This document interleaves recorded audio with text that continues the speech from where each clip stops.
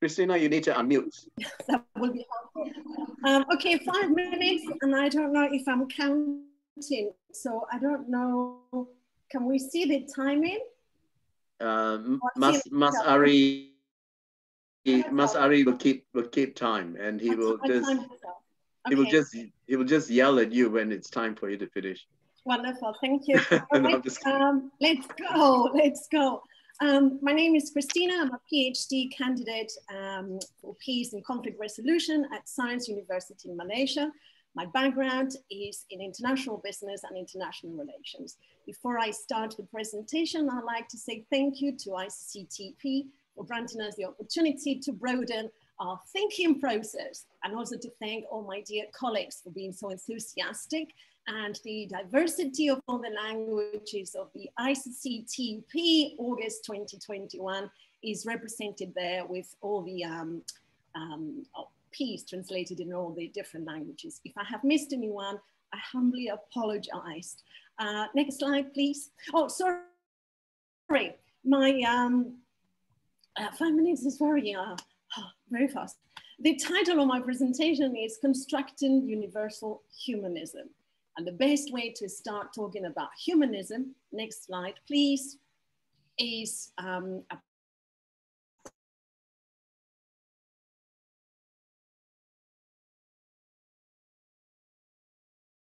approaching it through, next slide, please. So um, um, there is a song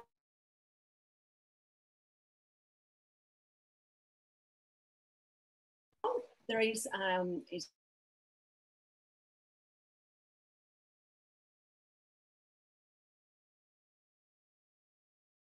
I would like you to see it on dove. The dove is the symbol of peace according to um, Christianity and Judaism. Um, and you can see here why the dove came back to the Ark of Noah after the deluge. Um, but the sound of that dove in that song tells us how sad the song is, uh, how sad the pigeon, the dove, is because when he cries, the sky trembles. Tells that is the peace, the state, that is the country of confusion when he talks about the harmony triadic, composed by three factors, heaven, humanity, and earth. Earth meaning nature. Next slide, please. So when, next slide, please. Please, next slide. Hey, on internet sometimes. All right, okay. So, um, so when we talk about nature, there is um, a, a buzzing word now called Anthropocene. Anthropocene is the is the current geological age in which uh, it is believed that the human activity has been the dominant dominant influence on climate and environment. And according to um, current um, scholars, um, they say that human imprint on the global environment has now become so large and active that it rivals the very great forces of nature. We have to remember that nature is not just an environment, it's part of all of us. Uh, next slide, please. So how do we connect with nature? Perhaps through education. But um, with education, we have seen that uh, conventional wisdom tells us the universal uh, structure is being industrialized. It started uh, in the Industrial Revolution 300 years ago, and it was to teach the workforce in the factories to be more productive, to be more profitable. 300 years later, we still continue um, educating our people in that structural industrial system. However, when we see the unconventional system with the Aboriginals, the origin is not 300 years, is the origin of our humanity. The structure is truly connected with nature. We see here in us from the ICCTP group 2021, teaching the children out in the open, connecting with nature. When we connect with nature, we inculcate ourselves real peace. I myself, I did an experiment with children. I took them out sailing and where we were sailing, it was our survival to understand mathematics, astrology, medicine, and humanity. So next slide, please. So this is like a marathon, five minutes. Uh, on the next slide, we will see that when we talk about cultures of peace, that is how we are told that we connect with nature. But according to Oliver Richmond, one of our current scholars says the concept of peace is often dismissed as binary concept. Uh, where there is an absolute division between peace and war, and, and also dismisses the uh, harmony and calls it the utopian harmony, is an utopia, um, utopia, sorry. Um, so what is the new discourse that I would like to um, suggest? I like to suggest a new discourse is starting with Mahatma Gandhi's statement Peace to be real must be unaffected by outside circumstances. Next slide, please. So um, during the course, uh, we have learned that, um, hello, next slide, um, different approaches. I would like to take a holistic approach because the more we relate violence, the more we legitimate is ontology. We talk about pro protective conflicts conflict resolution, conflict transformation, Lederach's, conflict is the engine of change. But Alpha de la our ICCTP August 21 member, says um, to Lederach, engines break, love drives change. Again, peace psychology uh, deals with case by case quenching fires. Even Galtung talks about positive and negative peace. And when he talks about transformation and transforming conflict through uh, this um, creatively, creatively. It talks about development, and we've learned to be very careful with that word. So what do I uh, propose? I propose to harmonize. And harmonizing when you are with nature is about fertilizing the ground. So then harmony becomes deep, and deep means generating the process that is opposed to conformity and superficial stability. And I'm quoting uh, Eastern philosophers. Next approach, next approach, next slide, please. Um, just two seconds.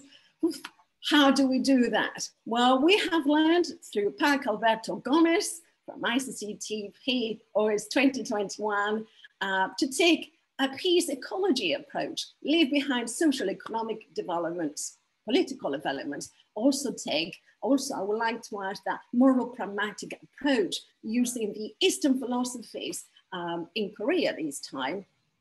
And also with Paco Alberto, we have learned that um, uh, the Semai cultures make fun of violence, and that is what we should be doing rather than keep talking about violence. On the next slide, please. So, just two seconds, but on the next slide, um, how do we approach deep harmony uh, or how do we get um, on the road to universal humanism is towards is using deep harmony. And you will see here, I have lived in these places, Middle East, these are the circles of harmony. Um, the moon, the sun, look at Africa, look at the animals, look at Asia, look at Malaysia, the sun, the moon. Um, again, I refer to India, and obviously uh, the Indians in, in America. So for me, peace circles, the ultimate goal of peace circles was to communicate in order to have a better understanding. But the, we know that understanding this misses personal, regional, and state interest. Next slide, please. This is my last slide, I'm sorry. Um, deep harmony is what I will be writing about on my paper. I will be contesting Western ideology and, and driving towards real peace with deep harmony. Thank you very much. Next slide, please, is the last one. I would just like to say thank you. thank you, Christina. Ole. thank you. okay. Congratulations, Christina, for the presentation. So, uh, we can move to the second presenter. Is that fine?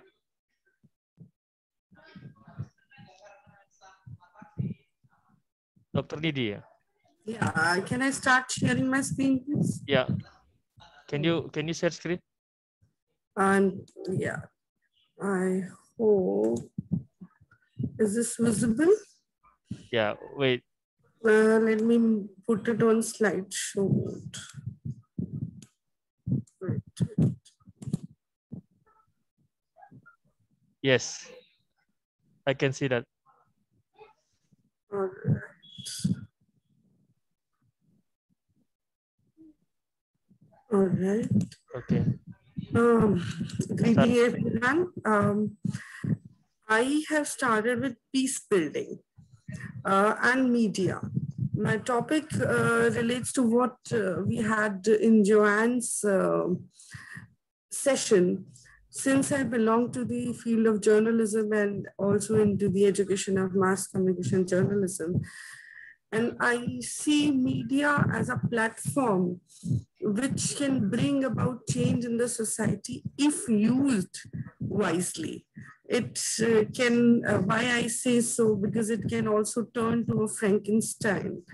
Um, we have seen in India, we have seen in other parts of the world, especially with the uh, as we call it, social media.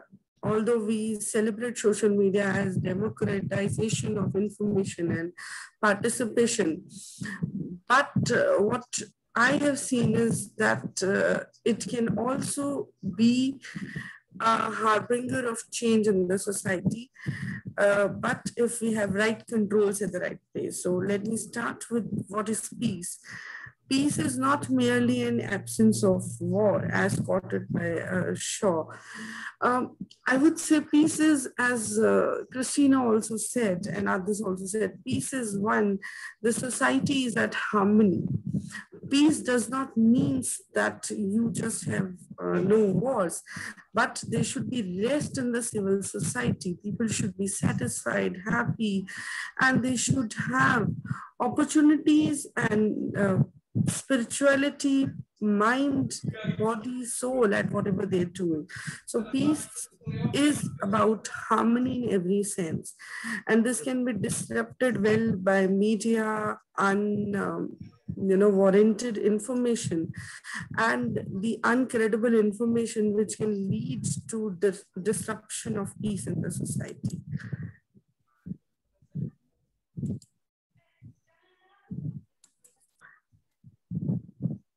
okay what is peace building here i like to quote efforts to build and sustain peace are necessary not only uh, has broken out, but all long beforehand, preventing conflict resisting to its root cause.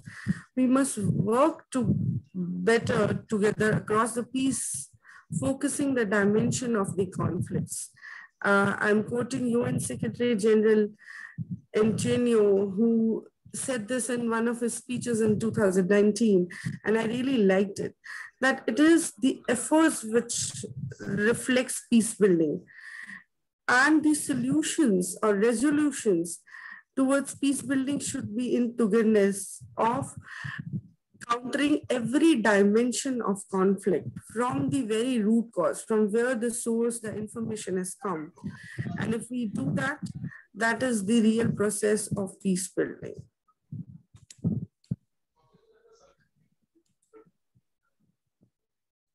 I'm sorry, the internet is taking time. Now, what we have to do and what we have learned for this course is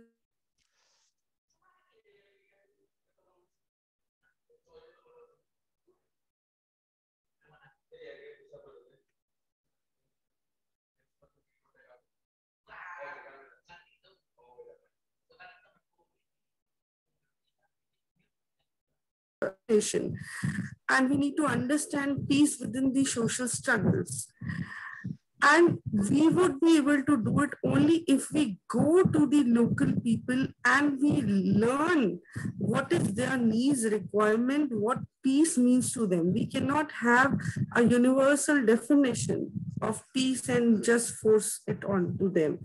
It is the way they want to see the life. And now this, uh, with the new media, new digital era, this whole new generation of social and virtual life is opened up, especially since this pandemic. Now we have our public spheres, our digital platforms, social media and networks. Not only our social gathering, physical meetings. So we have to take them into account. We cannot ignore them. We may love or hate them, but we have to take them in account whenever we are thinking about peace building processes. Because even if we tend to ignore them, we choose not to include them, they would be disrupting the society in their own way if we do not take them into account and make them credible.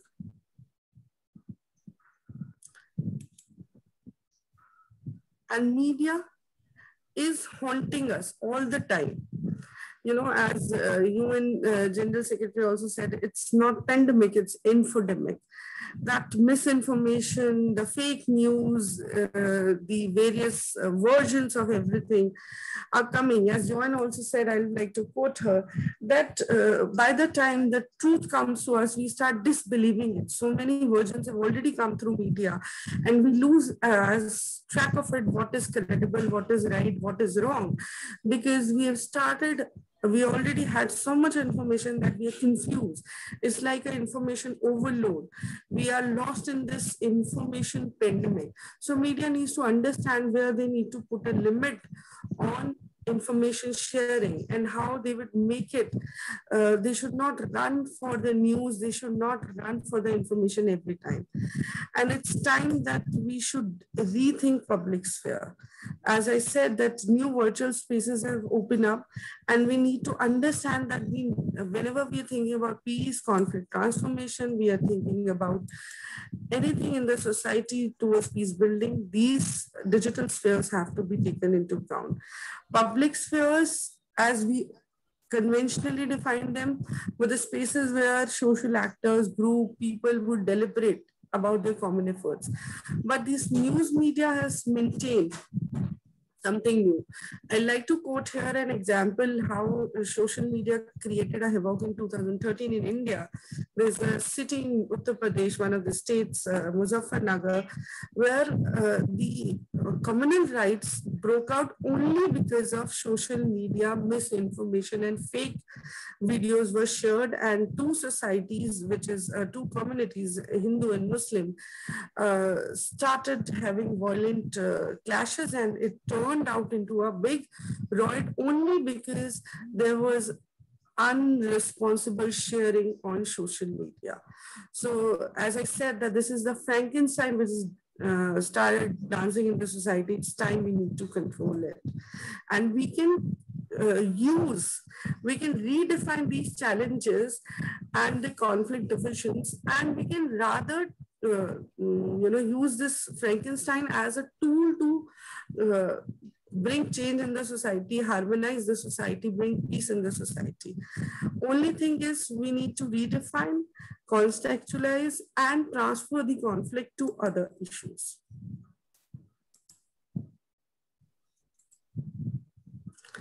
Media and the conflict transformation. Media, uh, I would say, as I have analyzed, has reached to people. It can, um, you know, democratize, uh, democratize the information. It can reach to the masses. It can bring uh, a bridge between the policymakers and the people but we need to, as I also go for the holistic approach, as Christina has said, holistic approach to media interventions. My approach here would be that we need to have a complete approach. We cannot see that in isolation. So that, that is what my take here would be.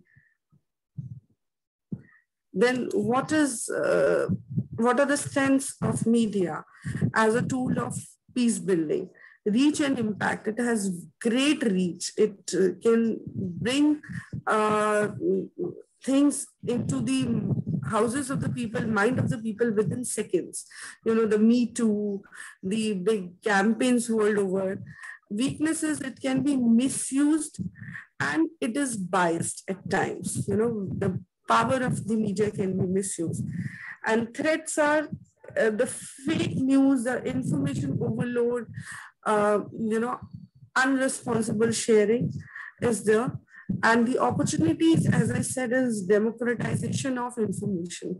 And now we're not at the receiving end. If a newspaper is printing, we can react on social media instantly. We as people, uh, masses and information consumers, we have now power to react and ourselves share our reactions or our information on social media. But we need to think over it. Media needs to rework the professional issues ethics and sanctions address of uh, address forms of ethnic and communal censorship economic political interest and ownership. Here i would like to say that uh, media knows that they have the power but uh, they have to weigh in their ethics whether the ethics are more important or the, their own biases are more important. This is an interesting cartoon which I found on Indian media. The, if you can see it clearly, I hope that the pen, which is representing the media, is being put in by money, uh, you know, is controlled by the money that is, um, you know, paid media that we have to uh, sort of do away with such unethical practices in media if we really want to use it as a tool of conflict uh, transformation and peace building. Uh, these... Excuse me, Dr. Nidhi, it's more than five minutes. Okay, just I'll uh, conclude. These are the rules that uh, media can do. Uh, not only it can define and bring up the issues of conflicts, it should encourage, analyze, it should uh, give confidence building, it should communicate with the parties, and it should bridge the gaps. I'll just conclude. This is the road, roadmaps media should take in future to use it as a tool of conflict transformation and peace building.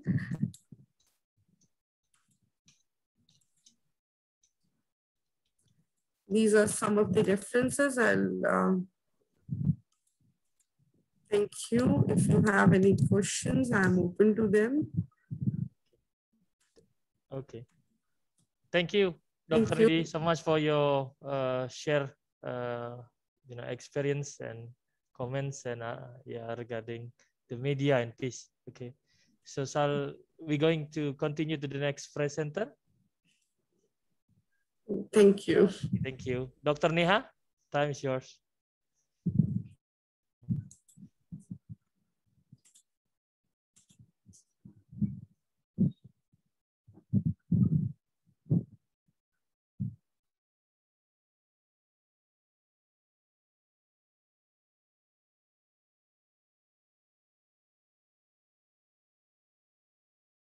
Is Dr. Neha around?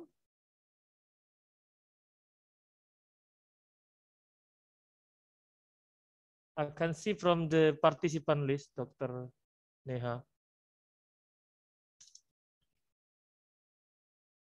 Okay. Should we skip for the next uh, presenter? Yes, I think we just go on. Uh, okay. Masari. Okay. The next Kainat, uh, Kainat Saif, sorry. Uh, yes, I am here. Yeah.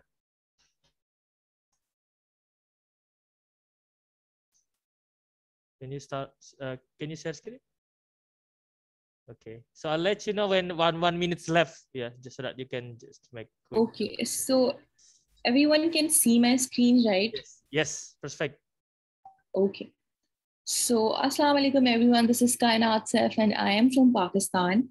So, my key learnings from uh, I am actually presenting my paper because I wasn't able to uh, make a PPT because my uh, because of my ongoing exams. But I will try to convey my key lessons. So, um, after going through this course, I was able to analyze the situations, situations of peace and everything defined in this course, uh, you know, I was able to analyze how the peace situation and how the instruments that have been described, such as negotiations, um, non-violent communication is working in Pakistan, in my home country, and in our neighboring countries, as well as in different countries. So um, from peace and its types, I believe that uh, the positive peace and negative peace. In Pakistan, the negative peace, we uh, emphasize on negative peace more rather than positive peace. So inclusion here in uh, here at home is um, not something which uh, which is considered uh, while making pol uh, while making policies and while making laws, while you know while while doing the state machinery work. So that's why in Pakistan the peace situation is not very much better not as it should be. And about restorative, uh, restorative justice system and peace circle i think the peace uh, the concept of peace circle was very new for me. And i i totally subscribe to this idea that when you uh, sit in a peace circle have a deep heart to heart conversation and um, I, I think that way one person individual or community is able to uh, get access to peace in, in, in, a, in a cheaper way. And restorative justice system is um, should be int uh, introduced at larger level because when the proceedings like uh, between the victim and criminals with the representative of wider communities, uh, this, this ensures peace. And conflict transformation, to talk about conflict transformation, I think that conflict habituated system that is converted into peace system, all the things uh, required for, uh, for the conflict tra uh, transformation is something that I will be going to talk about next. Okay, so uh, relationship between peace and development for me is directly proportional to each other. So for example, if you talk about peace, when there is development, there is peace. When there is no peace, there is no development. Uh, as in, uh, in developed countries, we, we see that they restore peace. And in, un, in undeveloped or develop, uh, developing countries, uh, the absence of peace lacks development. And uh, obviously, the role of um, community based organizations uh, NGOs and public-private partnership is uh, very much important to uh, fill this gap. Okay. Now um, I am talking about all the instruments that can be used to um, to have a peaceful society and to have a and to conflict uh, management, you may say, and conflict resolution, conflict transformation, um, that that all word uh, words are synonyms to each other. And uh, importance of dialogue is the first one. I think that my uh, in my very personal opinion that dialogue can resolve so many things. Um, in pakistan or in urdu we say baat karne se baat banti hai which literally means that when you start talking you are able to uh, you are able to have better deals and you cannot you know you are not ballooning the uh, conflict. And you are uh, you are able to find some solution. Now we have uh, another mechanism which we call as non-violent communication. And there are four major components of uh, non-violent communication. The first one is observation. The second is feelings. The third is needs. And the last one is request. Sorry, so this track one minute left. Okay okay okay okay now I will talk about peace ecology and indigenous community. Indigenous community plays an important role to restore peace ecology and psychology of peace is something that is uh, psychology and as well as uh, um, sociology of uh, social, uh, social nature of uh, peace restoration, strategic building, okay, uh, empathy, love and com compassion they they all are directly linked to peace because they um, when you have all of these components you are in better position to um, to, to talk about peace. Strategic building is constructive and productive personal group political relationships across religious class ethnic national and racial spaces and and the goal and the goal is to resolve injustice in in, uh, in non-violent ways now I will talk about media and peace building. Media plays an important role, um, but media can also play a, count, play a counterproductive role. For example, when media is biased, it is um, it is you know, instigating uh, violence in the society, in the youth, and that is uh, that is very much that has a larger impact and long-standing impact. For example, in Pakistan, we have newspapers. The one is talking about like one is talking in favor of government, the other is talking against the government. So these these things impact uh, the audience the readers very much. And thank you. I am done. If you have any question, please let me know. Well done, Thank you. Okay. So we'll continue to the next uh, presenter, Sarah. Yes. Welcome to the ICCTP Peace Circle. Please close your eyes and take a deep breath. Breathe, breathe in and out. Breathe in and out. We are here to give ourselves and others a voice, to begin a restorative, transformative dialogue. Please take a piece of paper to, to write down your reflections. The reflection will be for you, but this is a space of connection. We are all one. We are human beings. Please close your eyes and take a deep breath. We will start by thanking each of us for making this possible. Thank you all for being here. Thank you for trust with me. Thank you for believing in this possible and real peace. In the next few minutes, we will try to answer some questions. The first one is, who are we?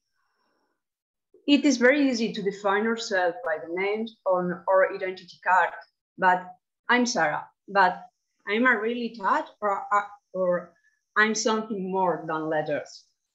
To learn who we are, we must deconstruct ourselves, deconstruct the paradigms that classify us since our birth, the inherited culture and society. It is about deconstruct our minds, questioning whether whatever the way we relate to each other is an imposition, prejudice, or a, or a deshumanization of the others. I'm European. What does that mean? Do I have to accept European culture just because I was born on that con continent? No, we are human. We have the capacity to think and change. Questioning our context, it is the first step reflecting on how we contribute to, per to perpetuate inequalities and how we build our own space, open space for dialogue and acceptance, where the concept of racism or development do not exist as a way of perpetuating violence, but create a space where regenerate our individual and collective identities, where the world resilience, co-create, and improve our words that define us better than our names or, or colonizing and or colonized culture. After learning how to de be defined and re recognize ourselves, we could do the same with our context. What is your community like? Your community can be your immediate family, your neighbors, people with the same religious ideas or hobbies as you, or your ancestors. In short, someone with whom you identity, identify as an equal. The way we relate to others is built from education, where reconstructive empowering approach is important. This way of learning promotes the decolonization and redefinition of our values. To get closer to these objectives, social media are a tool for reject, re, for projecting new realities, more participatory, inclusive, and peace promotive through the organization of civil society and the visibility of the different ways to making pieces. But our relationships are not limited to humans. We also related to, to nature. I would like us, us all to sincerely apologize to nature for the damage we cause it, for believe we are better than the nature and not part of it. So excuse me, Pachamama, thank you, nature, for everything give, you give us. Now that now that we are aware of the necessity for equal recognition, recon, recognition and peace, we must think about how we can transform conflicts. Conflicts are an opportunity to build peaceful realities. To transform them without violence, it is essential to empower the local people because they are the ones who know the conflict and the social. The locals through non-violent communication can find a space of dialogue where empathy defines the way we relate to each other in community based on love and equal regeneration. In this new reality, the world peace could be people, environment, acceptance, communication, and evolution collectively towards a peaceful harmony. Breathe in and out. Thank you for your active listening. Thank you for, your, for sharing your time with me. Well done, Sarah. Hmm. Okay. Muy bien, Sarah. Muy bien. Okay, we go to the next uh, presenter, Katarina. Yes, uh, hello everyone. I hope you are all doing well. Um, so, uh, everyone is seeking peace, and maybe is a common sense affirmation, this one.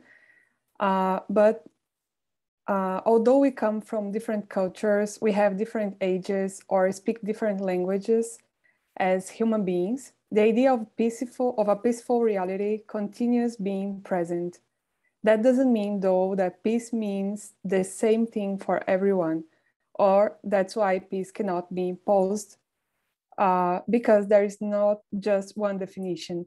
Actually, it's exactly the, the opposite, in the sense that each person perceives conflicts, violence, and insecurity in diverse ways or levels.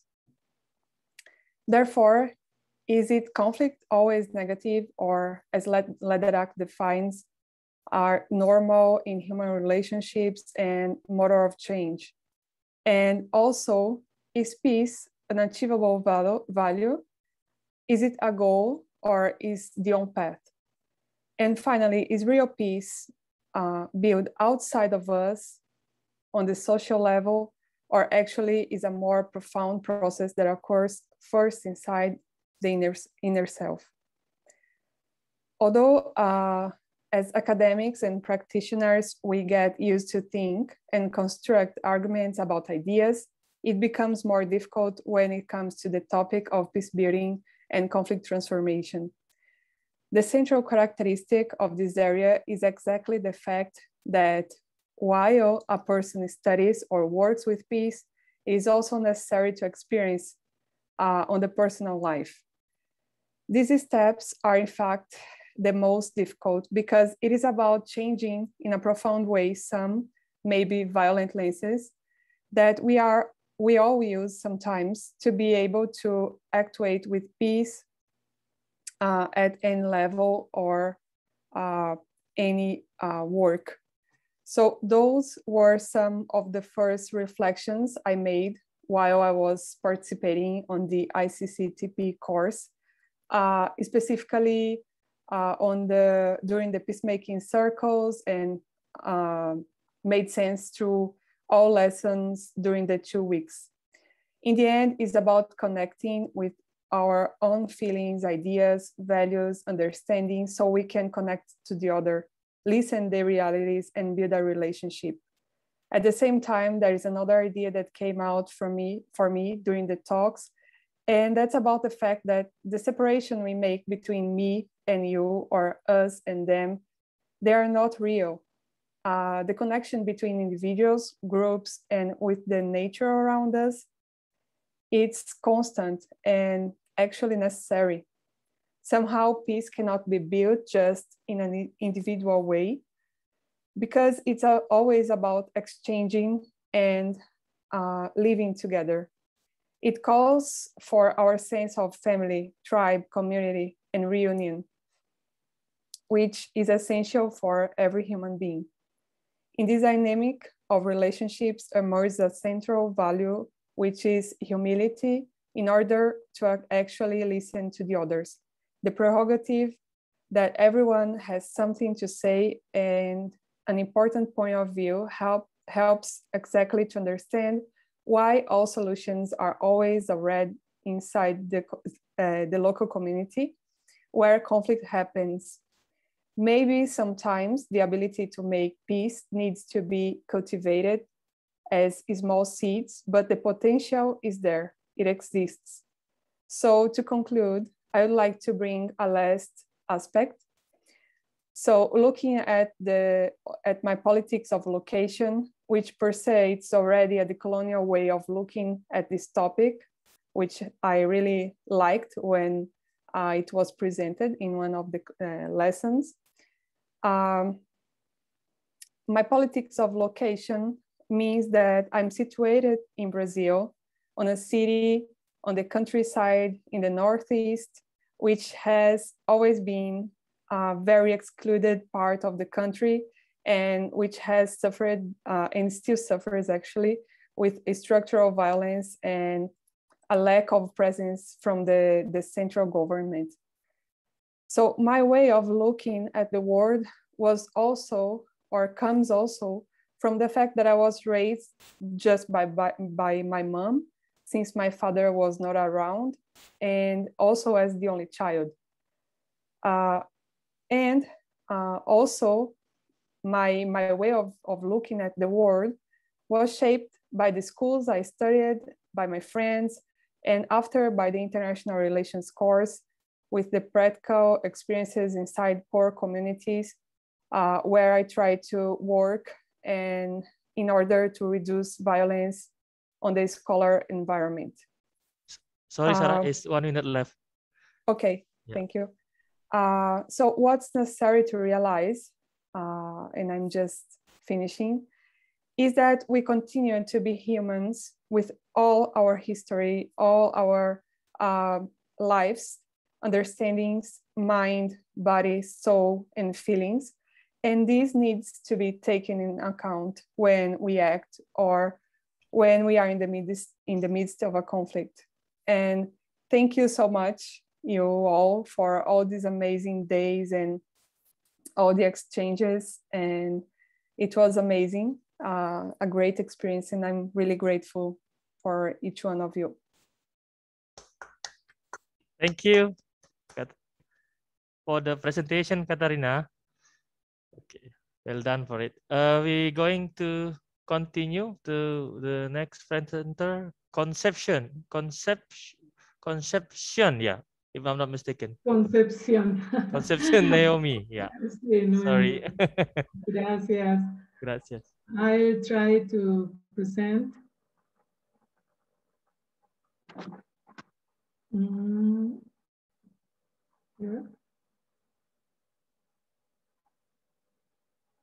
Can you see the presentation?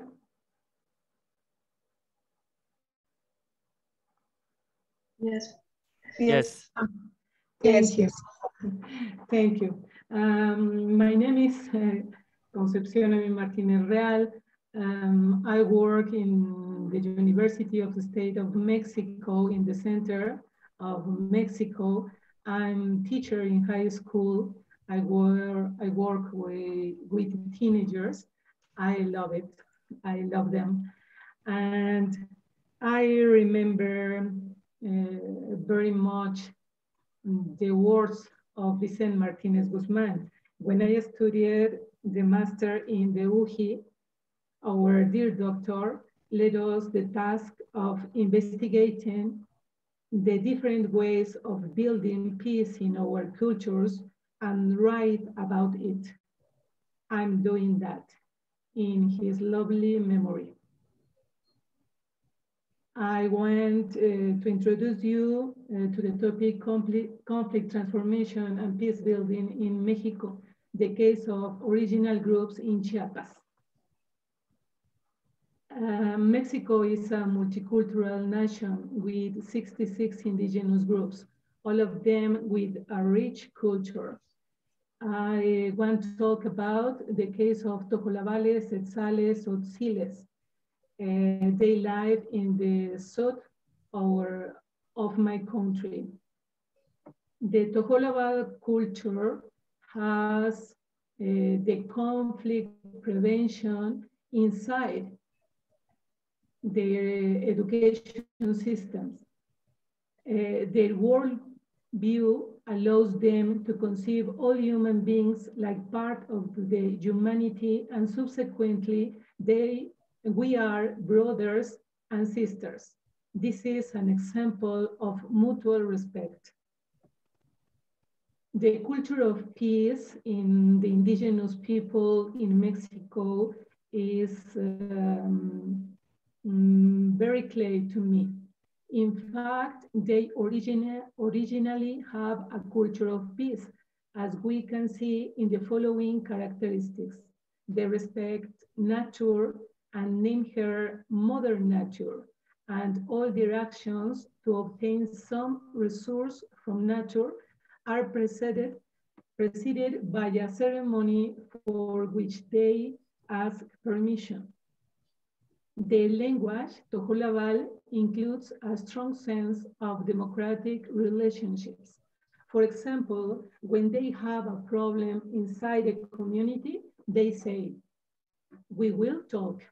This includes peace ability, the knowledge and common practice of dialogue between they and the existence of horizontal relationships manifest in the existence of the General Assembly, made up of all the members of the community. General Assembly is the social and political structure that allows them to organize the community life and discuss about community issues to find solutions to them together, including men and women. In this structure, we can identify general equality and elicitive method, methods of conflict transformation like Paul Lederach uh, present to us. Philosophy of life of the Tojolabales uh, is very rich. They say everything for everyone, nothing for us. This way of thinking show us empathy, altruism, and reciprocity because they not only think about what they need, but what other people need, and at the same time, they recognize their human rights and defend them.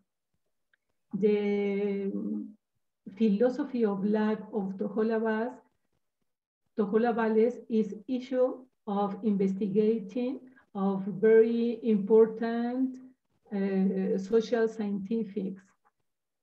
So sorry, the time is one minute left. Okay, thank you. The conflict in Chiapas is very extensive topic and I don't have time to present in detail. Um, I want to talk about the process of peace building. They handed down their weapons peace dialogues, and creation of autonomous communities called caracoles. Um, I, I know uh, I have to work more in the reflective part and in my final paper, I will do. Thank you. Thank you, Concepcion. Well done for this presentation. So enjoyable. Thank you. So we going to the next presenter, Irengbam. Yeah, Manoj. Yeah, Manoj. Okay. Yeah. Very good morning from India and also good morning from Manipur. Likely before coming to the presentation, I likely to thank and make the good warm gratitude to all organizers this network and ICCTP and volunteers that mm, that guide us the whole 10 days this for this online course on the peace building and the conflict transformation. So it is a great pleasure for me actually and uh, it is a first time online course for me um, that uh, first time international online course. Uh, actually, unfortunately, this course is uh, colliding with my university exam right now, master uh, PG exam. right now. So there, uh, it is very hard to me to um, to make the uh, program very successful one. But I am very glad to learn a lot of lessons and a lot of part from the different resource persons that have been guide us. Actually, uh, yes, coming to the presentation, uh, actually, I have to present my own views from for the course and the anything um, that I have learned from this part. But uh, all the detailed part that I have learned throughout the 10 days uh, will be reflected on my reflective paper. and uh, actually, uh, I I am as a, I I am a learner. I'm a student right now. So actually, I am very junior to every one of these participants. So that I am a learner and a student also as a youth also. I learned uh, many perspectives, many perspective or many innovative one that that had been uh, that have been differentiate me to differentiate me in different ways. So um, also I had to thank to all the resource persons yeah to enlighten us in a better way to bring our uh, to bring our society or to bring our world uh, peaceful way and, uh, and to learn about this uh, different part of conflict that have been uh, that been uh, that that have been arise in different parts of the, the different corners of the country so also uh, and also uh, thank to all the colleagues and friends and the senior ones that discuss throughout the black rooms and the blackout rooms and discuss about the different perspectives that given by the resource person. So I've learned many things which explores a range of from approach to conflict and peace building to eliminate and the potential of violent conflict. So it, for, it focuses on the uh, fostering dialogue and empathic relationships and exploring uh, non-violent means of communication and engagement and interaction between us, discussing on cases of the violence, discussing on the cases of inequality, poverty, racism, discrimination, oppression. So this course enhanced me uh, more knowledge and understanding on conflict transformation, dialogue, and the debate and discussion between us and different part of the country. Also, I have learned uh, many about this, how to we make a peace, how to we build a peace, and how to uh, we elaborate it throughout the uh, society or throughout the country or throughout my uh, school level or uh, university level or society level. So as a youth participant, as a youth coordinator of my organization, so I likely to uh, say, you know, innovate, I, I, I likely to learn this part to enhance my uh, my knowledge that having that having that from this course to my junior one from a grassroots level to school level, college level, and university level as well. So how to bring this one, how to make a chain to bring a peaceful society between us right now.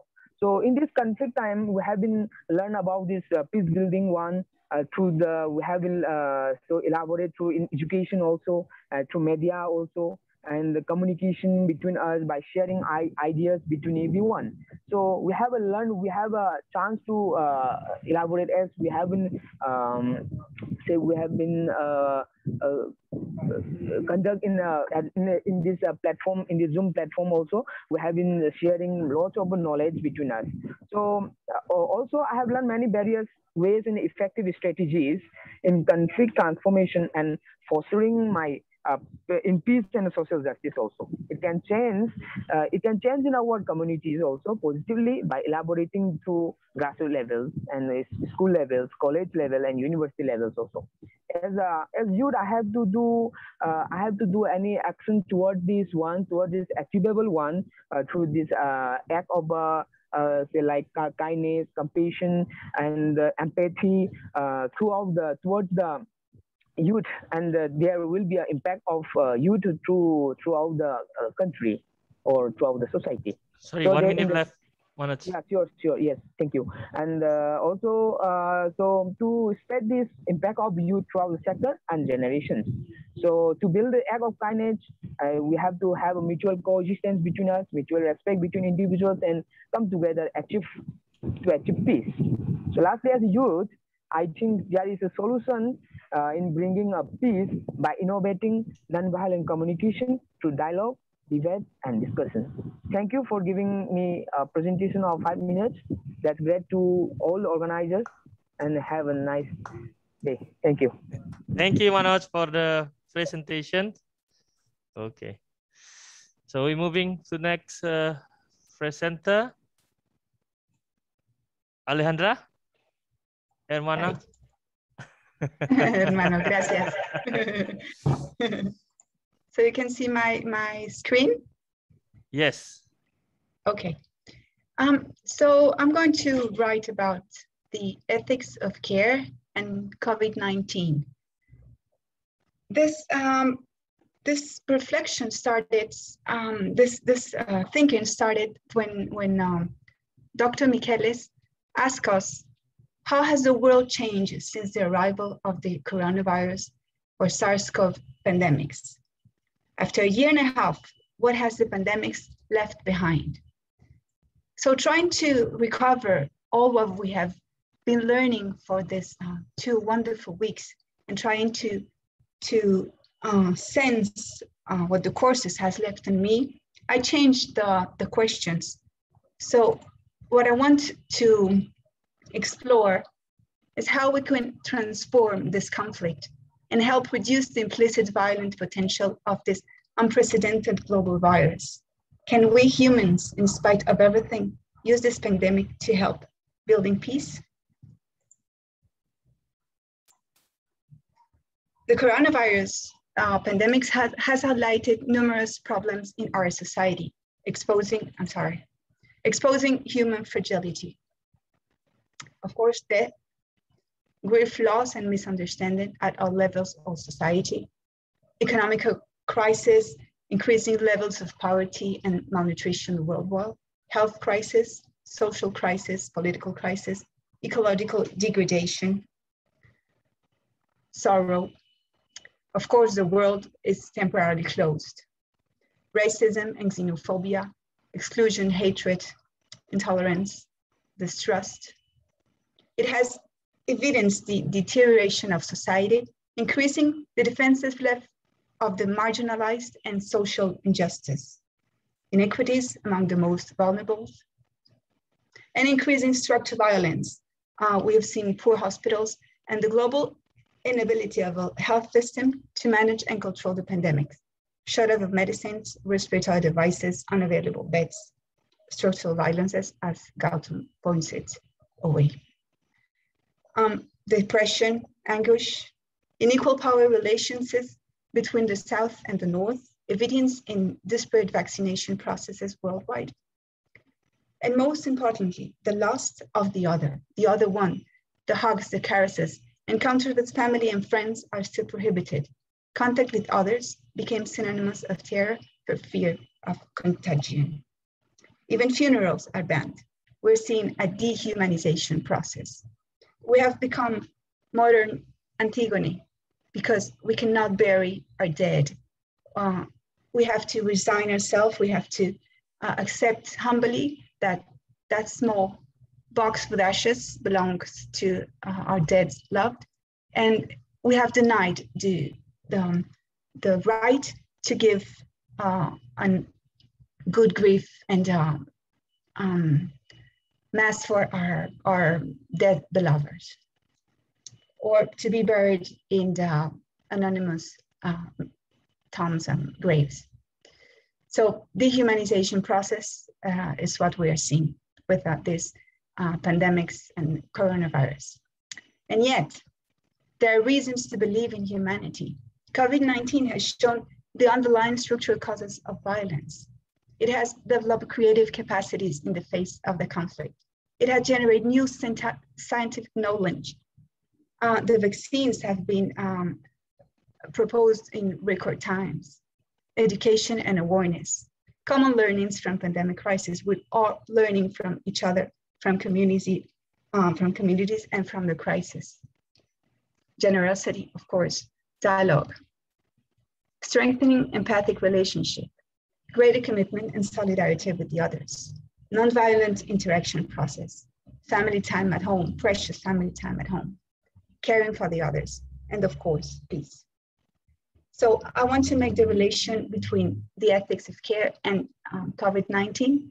Um, the ethics of care is it's um, a proposal from philosophy of peace from Irene Comins, who talks about a relational ethic where what matters more than duty is a relationship with people. Considers that rationality must be mixed with emotions. It focuses on direct and almost personal involvement and commitment with others.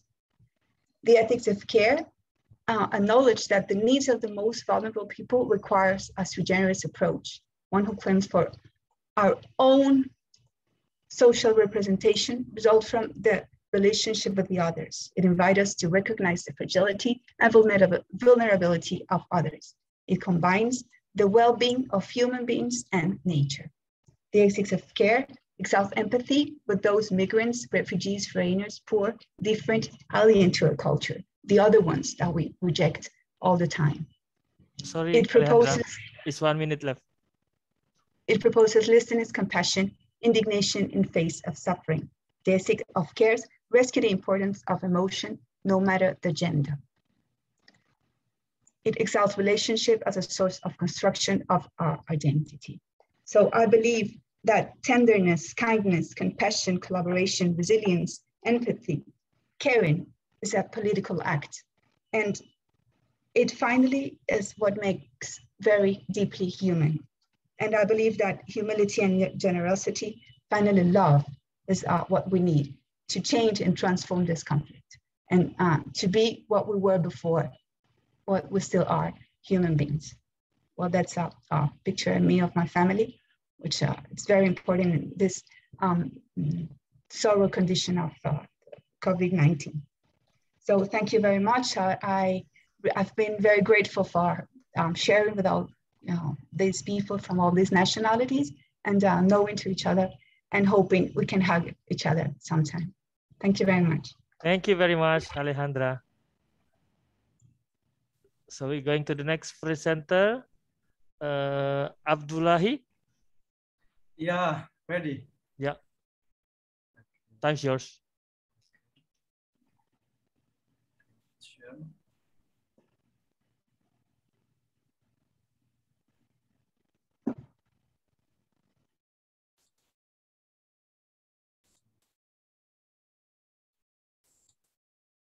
Okay, sorry. Can you see my screen? Not yet. Not yet. Okay, I think it's working. So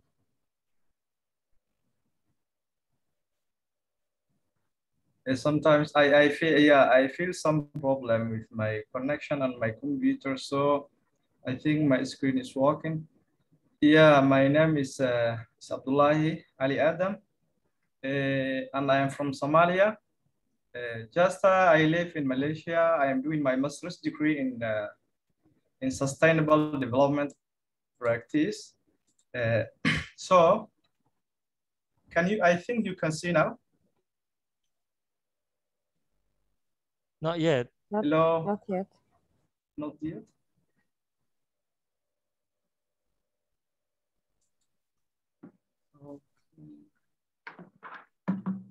I don't know. I have a problem.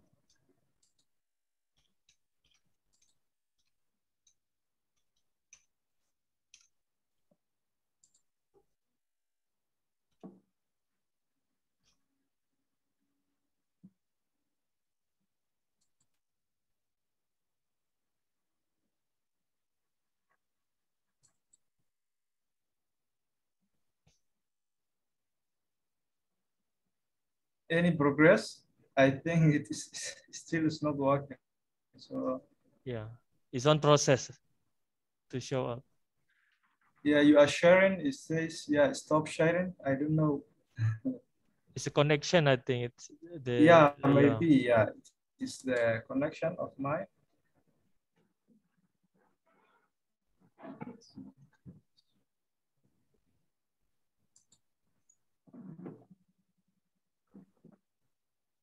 Maybe it's the connection.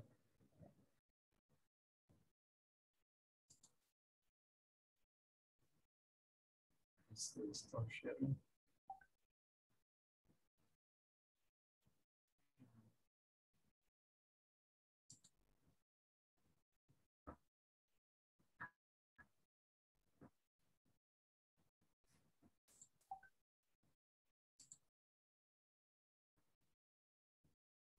Sorry, yeah. Sorry for the for the connection. I think I have a, a network uh, connection a problem. So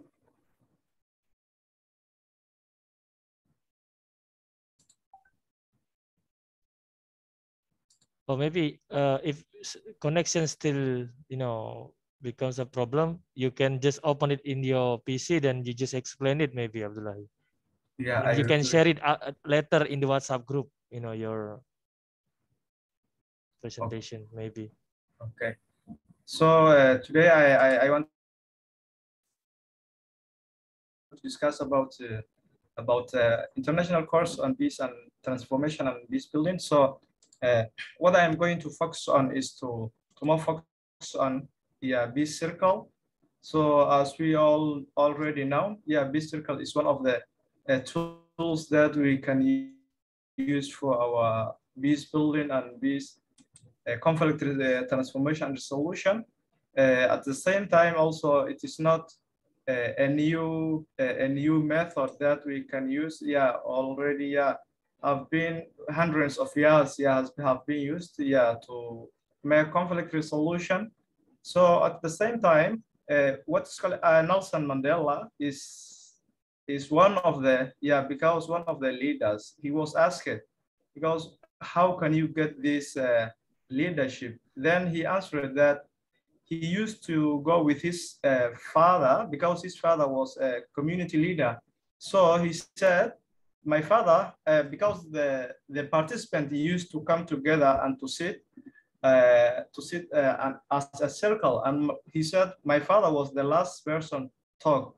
So uh, we know that this peace circle is very important. It's a method that we can use. At the same time, I want to discuss about something related to this, this uh, ecology. Uh, as I am from Master in Sustainable Development, so this uh, ecology is very important because when we use our resources, our environment, uh, for example, we make overfishing, for example, yeah, if we make overfish and for example, a particular fish or about a unique uh, fish, so we are going to, to, to finish all these uh, kind of fish. So at the same time, we will get, yeah, that will be limited fish or the value, the valuable fish we already finished. So at the same time, this also uh, this also leads to co conflict, yeah, conflict and war because we all humans, we are competing, yeah, for each other to take, yeah, the resources. So yeah, most of the conflict is based on resources. So the second one is like that deforestation. Yeah, deforestation is one of the main issues on the ecology because as we make a more deforestation, yeah, because it causes like clear cut for the deforestation by using two purposes. The first purpose is like household use, and the second one is yeah uh, commercial purpose. So the household use is like a peaceful way because these people only take a limit of resources yeah for their consumption or for their household where the commercial use is like uh, commercial because they are getting benefits. So the, the forest, the forest, the trees, everything, every resource, not only trees, also in other other resources.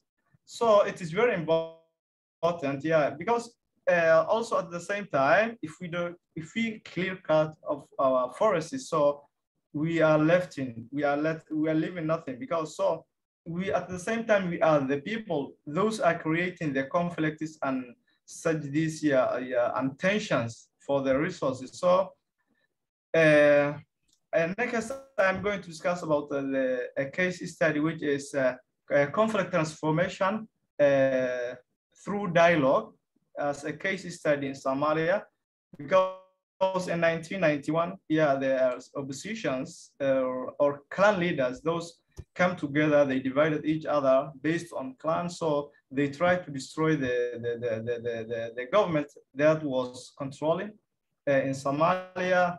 Uh, at the same time, the president was uh, Mohammed Siad Barre. He even he took he took the power in 1969 as a military military coup.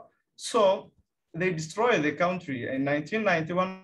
So what I'm going to discuss about from 1991 to to 2000. In, until 1990, until 2000, there were conflict uh, resolutions and transformations. Those yeah, uh, facilitated by neighbor countries like Djibouti, Ethiopia, Kenya, because the because the, the, the, the purpose of this uh, conflict transformation and coming together with dialogue, it was to to make peace or to build peace and to disarmament. Yeah, for the for the for the clans, tribes, those have been fighting each other. So uh, it's also it was very important conference.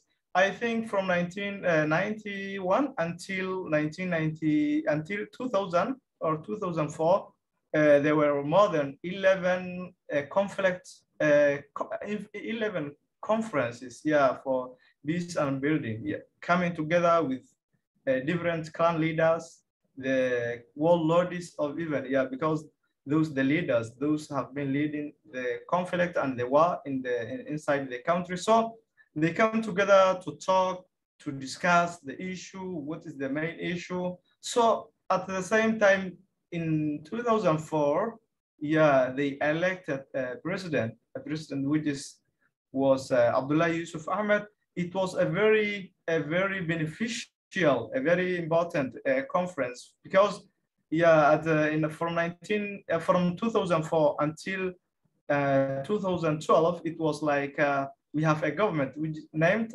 transitional federal government because if as we can see the the title of our program is like transformation our government was from 2004 to 2012 like a transitional federal government then from 2000 to 2000 until now it's a, a federal government so yeah, you see that Sorry, coming. Yeah. It's one minute left. Yeah, yeah, coming together through dialogue, uh, sitting, talking about the issue, what is missing you, what is, yeah. So coming together is a very important, yeah, technique that we can discuss our our people, our community, our subgroups, even uh, individuals. So yeah, because that is very important. Uh, uh, although sometimes if you look uh, for these processes, it was a wonderful, but at the same time, the, the result that we get is like a good result. But at the same time, we didn't go deep because as our program, our committee is like a deep, deep network, the, the solution was not deep. It's like uh, some transitional or transformation to get better, uh, better to better until final. Yeah, so uh, that is what I decided to contribute with you. Even I will share with the PowerPoint uh, through WhatsApp group. Thank you. That is all from me. Thank you, Abdullahi. Thank you. Well done for the presentation. Okay. okay for the next presenter, we will put a timer so that you know uh, you can see as well the remaining time. Uh, Zikri, Zulfan, you will do it, yeah, for the next presentation.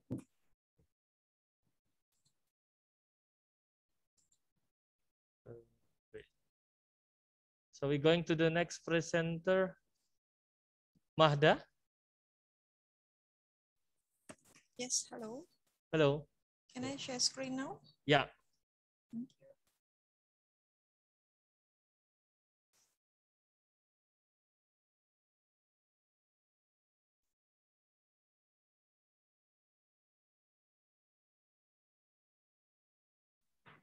Uh, can you all see my screen? Yeah. Yeah.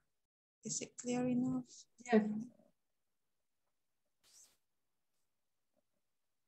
Okay, hello everyone, my name is Manda.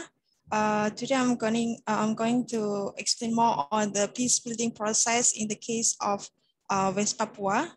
This was been uh, addressed by Ibu Priska and Ibu Yanti on the peace building, as well as uh, Miss Aisha did mention a little bit about uh, Aceh as well. So this, uh, this peace building was interrelated between West Papua and uh, Aceh. Okay. Uh, next. Okay, so basically, um, what I'm gonna explain now is, uh, if you can see here, Indonesia, sorry, if you can see here, this is the the the map of the province of West Papua. And this is uh, and this is the the the current maps of West Papua. And this was the last map uh, for, of uh, West Papua. This was somewhere in 1949, uh, which you can see there, uh, the upper side of uh, Indonesia was, uh, was handled by the British and all those in red was handled by the, the Netherlands. And however, those uh, on the right hand side, you can see the Netherlands, uh, they are in different color because the Netherlands, uh, I mean, the, the Papuas was in different color because the Netherlands was supposedly preparing something for uh, West Papua. However, since the outbreaks coming up and Indonesia was uh, announcing their um, the independent days and they are asking Netherlands to uh, pass all the all the territory back to Indonesia, including the West Papua. So this is the background, sorry, this is the background from 1949 to 1950, uh, where the Free West Papua, the Dutch East Indies uh, passed it to uh, change to Republic of Indonesia. And then West Papua was transferred to, uh, was under UN provision in, in 1962. And it was given a chance to do act of free choice. It's either in 1969, it's either West Papua wants to be belongs to Indonesia or they are they may decide uh, themselves whether you want to be uh, part of Indonesia or yourself. So, but if you can see in the picture there, the picture, can you see my screen? Uh, in the picture here in 1969, even though the title was Act of Free Choice, there was a army there putting gun to whoever footing. So for me, the issue is still uh, going on as even though the government of Indonesia has, has been given a special autonomy, however, the special autonomy has been uh, failed due to lack of transparency. And this is a problem statement. I prepare all this, uh, I make sure I prepare just like how we prepare our thesis or our paper. So for me, it will be easier for, uh, for me to break down uh, from the, the, the main issue, from the problem statement, and then break down to the solutions. So from the problem statement here, the Dutch East Indies uh, transferred all the, uh, moved to change to be a Republic of Indonesia. And then uh, at the time, Dutch uh, pursued to place uh, West Papua under UN supervision. And hence the West Papua was given the referendum of act of free uh, choice. However, the root causes here is self-determination and then political violence impact and recognition of the indigenous uh, Papuans. Again, uh, uh, last time, uh, we also talk about the indigenous uh, people. So here as well, uh, in the case of West Papua, we combine three, which self-determination, and then political violence, and as well as the recognition of the indigenous Papua and indigenous people. So uh, moving forward, it goes to the outbreak, which uh, Free Papua political movement, or we normally, in, for Indonesian, we call it uh, Opera, Operasi Politik Militer, OPM. And uh, moving forward, this still happening, but the outbreak uh, changed name into the another another uh, uh, the army movement. So the last, the last thing was the agreement. So in 2001, the West Papua was granted uh, self-rule by the Indonesian government in Jakarta. The self-rule legislation agreement is well known as a special autonomy, which never fully implemented. The special uh, autonomy is uh, something like the, the regional side of, because Indonesia have like 33 province or something. So uh, each of province, they are able to, they are given uh, roles, uh, self roles to manage their own uh, province. So from there, uh, in 2011, the unit of accelerate uh, development in Papua and Papua Barat uh, or West Papua province uh, was established. This was uh, given by the government. And then this, this agreement was done by the Indonesian government and West Papua. And in 2013, the Special Autonomy Plus, this is another, another special autonomy, was offered in order to replace the special autonomy which had failed because the special autonomy, the first special autonomy was uh, never been fully implemented. So they given a special autonomy plus which the the the form it, I mean the point inside is similar, but they just ensure that this is gonna be a, a how we call it a transparency which until now they're still suffering. The, the indigenous Papua as well as the people in West Papua are still uh, suffering. So, and this is the uh, theoretical. Sorry, yes. Mahda, the time is, uh, you know, uh, finished more than five okay. minutes. You can just make it quick, please. Okay. So basically, I just uh, want to explain more on the peace building. So uh, because we're having an issue uh, in West Papua, we're having an issue on political, military, economy, and territory. So I use this peace building uh, concept in order to achieve uh, the, the whatever uh, agreement in the future. So uh, thanks, thank you. That's all from me. Thank you so much, Pak. Okay. Thank you, Pak Mahda. Uh, congratulations for your presentation. We moving to the next uh, presenter, Irfan, Irfan Ali Kazi.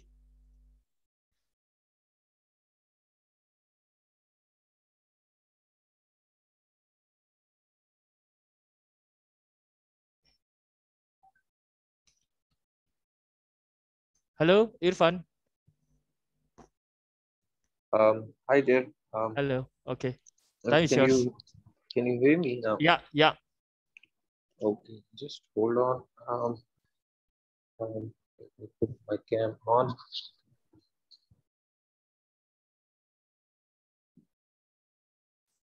I don't know.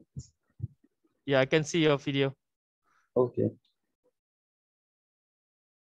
So can I start now? Yeah. Okay.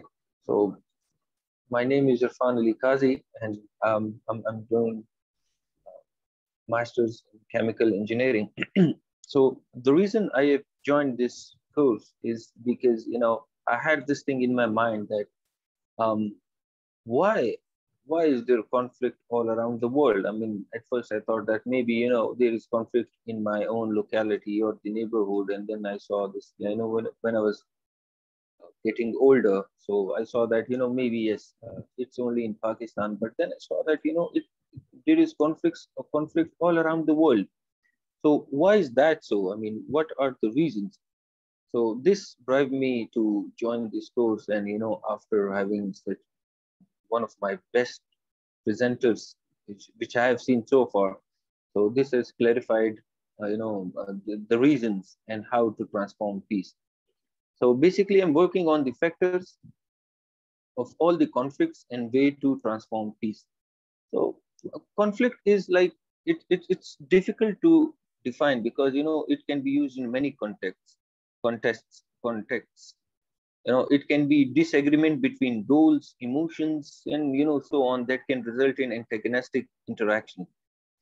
But you know conflict is not always uh, negative. It can be positive as well. Uh, for instance like the current olympics which are going on or the competitive exams you know. Um, everyone tries to get the specific position and it's positive you know. It's healthy.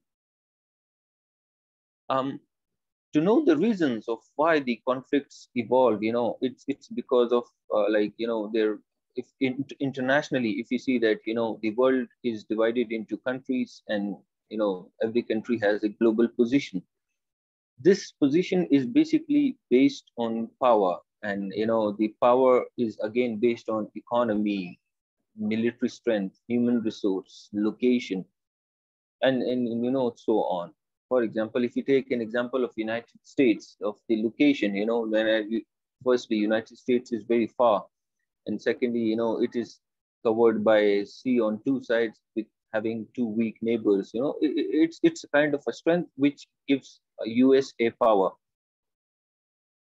And secondly, the states are run by humans. So automatically, I mean, states have adopted, you know, one basic nature of human that is selfishness.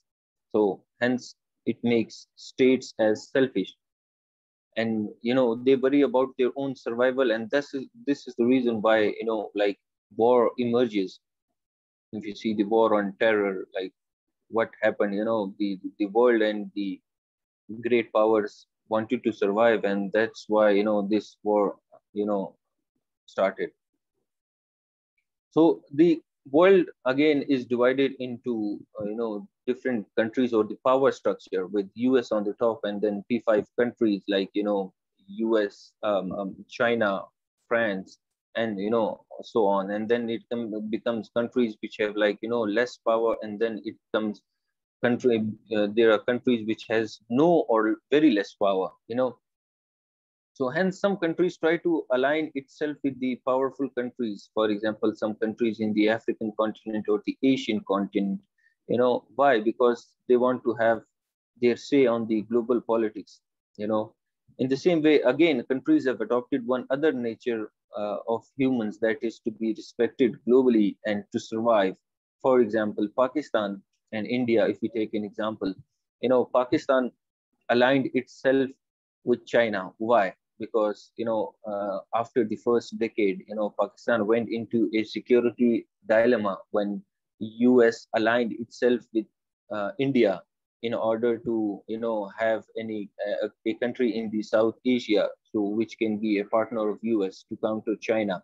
So this drive Pakistan into a security dilemma and Pakistan wanted uh, a country which is like one of the P5 countries and which can veto anything which which comes against the interest of Pakistan. So Pakistan aligned itself with China and you know uh, US, uh, India aligned itself with US. Um, Similarly, in a society, you know, everyone wants to be respected and given importance, and this also caused some sort of conflict uh, everyone tries the same because you know it's a human nature i think that you know everyone wants to be you know uh-huh. sorry if uh, the time is all finished uh, can you make quick your presentation please? Okay. Okay. So i'll, I'll just go through it you know i'll um, uh, in the same way you know the the tribal enmities you know why does it start? It starts also because you know one wants to be respected and another you know it's the fear you know which results in conflicts. For example we have an area in uh, in pakistan you know it's tribal area called chaman you know where people you know um, uh, people get killed because of fear. The fear is like you know if i have a tribal enmity with someone else and you know uh, all of a sudden we we we we come to see each other un you know intently. So i mean like um, i don't have any intention to kill that person but that person will think that you know i came to kill him so you know in that way in the, it is the fear which which would result in a conflict and you know one of us would get killed and another one is like you know the other factor is the intersectionality you know it includes class, race, and gender. And you know, the equality is not why is not why the equality has not achieved despite all this we have. It's because you know the um, the gender, class, income, ability, etc. has called you know um, inequality. For example, we have a patriarchal society. You know, it's or we we, we call them you know uh, the white man's burden. You know, which started that you know um, um, back in the uh, 1500 so you know and the the, the the the third one is that you know the conflict relationship with the history you know if if if we see that um you know uh, the recent black lives matter it's not about you know it's not about just george floyd or something you know it's it has its deep roots connected in the past such as you know the abraham lincoln and the civil war or the voting rights of the uh, uh, blacks when we when it was given in 1920 you know uh, still the black women were not able to vote it just because you know they, um, they were not given the priority and the they did not have their names in the voting registry. So another examples of conflicts um, of uh, related to history is that you know the war of independence in 1857 you know it was not just because of the fact that you know it started suddenly. It had its deep root connected like you know when the britishers came to um, subcontinent and then you know their harsh policies and and their exploitation resulted in this war i have another example but due to less time you know um, uh, i'll have to move on so in order to stop or the minimize the conflicts, you know, we must understand the dynamics, its history. History is very important uh, because the real issue lies in the history. So if you go on to uh, back in the history and you try to search the real reason, then you can, you know, transform for peace. Because, but if you look for the solution of the or the resolution of the conventional issues, you know, um, uh, peace cannot be transformed. So sorry, um, Irfan, the time just is, just yeah. 30 seconds and I'll just yeah. you know I'll just wind it up, you know. So one one may think that you know why conflict transformation is important because to some it it seems like it seems like you know it's a win-win situation but uh, to most of them it's not like a win-win situation it's like um, the, the reason is that you know um, um, even if the peace has been uh, peace has uh, peace is resulted, you know, uh, it cannot be the exact the same as it was because you know some things have been transformed into uh, have been changed. So um, you know, no one takes all, all all the cake. So it's like you know, win, lose, or something in related to that. So I think um, I have a lot to say, but you know, due to less time, you know, I'll have to stop it. Okay. Thank you. Thank you, Irfan, for the presentations. Yeah, it's very insightful. Uh, points. Ari, may I yeah, yeah, yeah, yeah. Quickly, yes. quickly interrupt here? Um, can I just please urge the participants to keep to the time because uh, the more time you are taking, you are at, taking at the expense of uh, your fellow participants. So please uh, try to keep to the five minutes and so that we can finish um, before midnight tonight. Yeah. no, I'm sorry for taking a bit of a time. So uh, my apologies. No, it's it's no, it's okay. But uh, this is for for everyone, so that you know, uh, yeah. we we have to keep.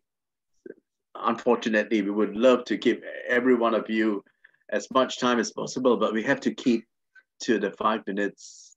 And my apologies once again to kind of restrict your expression, but just you know give the nutshell of what what it is that you would like to present, and you know, and for the sake of everyone else, so that yeah. we can at least try to finish as quickly as we can. Yeah. Thank you very much. Yeah, Prof. I have a question. Uh, can we uh, have a uh, presentation from John Fong and then take a break a bit, then continue? Yes, it's up to the uh, participants. Yeah, what, yeah. Are y'all okay with that? Yes, Professor. Okay, yes, we can take yes. yeah we can take a short break, but the unfortunate thing is that we are uh, quite behind time. So think think of uh, you know think of it as if like we are in an airplane and we, we have got a destination and we're trying to to go as quickly as possible, but not at the expense of your of your presentation, okay?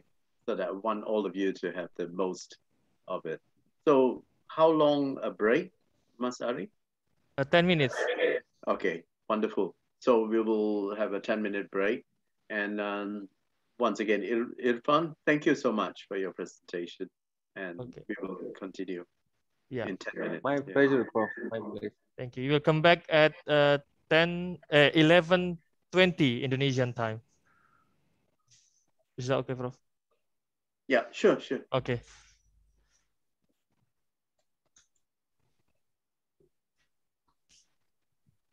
Zikri, Idam, can we go to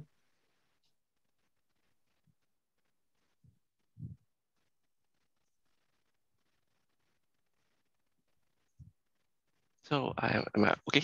Say okay? can I start? So can I start? Uh, wait, John. Okay. Hmm. Uh, you want to take a break? oh, minutes? take a break. Is that okay? Yeah. yeah. I thought yeah. it's after me. Yeah. Oh, uh, no. No. no. Oh, okay. Uh, take a break first and then. I'll take a break first. Yeah, ten twenty. We come back. Eleven twenty. We come back. Thank you. Sorry okay, for no this. Problem. Thank you, John. Okay, no problem.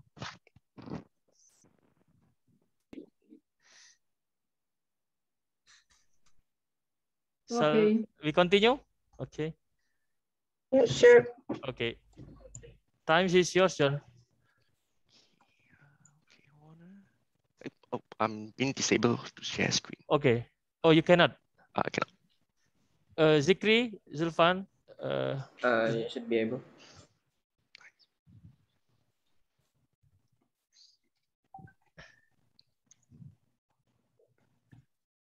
Okay.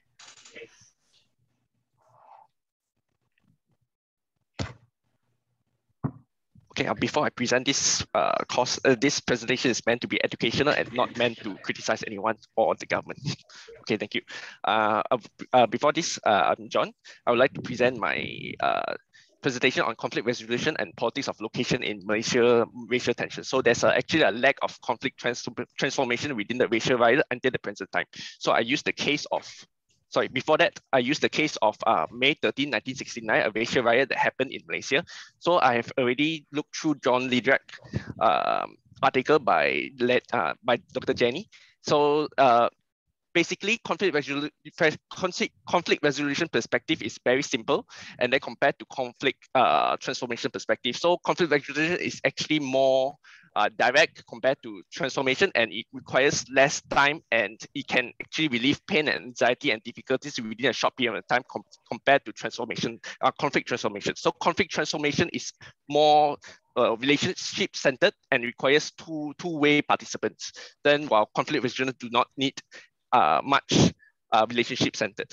Okay, the next thing is um, uh, I would like to go on on the May 13, 1969 incident. So it happened during our Malaysian general election uh, in 1969, where the opposition parties, uh, mostly on Chinese political parties, are actually gaining more votes at that time. And there was a racial tension at that time uh, between the Malays and the Chinese. So there was a provocation to the extent that the Malays and the Chinese were provoked to kill and fight one another. So there are actually many people died actually, and until now it's under the official secret, secret, uh, secrecy act. And then uh, they are up to probably hundreds and hundreds to a thousand actually died, but we, we have no idea actually what, what the actual numbers are. So that at that time, 1961 was our first lockdown. Now 2020 wasn't our first lockdown. So at the time, this was actually our very dark moment for, for Malaysia history. So for conflict resolution, so the government just came out with Majlis Gerakan Negara. So it was known as National Operation Council. It was a conflict resolution. Then it was a function as a, the whole council, it was uh, function as a caretaker government and sought to restore rule of law and to steer country towards national reconciliation. So the next thing is that um, because of the Chinese party, they were going strong. The government is also taken in, uh, has taken in the uh, the Chinese party to be part of the government. So that was the conflict vision. There's no conflict transformation that happened at the time. So the next thing is uh, because there's no conflict transformation uh, for our racial riots. So the thing of racial cards that are often being used in uh, in the current event. So right now, like, like uh, thank, thankfully, Alberto is not in one of the pictures in uh, Operation Lalang.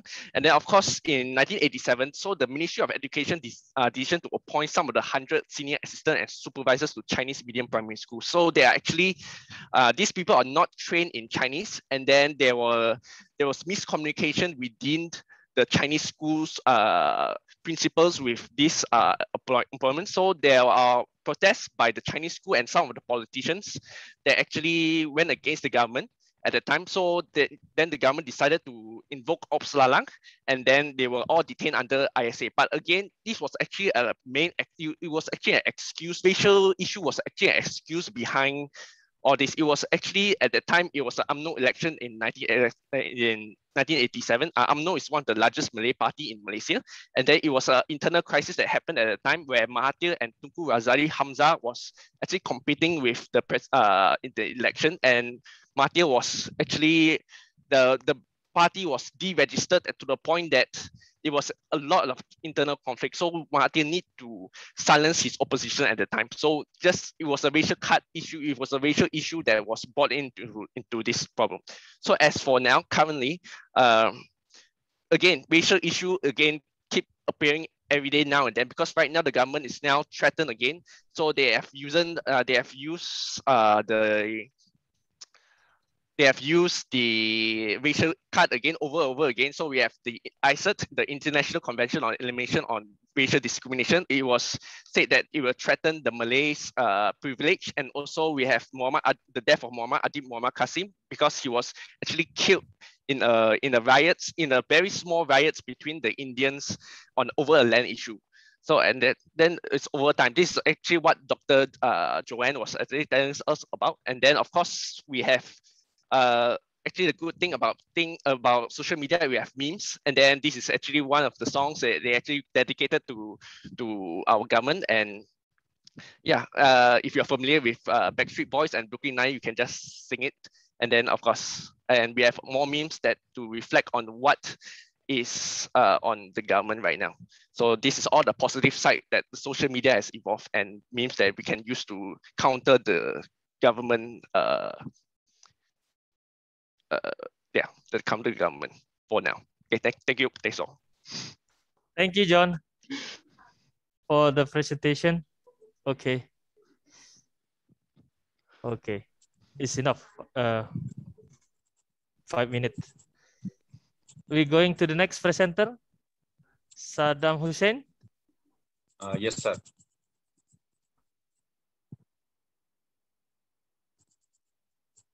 Can I continue?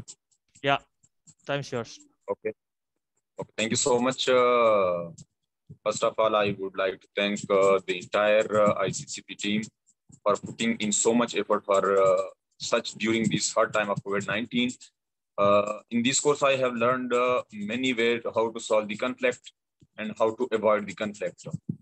Uh, the topic which I have selected for my paper is basically the conflict between the two states, which create too much tension for them and uh, for the entire South Asia, insecurity for the entire South Asia. Uh, basically, I'm talking about uh, the issue of Kashmir. Uh, the topic which I have to, uh, to present in my paper is that uh, the diplomatic response toward the request of the special status of Indian occupied Kashmir in 2019, basically a request of the special status of Jammu and Kashmir uh, illegally occupied Jammu and Kashmir into the two union territory gained diplomatic response from the international community. Uh, in this way, as most of us know that uh, during the period of uh, uh, from 1947, uh, from 1947, the, there is a conflict between Pakistan and India on the disputed territory of Jammu and Kashmir both country considered as is their parts. But uh, they have fought many wars on the Kashmir conflict, but uh, till they cannot handle it. So after the uh, 5 August 19, 2009, uh, when the issue of the uh, Indian has uh, illegally uh, abrogated the Article 370, so this is the why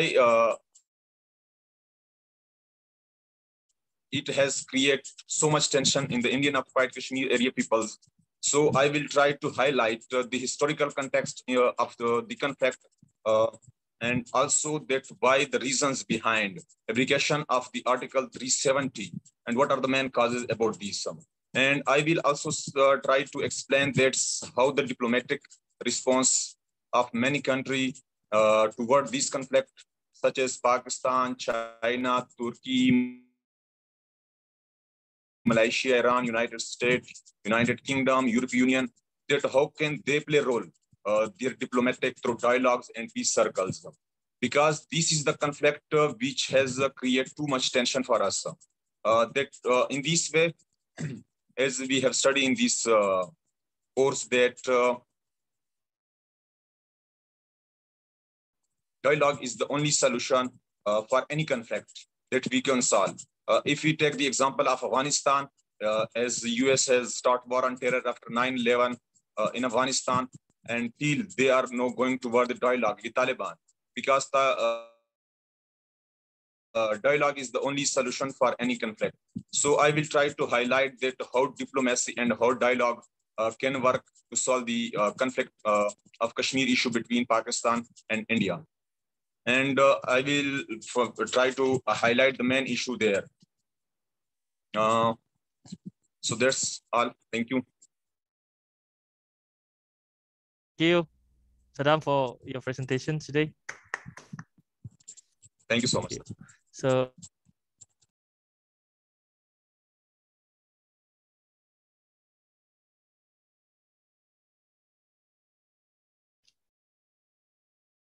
Yeah, Nur Alia. Uh, hello, can you hear me? Yes. Okay, great. Can you see the screen? Yes. Okay, great.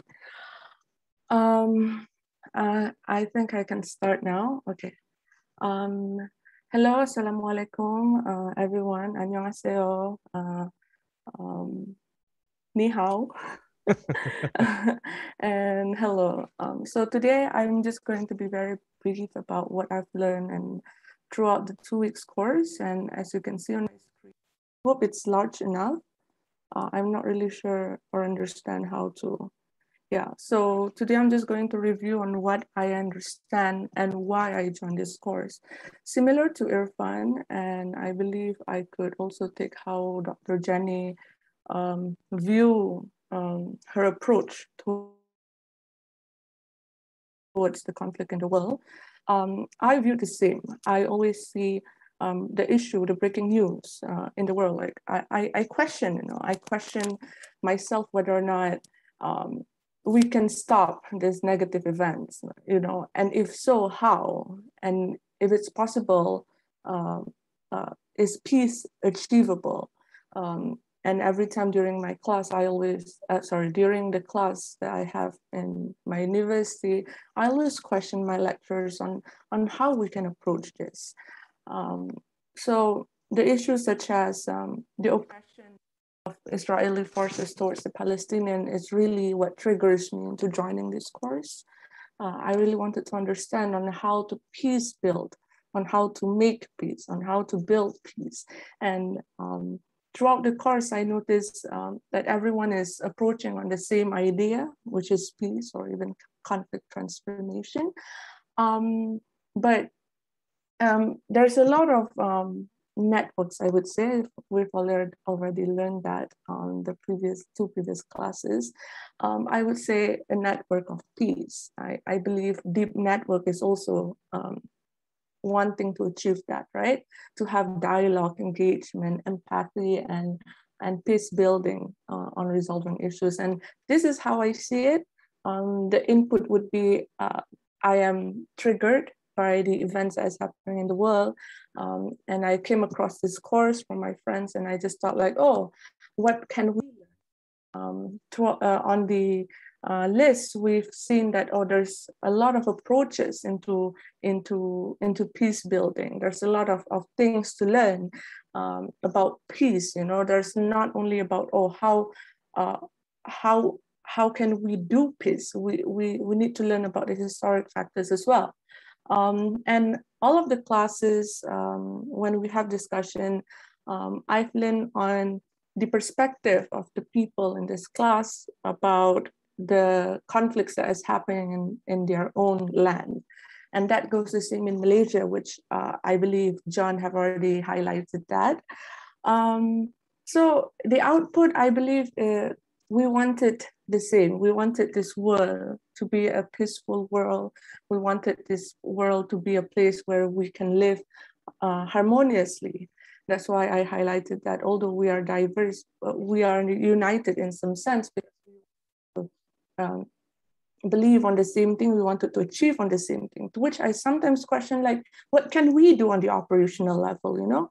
What if you guys here, uh, academicians or not, um, um, you know, like we know Irfan is not coming from the background of international affairs, for instance, and Ines is also, um, Bu Ines is also focusing on the uh, operational level of, of peace, for instance. And uh, maybe what we, what can we do? You know, what can we do to influence the people? Can we can we implement what we've learned here um, into the um, political arena, for instance, because um, as what Bu has already mentioned, that the political arena is a sometimes people who have the power, people who have the knowledge, they forgot the values. And I believe the, the, the thing that needs to be highlighted are the values.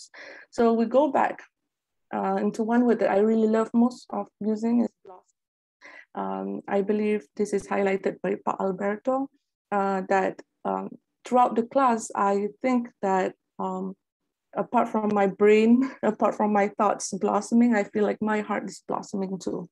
Um, I believe we have to touch on the empathic um, views and um, I think I have 16 seconds left. Um, I just wanted to conclude that what I've learned is there's a lot of stories to tell. There's a lot of narration that um, people would give and we have to see it, you know we have to see it to understand it. We have to listen to understand it. Hence the reason why active listening is important. Peace is feasible. Uh, peaceability can be done. And um, there's more than one approach to applying peace. And I guess that's all. Sorry to take a lot more time. Thank you. Thank you. Thank you, Ayla. Okay.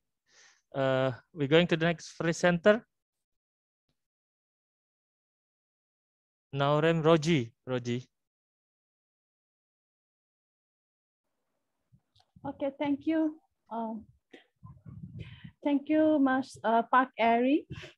Okay, so uh, as my friend Alia has talked about the whole course, and I would like to reflect on it also a little bit more, because it would not be a word, it would not be word enough for my side if I didn't mention, uh, you know, all those uh, valuable insights that we've uh, gone through throughout this course.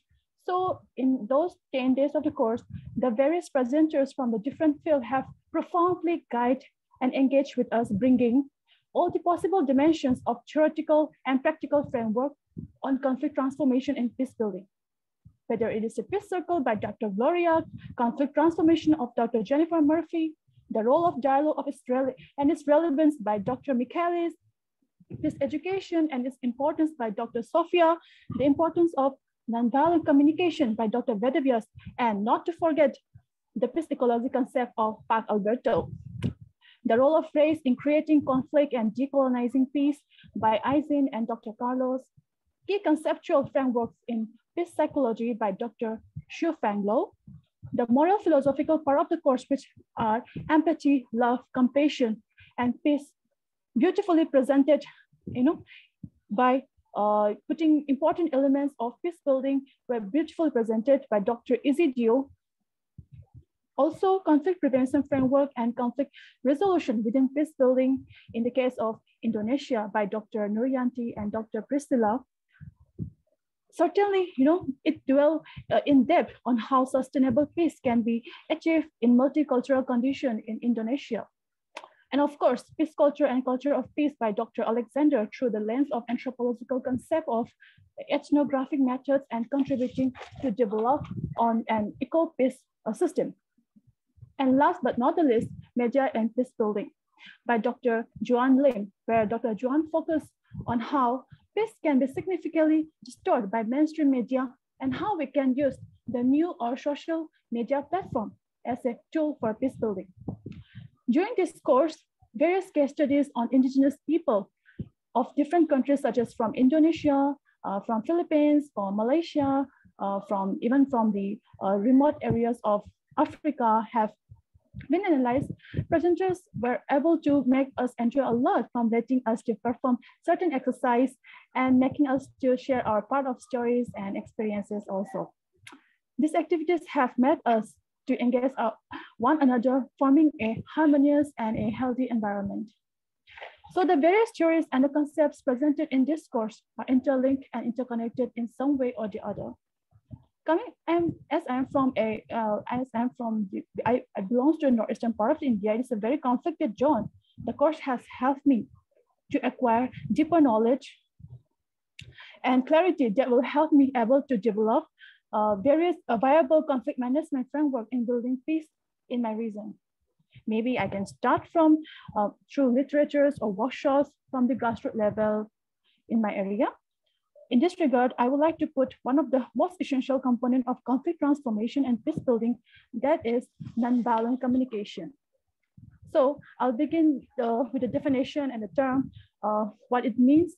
So the, the term nonviolent communication means communication match using a language that does not hurt people, respectful and thoughtful communication, communication that shows love, compassion, and have empathy for others. This, uh, the means of communication should be open and flexible. Active and deep listening is an important element to develop nonviolent communication. And it should further st uh, avoid stereotyping, uh, moralistic judgments, evaluative language. It should avoid negativity and anger while speaking also. The, con the conversations we had should be positive and progressive. The flexibility of ideas by integrating with other people's view should be inculcated to have a better and profound result on the topic we had discussed. Another important element is the constant showing of gratitude while speaking. This will not only feel positive, but also a powerful engagement for reconciliation of any bitterness towards each other. The important objectives of, nonviolent communication is to connect with people empathetically. By empathizing, one can touch the humanness of others. And another important aspect of nonviolent communication is to have compassion and empathy for other living beings also. To sum up, if we indulge in nonviolent communication in our daily lives, we can avoid the maximum stress, negativity, conflict, hatred, and all the elements of ill feelings, thereby promoting a healthy mind and soul. Thank you. Thank you all. Thank you, Roji. Well done for the presentation. Thank you. Ateza. Okay, we're going to the next center. We have uh, Raninta Salwa.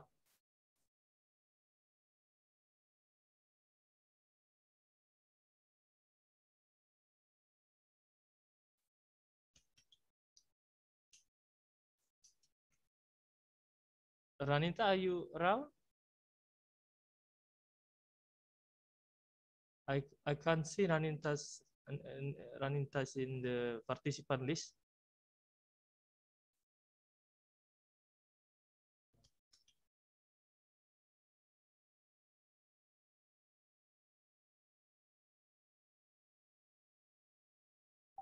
Okay, okay, yeah, okay. So we can skip uh, Salwa because he's having PCR test. So the mm-hmm. next will be Ayat. Peram, peram. Yes. Okay. Okay, I will share my screen.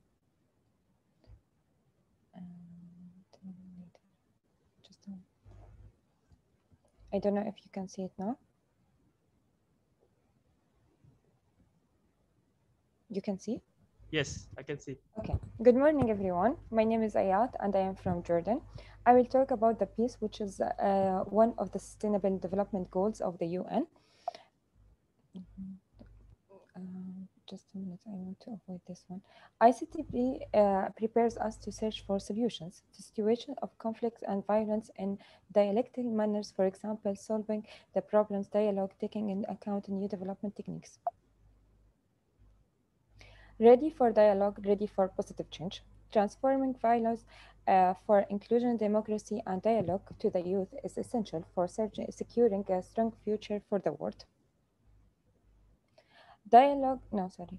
Oh, no world peace without peace between religions. Every year in Jordan, we participated in a, a multi-faith activities such as prayers and uh, gatherings, encouraging multiple understanding and a common approach to moral and social issues. Um, people often think that they are in dialogue, but mostly it's a discussion or debate. The goal of the most discussion, uh, discussion sorry, is to improve some points to others. So it's all about communications. Working side by side not only help us to get to know each other better, to establish friendships, but also results in improving uh, a community we share. I will give you one example. Uh, a hand with five fingers. From a narrow view, we can only see one finger at a time. Each of the five fingers exists independently. However, from a wider view, we can see that the five fingers are connected to each other, even though each finger is different from one another. So all of us from different countries, different communities, different backgrounds, but all of us, we want peace. Conflicts arise from misunderstanding, which arise from miscommunications or lack of the communication. So it's all about uh, communications and active listening.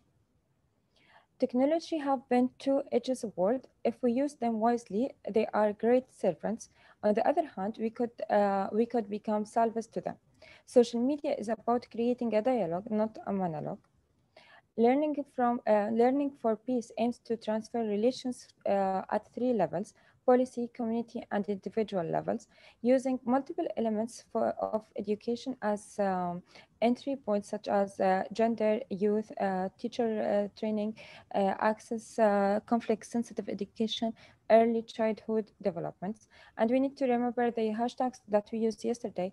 Women are caring uh, for peace, peace, peace. We want peace. we must have peace now. And thank you.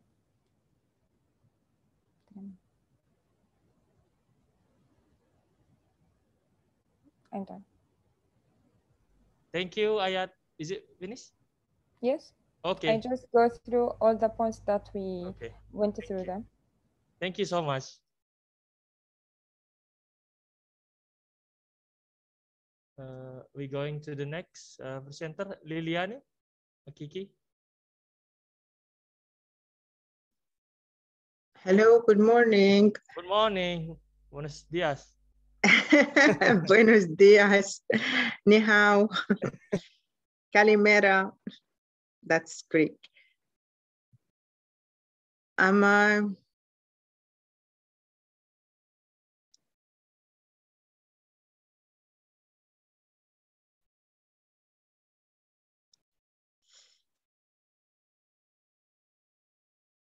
Okay, I can start um, by talking about peace is uh, talking about everything uh, about something that we have every day, every minute with us. It starts with uh, when we greet people, we, we say peace upon you, assalamu alaikum. So it goes with us every day, every single minute, every time we meet people with communication, with everything. It's, it's a way of greeting all along uh, our life until at the end, uh, when we die, we also have peace with us because we wish people to rest in peace. So throughout this uh, course, um, I'm, I'm gonna like uh, uh, um, talk about something that to take home, like uh, things from the course we learned. Uh, um, the peace circle is a virtuous circle. It's a transformation. We follow pedagogical principle, the seven C's as taught by, uh, by Pak Hari, uh, cooperative, conciliatory, considerate, others, uh, committed, uh, critical, cooperating, conciliatory, and uh, mm, all the other, the, those one. The peace circle um, helps us uh, uh, get our balance, balance in all components, uh, help, it helps us, how can I remove this? Uh, to reestablish, to, to get recharged with energy, to get connected to the other, peacefully connected, and to uh, get to our healing process. Um, we also talked about conflict transformation. This is, uh, this is through dialogue for sure. It's a win-win situation. How can I remove this? Psychopolitical diagnosis and, uh, and, and dialogues uh, to get to action, uh, to get to collaborative actions, uh, introspection, understanding, uh, learning, uh, communicating, active listening, and all of that. So all that uh, through non-violent communication. So this will help us uh, um, um, value uh, other people, respect them, accept them, uh, appreciate them, compassion. Um, sorry get my laptop battery. And um, and, and understanding with lots of openness and flexibility and a constructive way of treating uh, the others. As for peace ecology, uh, it's very important for people to have really access to uh, all resources, uh, healthcare, education, economic, and, and all of that. Cross-fertilization is an important component, protection of the com communities and culture. Uh, for it to be sustainable, uh, to get really to, uh, to the social justice and for all people to meet their needs uh, and uh, to reach a ecological generation. Um, uh, in peace psychology, we have to understand our emotions to, to be able to prevent violence and promote peace through empowerment of the others, accepting uh, uh, the others with total equality without discrimination, uh, respecting the rights, uh, and uh, managing conflict.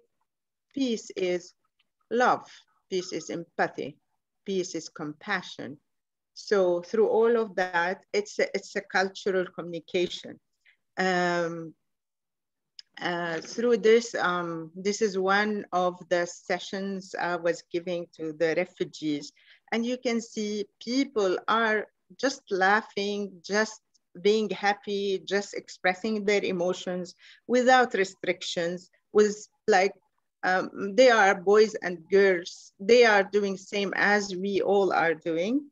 And this, uh, this really helps into um, uh, like uh, uh, stepping forward in, in the process of uh, uh, conflict transformation to accept ourselves because this uh, we all live on this planet and we are breathing the same air. We are, um, we are also um, under the same sun and we're gonna be buried uh, in, in, the same, uh, in the same ground. So uh, I think it's better for us to be really uh, peaceful in, in on our daily basis activity just communicating with the others with lots of uh, respect um, and value the others and um, diversity. I love, I, I love colors and you see all the colors are different, um, diverse colors, but they are they are coming all together. This is how people should be regardless which ethnicity they come from, uh, which uh, social class, which edu education background, uh, which nationality, which uh, race, which all of that. So diversity is key to a peaceful. When, when we accept the others, it means that we're accepting ourselves to be in relations with the others and thank you for being I don't know now how to get back to the main screen.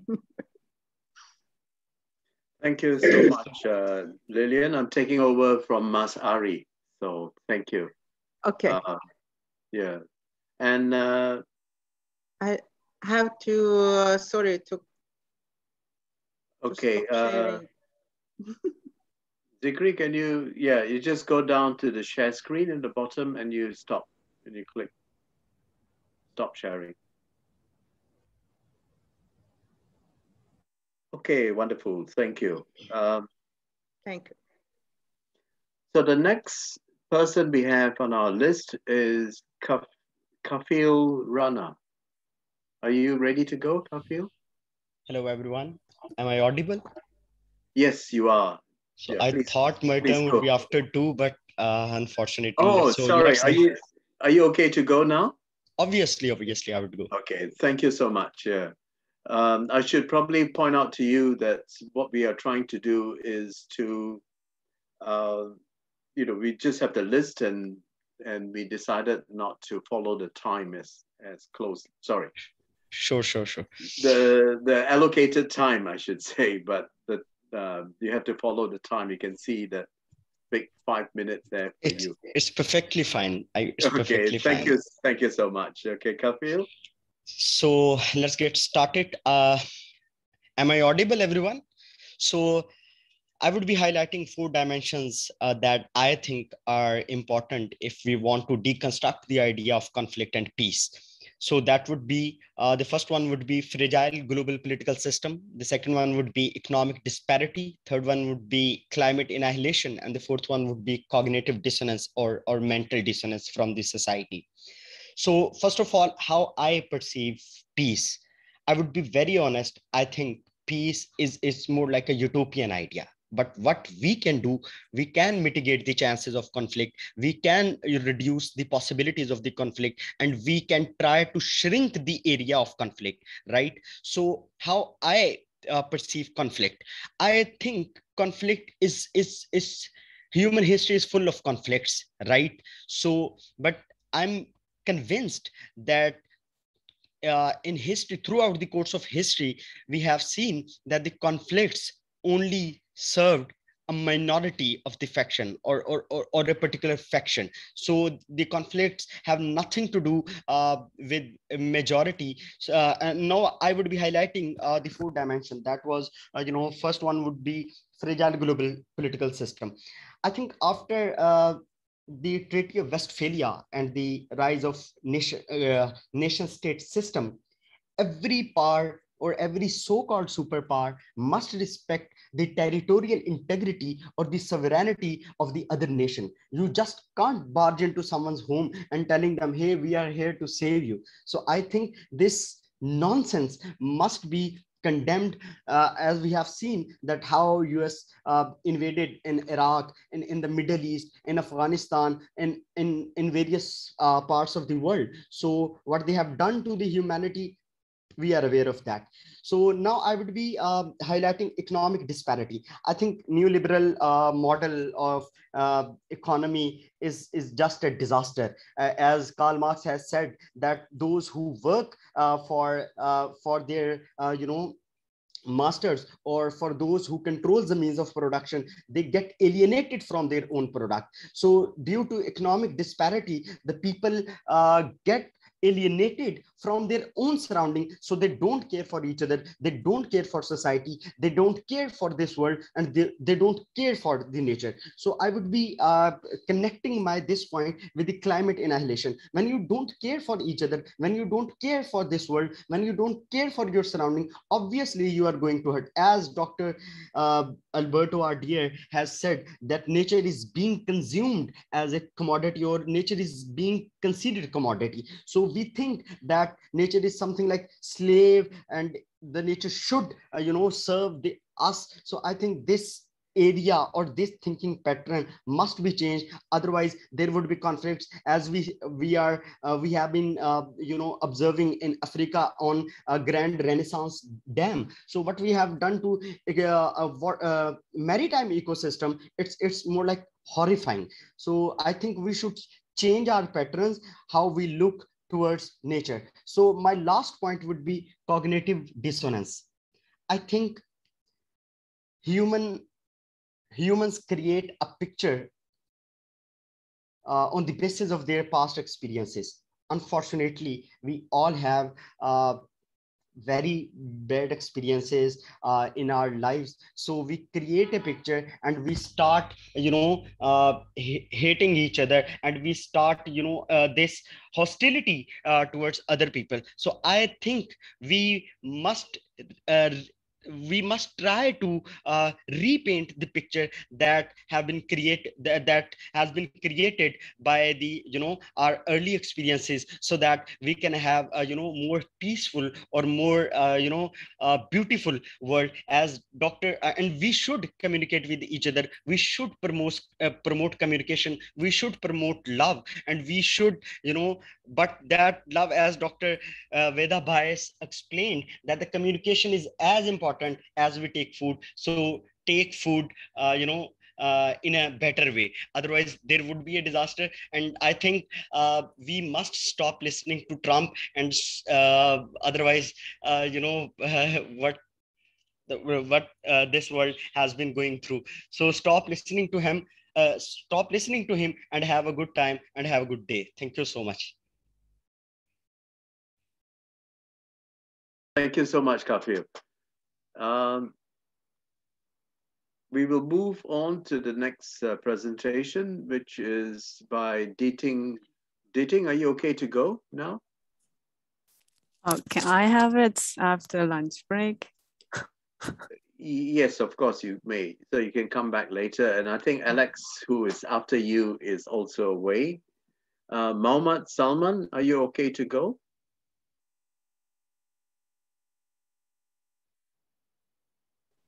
Salman, are you? Yes, sir. Is it audible, sir? Yeah, yeah, it is perfect. Yeah. All right, sir. Thank you for giving me the opportunity. So let me just talk on um, a bit about dialogue, which uh, our respected presenter, Dr. Michalis Michael, has already done well about on the topic. So I'm just trying to deep into the relevance of the topic called dialogue in resolving the conflict that is going on in between Manipur and Nagaland in the northeastern part of India. So as per Dr. Michalis Michael, you know, he, he said dialogue is bringing together of two or more conflicting individuals or groups in order to, you know, uh, find a common language so that they understand, appreciate uh, each other, and then, you know, giving more values, adding to truth and betterment. He also said that dialogue is not restricted to human spaces. It can be with the animal world, uh, with the natural world, even with the even with the cosmos. So dialogue is not exclusively anthropocentric, or dialogue is visible in non-sapient places as well. Um, he also said three fundamental uh, underpinnings of uh, dialogue that that is truth, freedom, and respect. Why I'm digging into dialogue is because dialogue can do lots of wonders, uh, considering the uh, conflict that is happening nowadays. The, uh, dialogue can exactly, you know, uh, avoid the pitfalls of reaction and reactionary politics. Dialogue can also build more solid foundations or community growth, development, and empowerment. Dialogue can be uh, also used to develop more effective communication between and within um, communities. So going further, you know, uh, who exactly can implement dialogue? The, the answer to this question is dialogue is an ethical approach and so can be implemented by anyone who is guided by the spirit of dialogue. What is important here is not the person who is implementing it, but the sustainability of the dialogue. There are certain key requirements of dialogue. Let me point out some uh, a few of those. Faith in people and respect for the dignity of the human, enthusiasm and energy, perseverance, contacts and connections, people to people skills, organizational skills. So these are the few key requirements of dialogue. And there are also certain key principles of dialogue. Those are search for truth, listening as well as speaking, as pointed out by Khatami, discovery of the other and self, valuing what we hold in common, but also our differences, sharing the memories of the past, a past, experiencing the pain of the other, working together to meet social needs. These are key principles of uh, dialogue as uh, pointed out by Dr. Michalis Michael. So uh, let me just um, come to the conclusion. Let me just come to the conclusion by um, saying that, you know, uh, going into what Dr. Michalis Michael has said about dialogue, you know, I'm now trying my best to uh, find its relevance in, in, in resolving the uh, conflict that is going on in between our state and our neighboring state, which is um, Nagaland. So I'm in the process and I'm also looking forward to reading the book which is yet to be published, The Art and Craft of uh, Dialogue to be uh, published by Dr. Michalis Michael. Thank you. Thank you very much. Um, uh, thank you very much, Salman. Sorry, I'm just trying to get myself uh, comfortable in my in my chair. Now, we have um, Akbar. Akbar, are you ready to go, Akbar?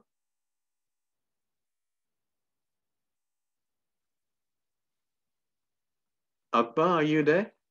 Anugrah Akbar? I think Akbar is not here, sir. Oh, he's not there. Okay, that's fine. Um, then we have next on our list. We'll, we'll come back to Dilawar. Are you ready to go?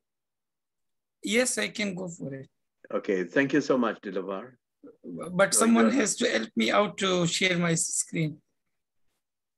Um, Devia? Bis Bisatolo? Yeah, please wait a minute. Okay. Have you sent to us, Dilawar? Should I send a presentation to you? Yeah, you have to send Yes. the slides to us. Maybe you Just- can send the WhatsApp. Just give me a minute. I'm I'm right now. I'm sending it. Okay. While while you're doing that, Dilawar, is it okay if we go to Najiba? Uh, I'm not sure. She she she was having a meeting in office, Uh, so I don't know if she's okay. Okay. Um, sorry, sorry about this. Uh, what about Michael? Are you okay to go next? I shared my presentation. Sorry. I have shared my presentation. Oh, you have. Okay, sorry about that. Sorry, sorry for the. Uh... So Sh- should I start now? Okay, Devia, are you ready? Uh, please wait a minute. I have to download it first. Okay, Just a moment. sure. No, no worries. Yeah. And Michael, are you there? If you can go after Dilawar. Okay. Yes, I am. Yeah. Okay. Just, just wait for. Okay. I'd actually thought of um, presenting when it's um, around 8 a.m. or 9, 8.50 a.m. in Nigeria, because now it's about 5, okay, 6, o- 6 a.m. oh, sorry. um, okay. well, don't don't worry. We we will just uh, go on to ones who can do it, and then we'll come back to you. Okay. So don't don't feel pressured. Okay. So, Okay. uh, So hi so everyone. Del so Dilawar. Oh, yeah, no. yeah, I'm ready. Hi everyone, and this is presentation uh, uh, that I will try to complete it within five minutes. Is uh, which I have already taken around one minute. So this is the outline of presentation, the course major learning and how I will be applying.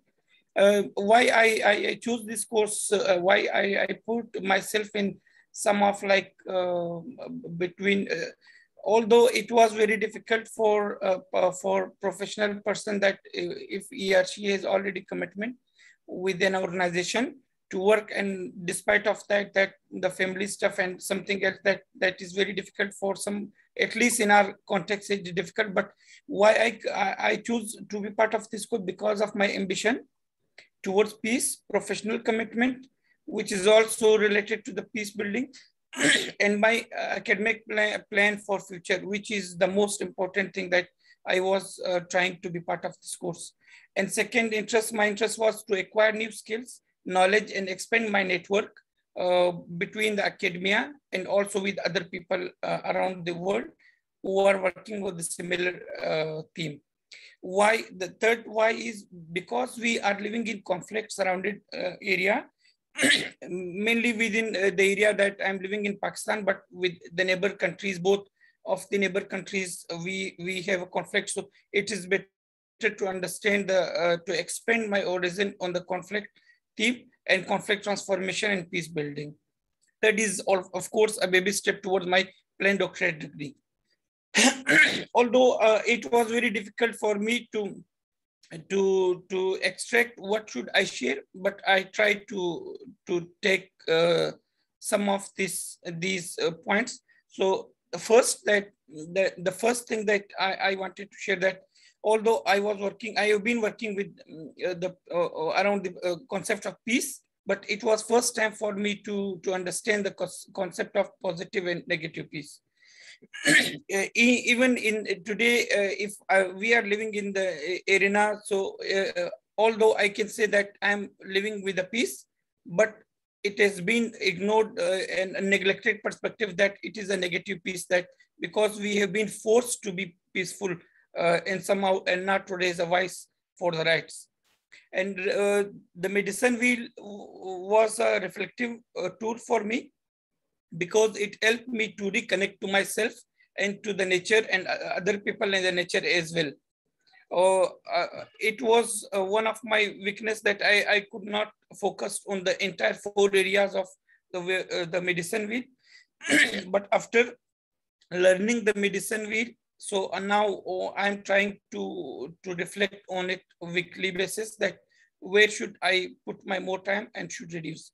The politics of education uh, location expanded my worldview like engaging locally and connecting globally through values conflict styles. So uh, earlier than that, uh, I was thinking like uh, any one tool can be uh, applied for every kind of conflict, but but I understand that every conflict has its own key to, to be uh, transformed. Practice of dialogue, my, my earlier fellow already uh, highlighted the importance of dialogue in the peace building. Peace education edu and education, uh, peace education and education peace uh, on the critical perspective, uh, although it was uh, earlier in my perspective that we, we, we have to, to be more concerned in Pakistan, especially on the content that we, we have uh, in schools, uh, which, which may somehow, I can say, promoting less peace or maybe opposite to it that that we have to be critical on it. Sorry, non-violent communication. Uh, the the importance of non-violent communication, although it was uh, in the professional life we we practice it, but in the patriarchal uh, society, uh, I personally I, I speak for myself that I have to be every time to be conscious on this that my communication should not be violent in any perspective being a male dominant society, I will be more careful and more conscious on it.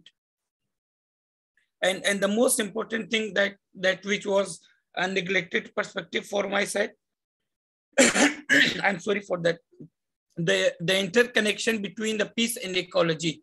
So uh, I, I, was thinking like peace is only related to the people and the human being, but, but now I, I'm thinking in the other way that peace and ecology are interconnected.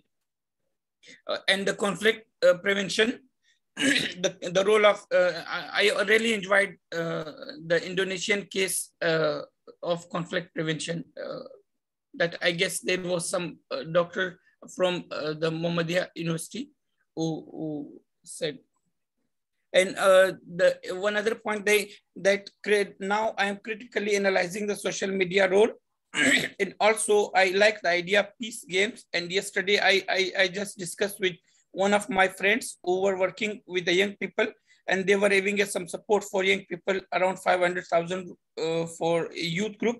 So I, I shared this idea with them that they can go for it and have a peace games. They can, they can have this idea. So I will be working and trying more for it. And uh, the, this is one okay, of the idea uh, that I might my, take. Michael, uh, sorry, uh, not Michael, uh, Dilawar, your time is up, but uh, can you make but, the last? Yes, yes, yes. Thank you. I'm sorry for that. I, I took much time. These are the future uh, steps that I will be the peace circle concept will be, I will be trying to replicate uh, air with the young prisoners and madrasa student yeah. and possibility of initiating a dialogue with the traditional values for conflict transformation and regular reflection on medicine. And thank you so much. I'm so sorry I took much yeah. time. That's that's okay. Thank you so much, Dilawar. And Michael, are you okay to go next? Yes, please. Are you sure? Okay. So um, you you had a strong cup of coffee, I'm hoping. That's my video. Okay. Um, okay, I want to share my screen and I'm saying that you cannot start screen share while the other participant is sharing. Okay, Dilawa, could you please stop sharing your screen?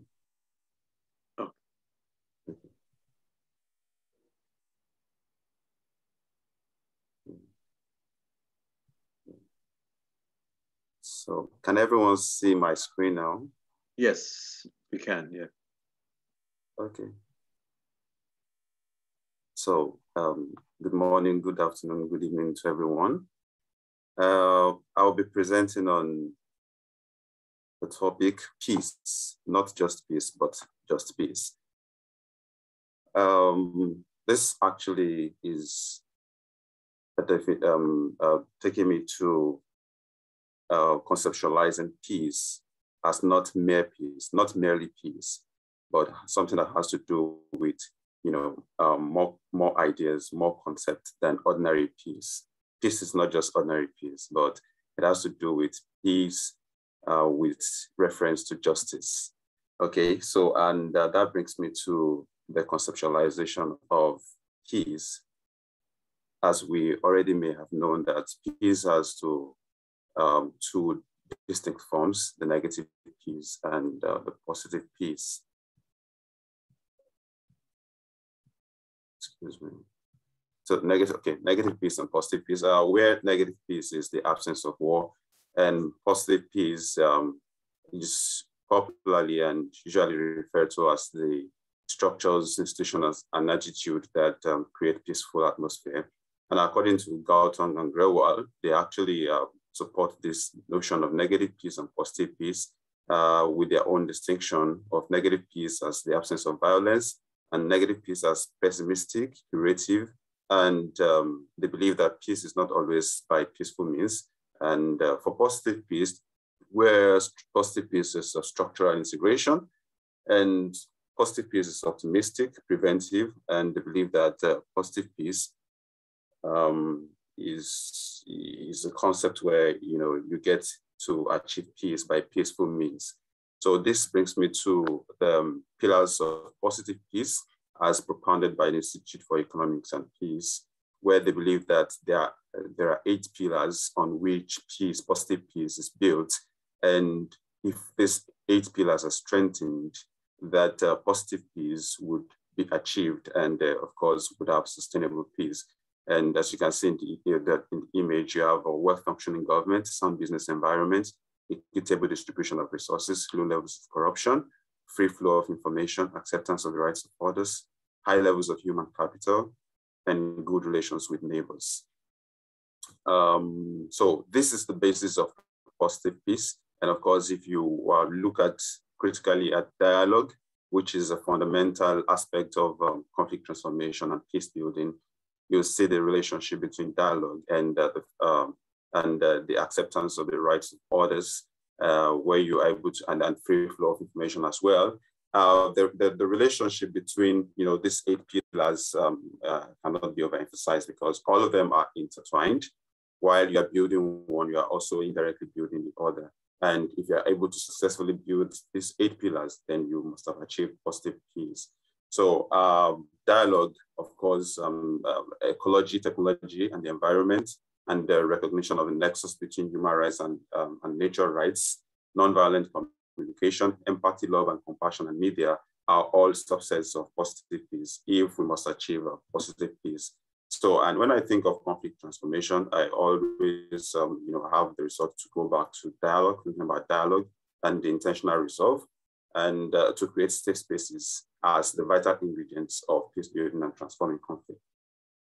So I also think, think of conflict transformation as making positive outcomes of an extant conflict in such a manner that parties involved in such conflict have their grievances turned into pieces of peace, which is the stepping stone for sustainable peaceful coexistence. So these are just um, slide pictures of some dialogue that I convened, that organization convened among traditional rulers and among um, you know, um, information, information channels in some communities. And the other part of the topic, but just peace, which is talking about um, the presence of justice, has to do, uh, I've, I've broken this down and I'll be talking more on nonviolence and nonviolent communication. uh, and according to Mahatma Gandhi, which says the world will live in peace only when the individuals composing it make up their minds to do so. Now, do they make up their minds to do so? It is by um, uh, imbibing the, the, the, the, skills of compassionate integrity and thinking of peace as the system. And when I talk about imbibing uh, peace, uh, the skills of compassionate integrity, I'm, I'm talking about um, imbibing the skills of calming their body and mind, compassion, emotional awareness, impartiality and common humanity, appreciating interdependence, gratitude, and forgiveness. These are all important skills for every human being to inculcate if we must live in peace. And uh, of course, I'll talk about the system thinking of peace as well and uh, peace education and culture of peace. Of course, we know that the, the, the, the, the, the peace, if we think of peace as a system, we'll first need to think of um, you know, a biological system as, um, as, as it is, we know the biological system is interconnected and, um, you know, if a part cannot function without the other. So uh, that's how peace should be thought of as well. That peace is a system, it's a structure, and every part of it should work hand in hand. And uh, to actually make um, you know, good meaning of this, we need to explore the historical antecedents and cultural norms of communities, which actually give us um, you know, where a particular community is coming from, where they are going, why they behave the way they behave. And now we are able to like uh, actually, you know, uh, transform um, their attitudes and, um, and, uh, and practices. Then uh, we'll stress the need to address all forms of violence, both direct, cultural, structure, and ecological. We have uh, different uh, forms of violence. And if we're able to address these forms of violence, of course, we, we are tending towards a positive peace and sustainable peace.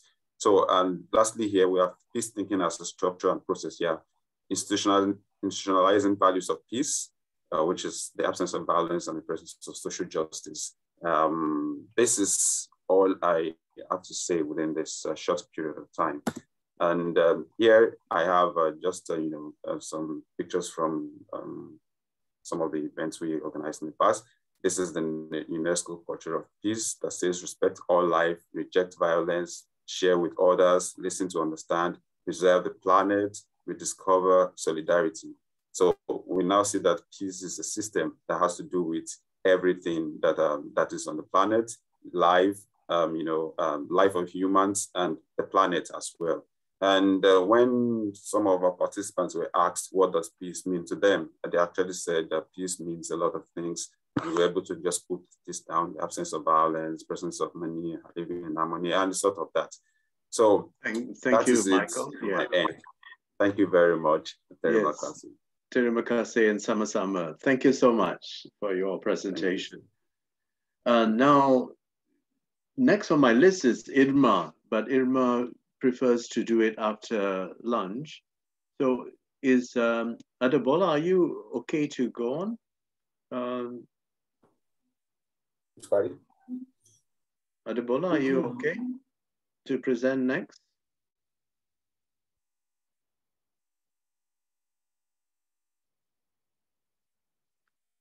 No? Okay. Are you okay to present next, Adebola? Yes, I can do it. Oh, thank you. Oh, you are, sorry. You are another person who has, uh, I, I was looking down on my screen and I Okay, you are above. Good. Adebola, please, please go ahead. What I meant is there are two of you.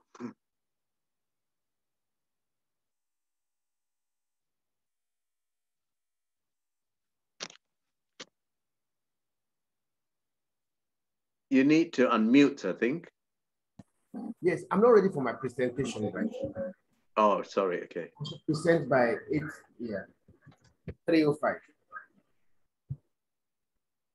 Sorry? Oh, you're not ready? That's fine because we wanted to um, try to go as, you know, um, to try to complete as many as we can. But if you're not ready, it's fine. Um, can I go down to the next person? Uh, Dr. Malay Patel, are you ready to present? Okay, I'm ready. Can I share my screen? Yeah, please do. Yeah. Thank you.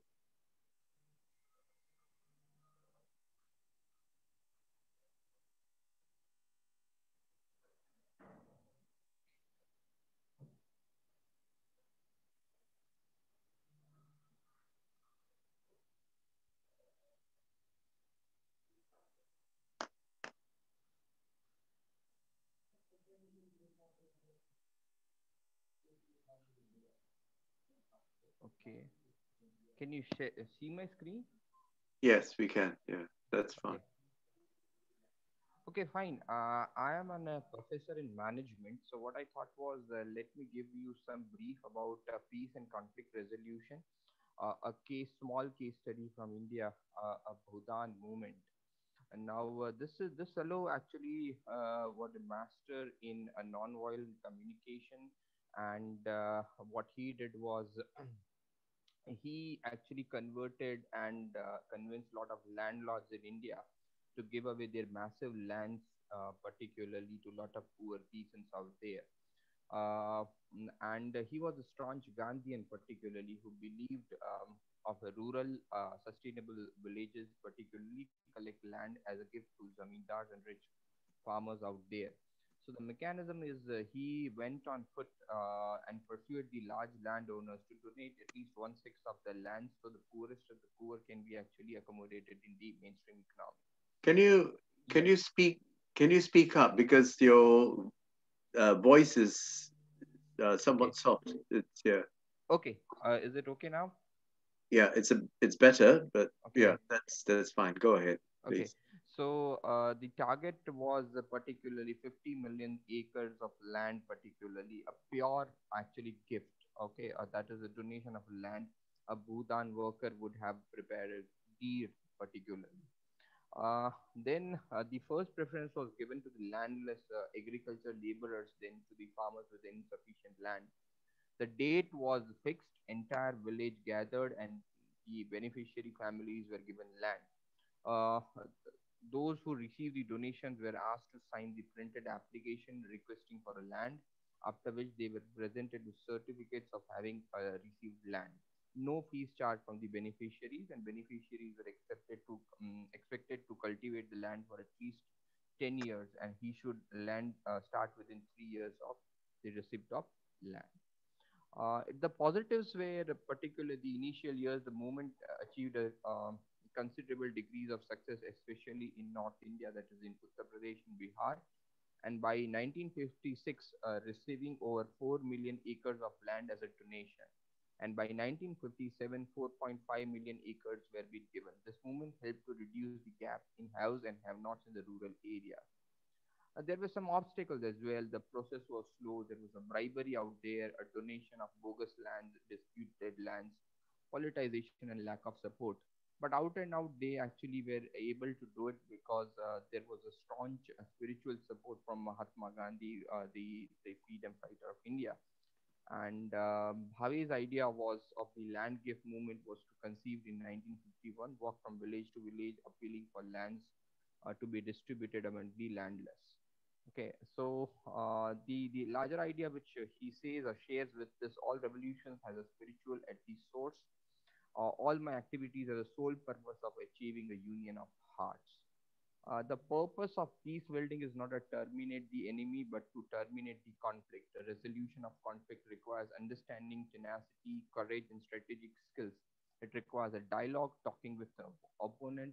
This method may not always succeed, but nor does the violence. This is what Mahatma Gandhi says about this.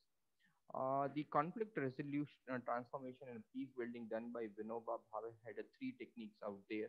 One is uh, non-violent communication. He was a very soft-spoken leader, particularly. He convinced people, particularly by heart, transforming their heart. Secondly, he had an actually a zeal of a servant leadership, where the leader goes and actually serves the larger community out there a servant. And finally, a gift economy where he just asked people to give the the, uh, the large landowners a small piece of land so that there might be a peace in the entire village area. So he wanted to have um, a transformation from transaction to trust. Correct. So this is a case which is actually a um, landmark case in India where without no actually legal liabilities, no coercion, just with the negotiation and actually pursuance of the people, he was able to convert particularly uh, um, the landowners to give away their land. And this is actually an achievement in itself. Thank you for listening to me. Thank you.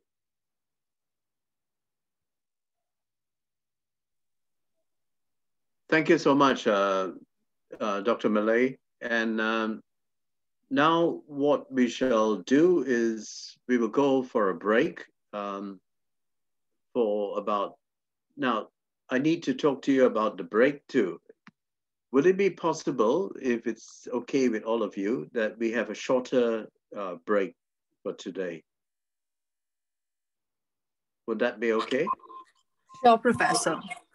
So what we shall do is um, we will have a break now. Mas Ari from 12.30 Indonesian time to one o'clock. Yes. Is that okay for all of you? Yes, Professor. Okay, wonderful. Thank you for that. And so we will resume at one o'clock and um, and I think we this will give us some time to end towards the well towards the end. Uh, we will have some time to talk about future projects and how we can all kind of come together.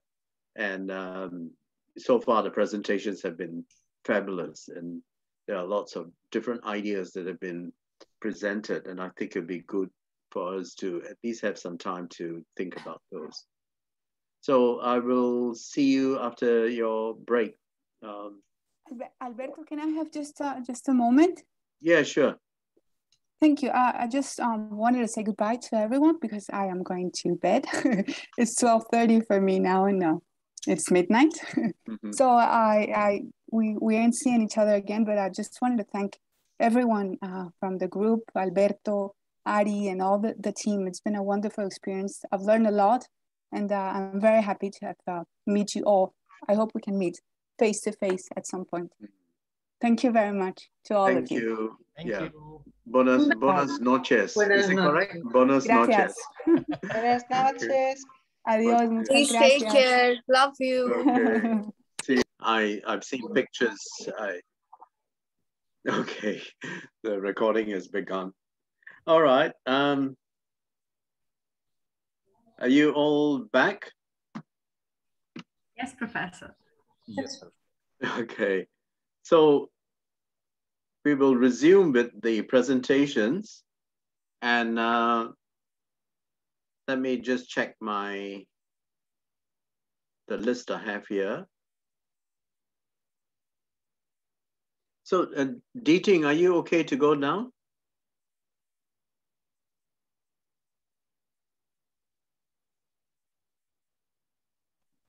Deeting, Uh, yeah, I Are think you- I can. you can? Sure. Okay. Are you okay to go? Yes, I think, yeah. I will share my screen. All right. That's wonderful. Thank you.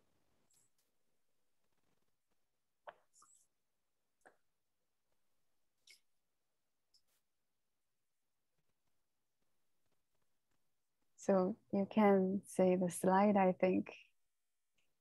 Okay. Please go ahead. Yeah. Stop.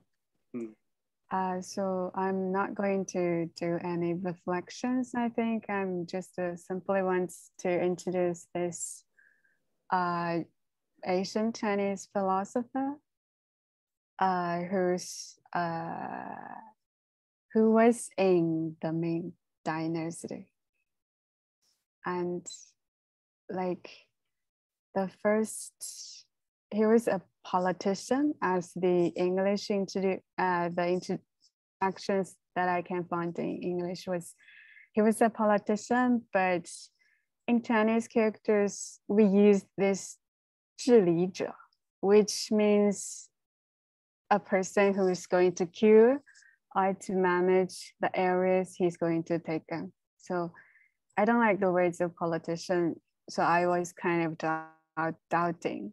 And there are two aspects that he used during his governance or whatever it comes. Uh, the first one is comes from the Confucianism, I think, and it calls Li Yue Wen Hua, which is using a lot of art forms to deepen yourself first and then you you will be able to communicate, understand, and build healthy relationships with the unknown. For example, like he used this approach to get close with the ethnic groups in the areas.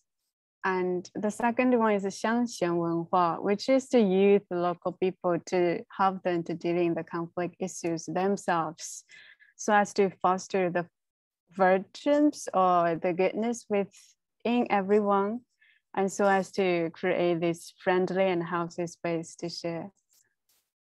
And the second, he was a military general according to the English introduction but I would prefer psychologist or a teacher because when he was you know handling those kind of conflicting issues he was using the psychology like like in our ways it's conflict analysis but i don't like it as well so i see it like see the needs of the conflicting parties and kind of after that like take actions to meet the needs of each of them. And this is the Chinese phrases that he used, which is to, he says like, to, it is very easy to arm yourself to fight against, but it, it is not easy to see the whole picture of the self and the others and the surroundings. Sorry for the noises. And the second is to uh, 是上练质质量质 which is to bring the teaching of practice, pra, pra, practicing uh, whenever you go and whatever you are doing. And he also bringing these processes to the battlefield because most of his students was was enforced to to enter the war. And the second, uh, the last point is like he's a philosopher uh, the English, but I would like to say sage, which the Chinese characters like 圣人. And he said that uh, everyone is or can be a sage since we were all born good. And like we have this goodness within ourselves. And the, the problem is how can you foster, how can you grow, how can you flourish that good goodness within yourselves through every kinds of practicing and experiencing things. So it's like, I don't like the words peace.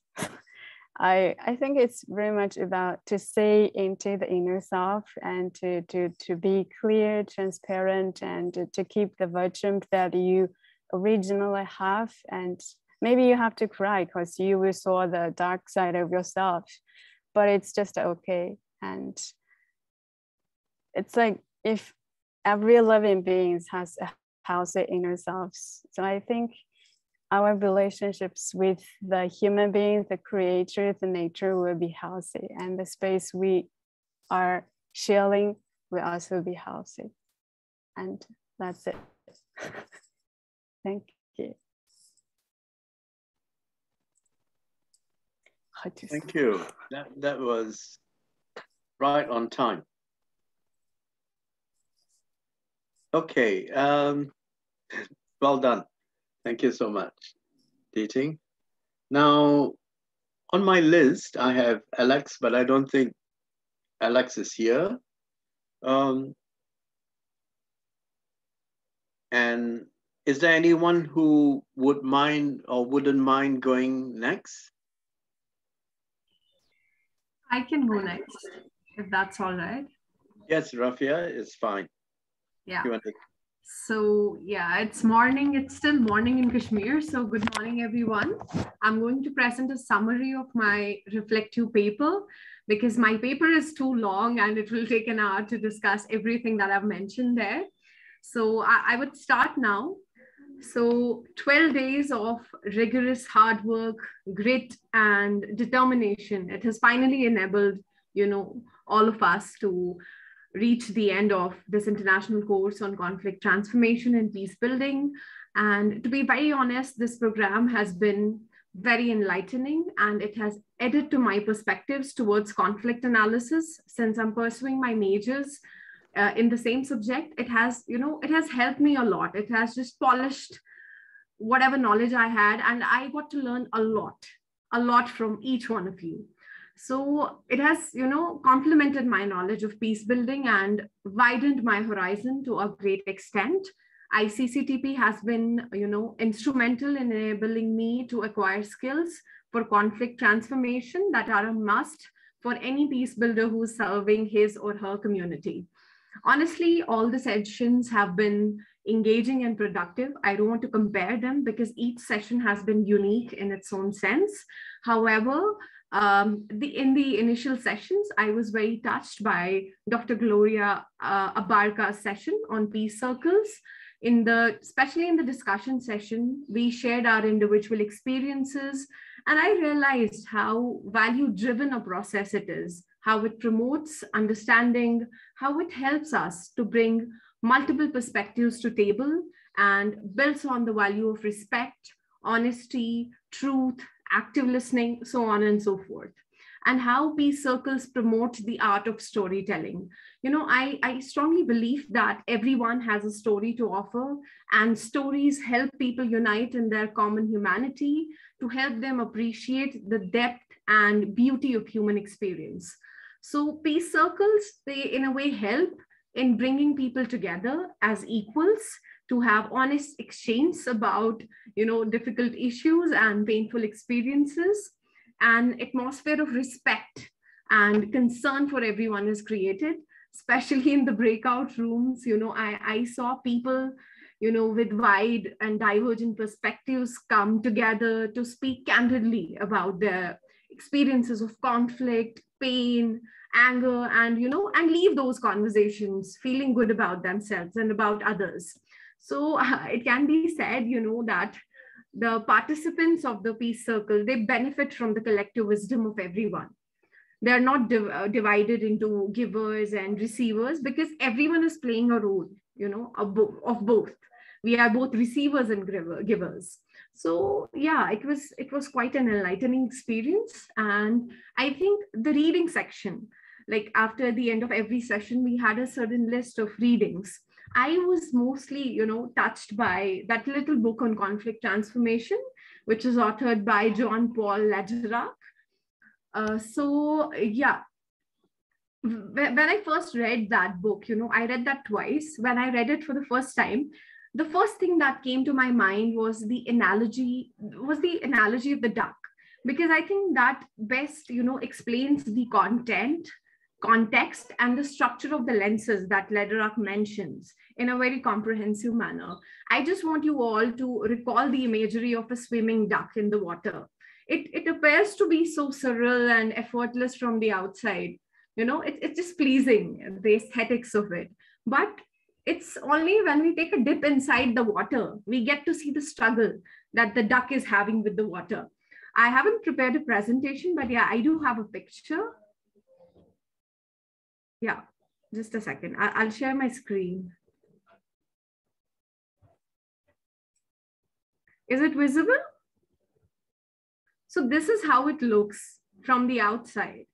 You know, it's so surreal, it's so soothing. But what Lederach wants us to do is to see beyond what is being presented, the struggle that the duck has with the water for its survival. Am I audible? Uh, yes. You are. Yes, yes. yes okay. I was like, maybe I'm just speaking with myself. And the session that we had on decolonizing peace, which emphasized, you know, the importance of reclaiming the indigenous uh, methods of conflict resolution, that was also very insightful. Furthermore, this entire program has allowed me to grow personally, professionally, and it has helped me to be a better version of myself. Lastly, I want to convey my special thanks to my favorite professor and Dr. Alberto Gomes, director of Deep Network, for his constant support. Uh, you know, because that has helped me, you know, in, you know, stimulating my energy and keeping up with the program. Dr. Ari Paxi, Mass Edham, Badruzaman. After being the student, I can proudly say that I've learned from the best in the field. I also want to thank all the esteemed presenters who took out time and imparted knowledge to us by sharing their expertise. I also want to extend my gratitude to Zikri, Luna, Sassy, Zulfran, and Divya for their constant assistance and all my colleagues. I have learned so much from all of you that, you know, I'm going to cherish all the teamwork, all the stories that we shared, and the engaging discussions we had, especially in the breakout rooms for the rest of my life. And, you know, the breakout rooms have a story. Since we know it's not being recorded, we had our cameras on and we used to have the most candid conversations. Thank you so much. I think I've, I've just exceeded my time. Thank you so much, everyone. Love you all. Yeah. Thank, thank you so much, Rafia. After all those very gracious things that you have said about us, we just wanted you to have more time. I'm just kidding. All right. Um, now, is Akbar there? Yes, I'm here. Would you like to go next, Akbar? Oh, yes, can. Um, hello. Yeah, yeah, sorry. Do Yes. you call me or do you call me? I I called, sorry, um, uh, Anu Anugrah Akbar. Yes, Professor, I am here. Oh, you're there. Would you would you mind going next? No problem. Uh, Uh, let, no problem. Please. Yeah, sorry about that. Yeah. It's speaking? okay, Akbar. You can uh, Oh. proceed. Okay. Okay, I, I think it's okay, for Professor. I think I can start present mine. That's that's wonderful. Okay. All yours, uh, Akbar. Allow me to share the screen first. Do we call you Akbar or do we call you Anugrah? Uh, you can call me Akbar, sir. Professor.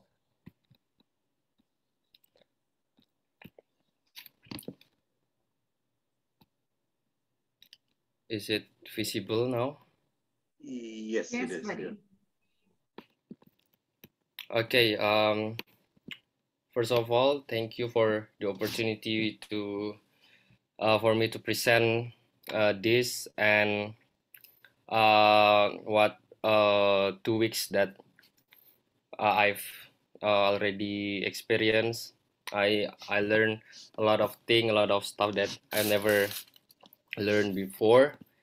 And uh, first, uh, I would uh, start to uh, explain what ICCTP mean for me.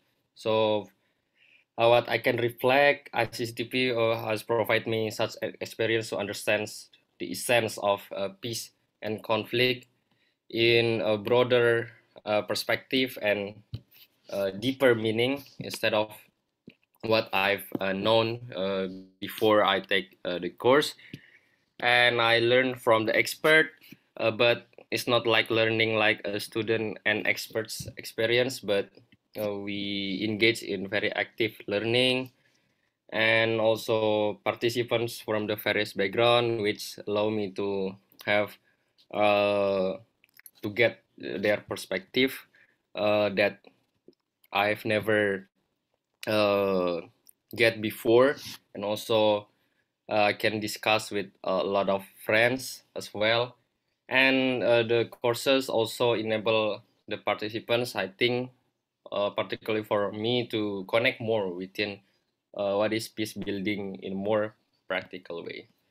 So i would like uh, to uh, highlight the concept of uh, paradigm before i proceed. So i think when i talking about peace it is very important to recognize the power of paradigm because the paradigm is the source of all of the things that will follow all of our actions, what we make.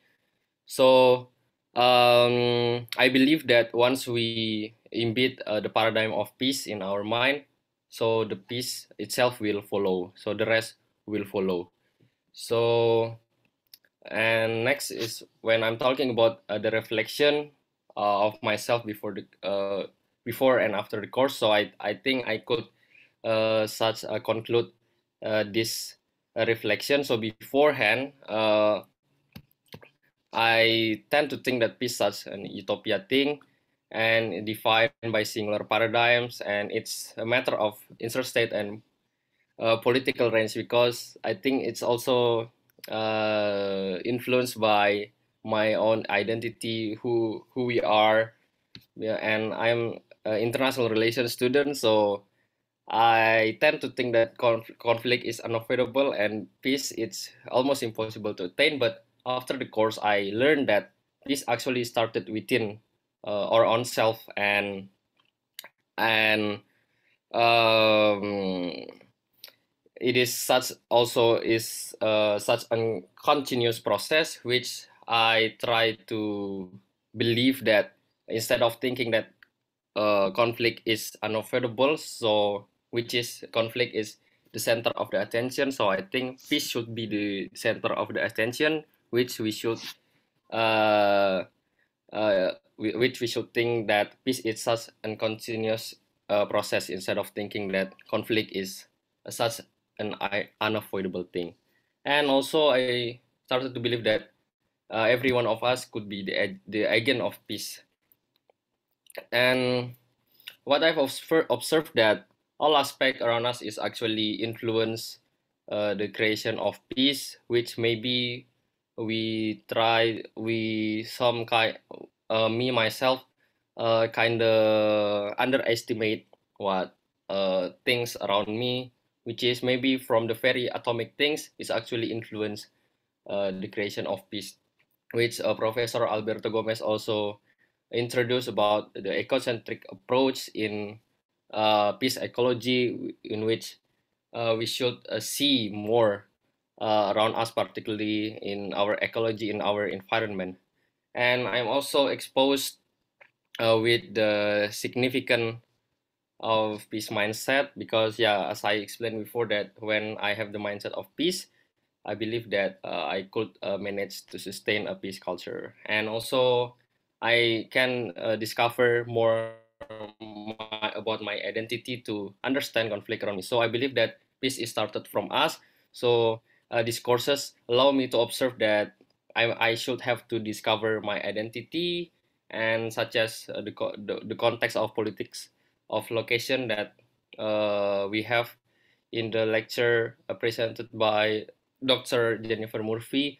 And from that, I could uh, understand what uh, the conflicting things uh, around me so I could start to solve it. And from all of the courses and the lecture, of course, I, I have to conclude some things that maybe I could improve personally. So I, I perceive that I should uh, try to interact with all aspect around me since it influences peace and I need to maintain uh, the peace paradigm in for my peace of mind and for maintain a peace culture and uh, I it's it's open my horizon as well that uh, the communication is very important things because communication is un separated and unavoidable uh, for us as a human being to interact. So it is very important to manage non-violent communication while we try to uh, share our empathy, care, and compassion towards the others.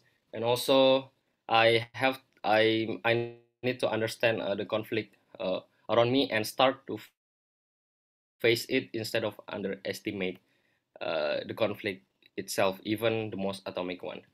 And to conclude, uh, these two weeks has been worth for the rest of my life, I believe, and I believe it's also the same for other participants as well.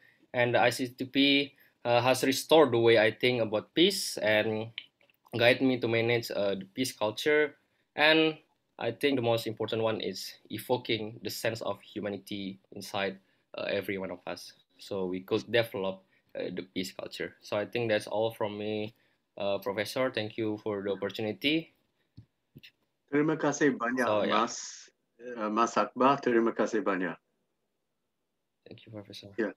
Okay. Um, we now we will uh, go to Salva. Salva, are you ready?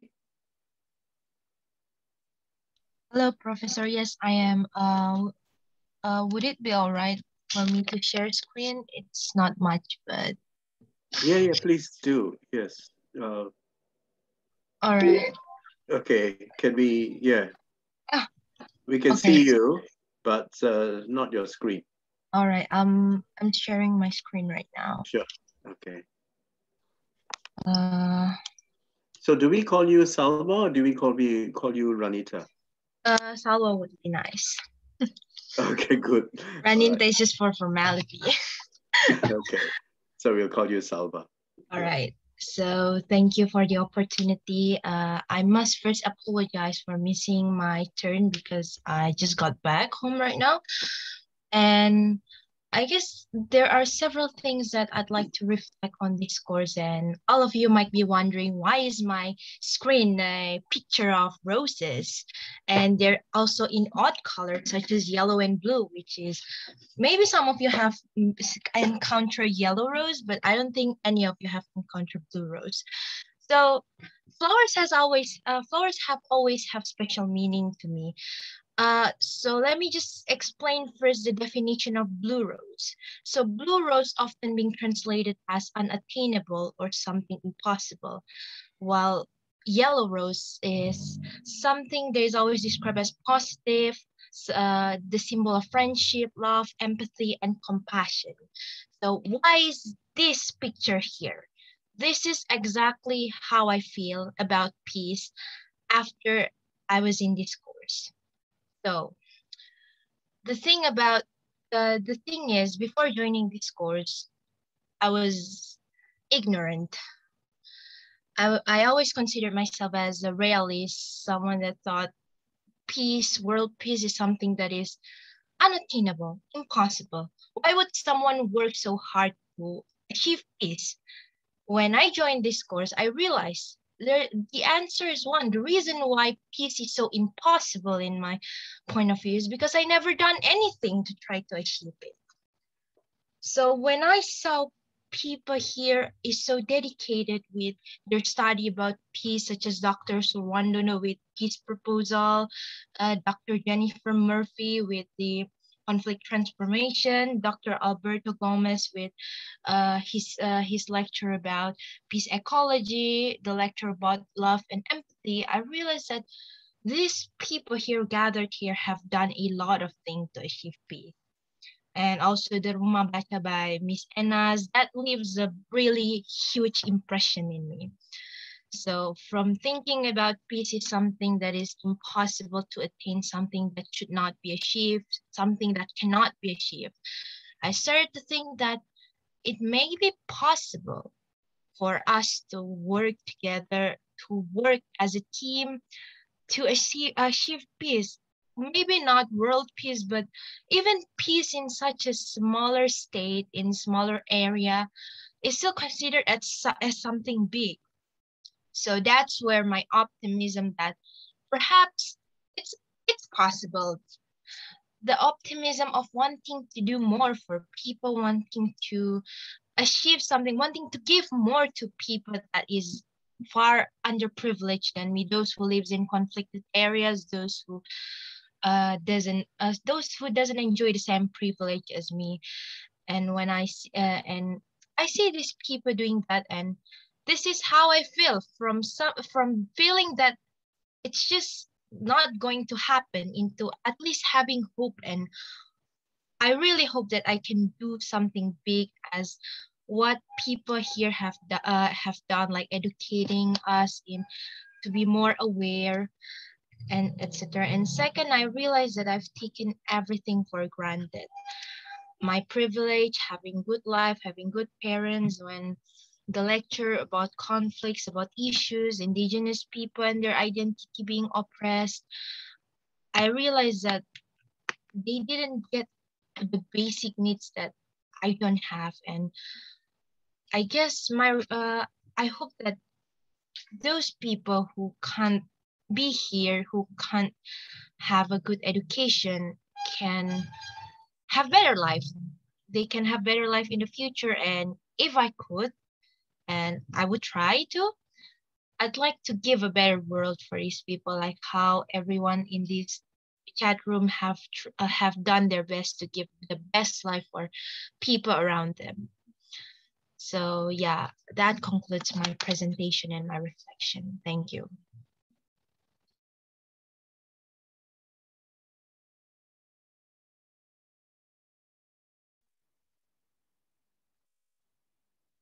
Thank you very much, uh, Salva. That's that's fantastic, and you kept to the to the time, which is an achievement it, by itself. Okay. You're welcome, Professor. Thank you. So the next person to present is Najiba, and after Najiba, we have Irma. Uh, so, yes, Najiba, are sure. you ready? I'm ready. Um, so I'm turning on my screen for the first time, I think. Um, so anyone who has not seen me, hi, I'm Najiba. Um, I have just come back from a very important meeting. I'm sorry I could not appear earlier. Um, I would like to share my screen. Uh,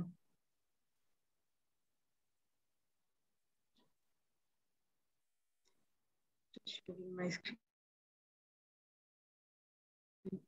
So um, this is uh, basically my reflection from, from the course um, uh, where I try to capture some very important element um, uh, from, uh, from these uh, few days engagement. Uh, so for me, the most important part of the course was like, there were few tools which, which I particularly like to speak about. Um, uh, which um, includes that uh, I like the concept of this, uh, the peace circle in the storytelling element of it. Um, I felt it, it was very engaging tool um, which uh, can be incorporated in my own routine work. I, basically, I work with uh, young people who we call youth, 16 to uh, 25 age old. Uh, despite of the fact that working with peace um, on peace building, I was not very much aware of the concept of uh, of, of few concepts which were um, uh, discussed in the course, like a positive and negative peace, and this um, uh, this aspect I'm going to consider while working with young people uh, here in Pakistan. Um, I would like uh, this, this has further advanced my understanding on reading, uh, reflection and writing. Um, uh, in the same way, uh, the medicine wheel, um, I must say that it was a, a, wonderful tool of reflection and creating um, uh, space uh, as a person for me and for people who I work with and uh, the overall society. Um, uh, it, um, there are um, there is another takeaway for from this course for me is like uh, when we uh, the session was on use of social media for peace trans, transformation. Um, I, I, had an opportunity to reflect that how young people are subjugated to different stereotypical uh, behavior here and not letting them use uh, uh, social media. And they actually don't uh, really know that how to use it effectively. So this was very surprising and very enriching uh, element of the, the course that I, I learned that how uh, video games or games can be used to for the conflict transformation. So this aspect was very important one for me um, um, it's, it's the same way that the um, uh, uh, during the course the conflict theater uh, dialogue theater or theater dialogue was uh, discussed and this was uh, very um, uh, connecting for me because we use theater theater for conflict transformation but I didn't know theater dialogue theater can be um, used as a as a tool for preventing um, violence and escalating uh, conflict.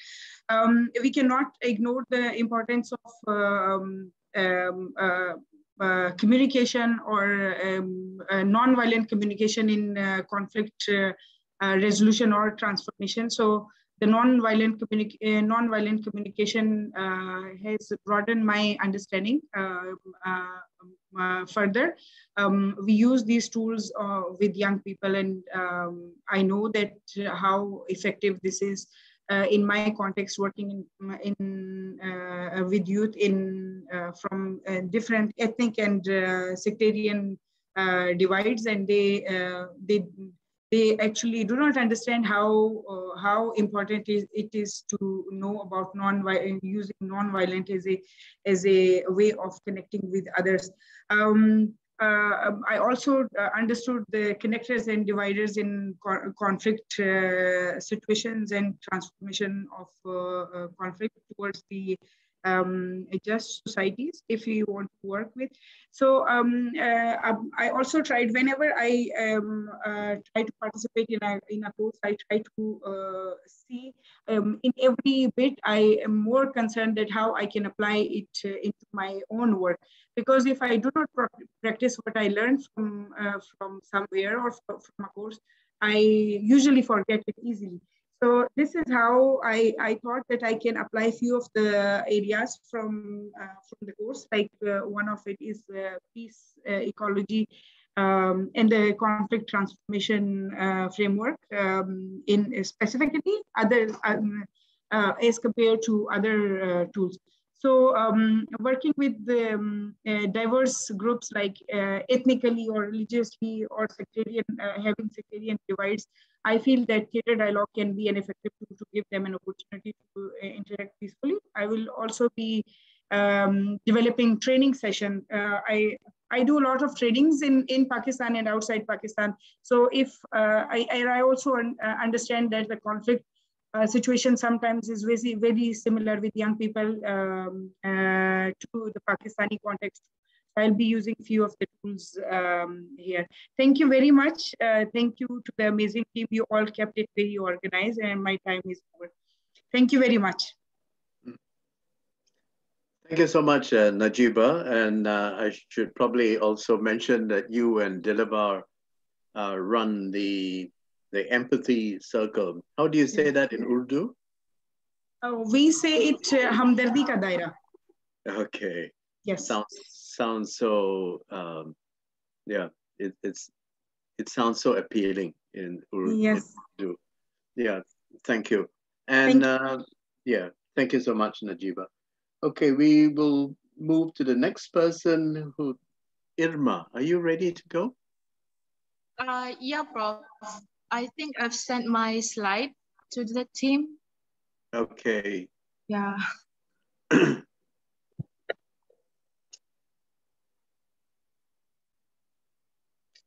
Okay, just give me a second. I'll just check with them. Sure, sure.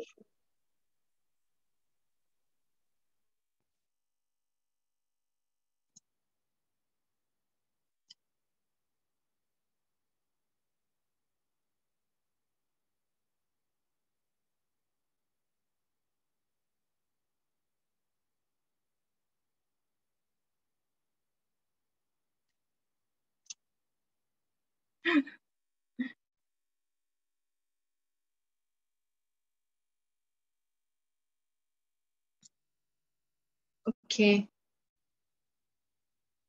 Uh, shall I start?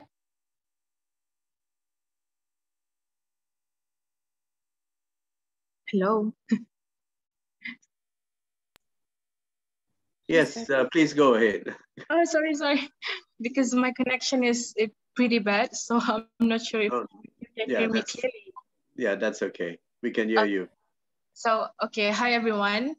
Uh, my name is Irma Guzman Alonto, and I'm from Sabah, Malaysia.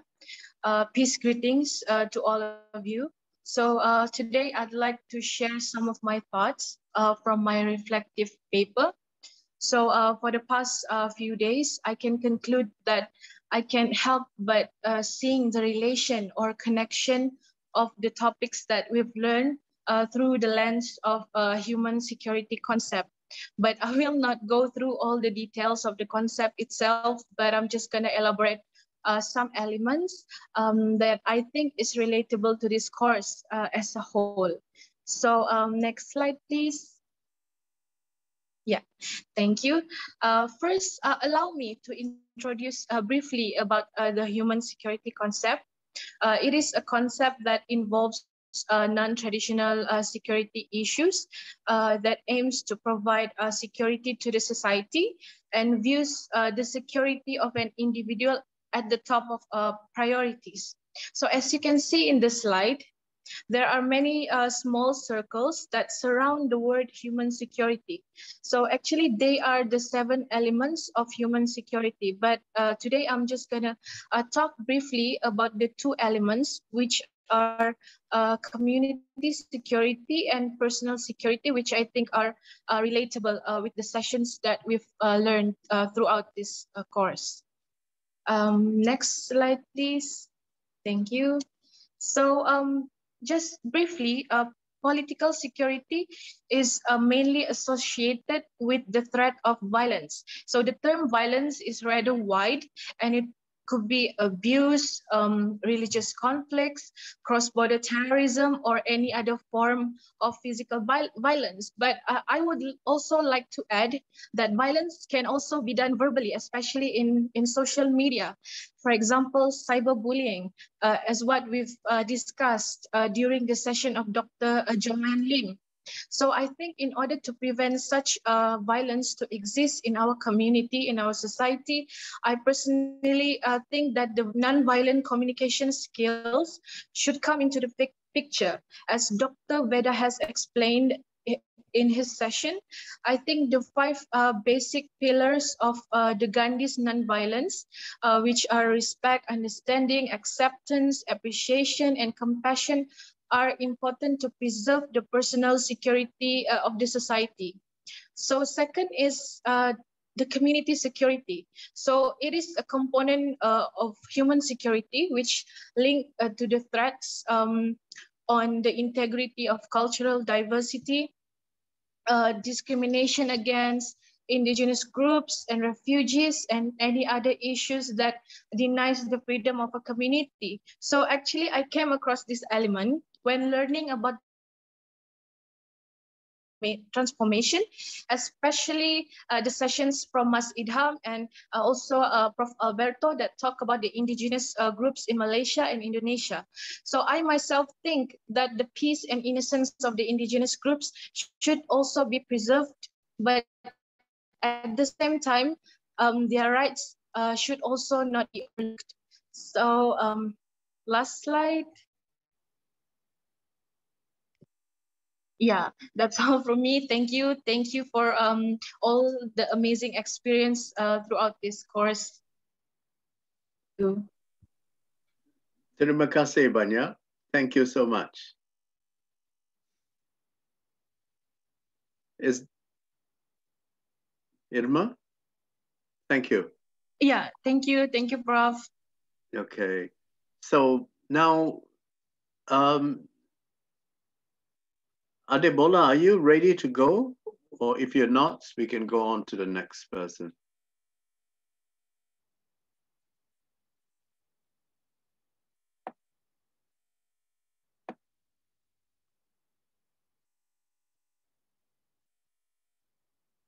Adebola?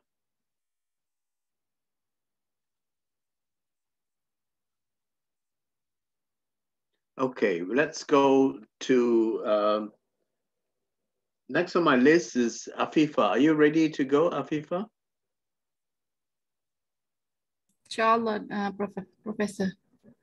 You ready to, to present? Inshallah, Professor. Uh, yes, can. Okay. Terima kasih. Uh, can you hear me clearly? Yeah, yeah.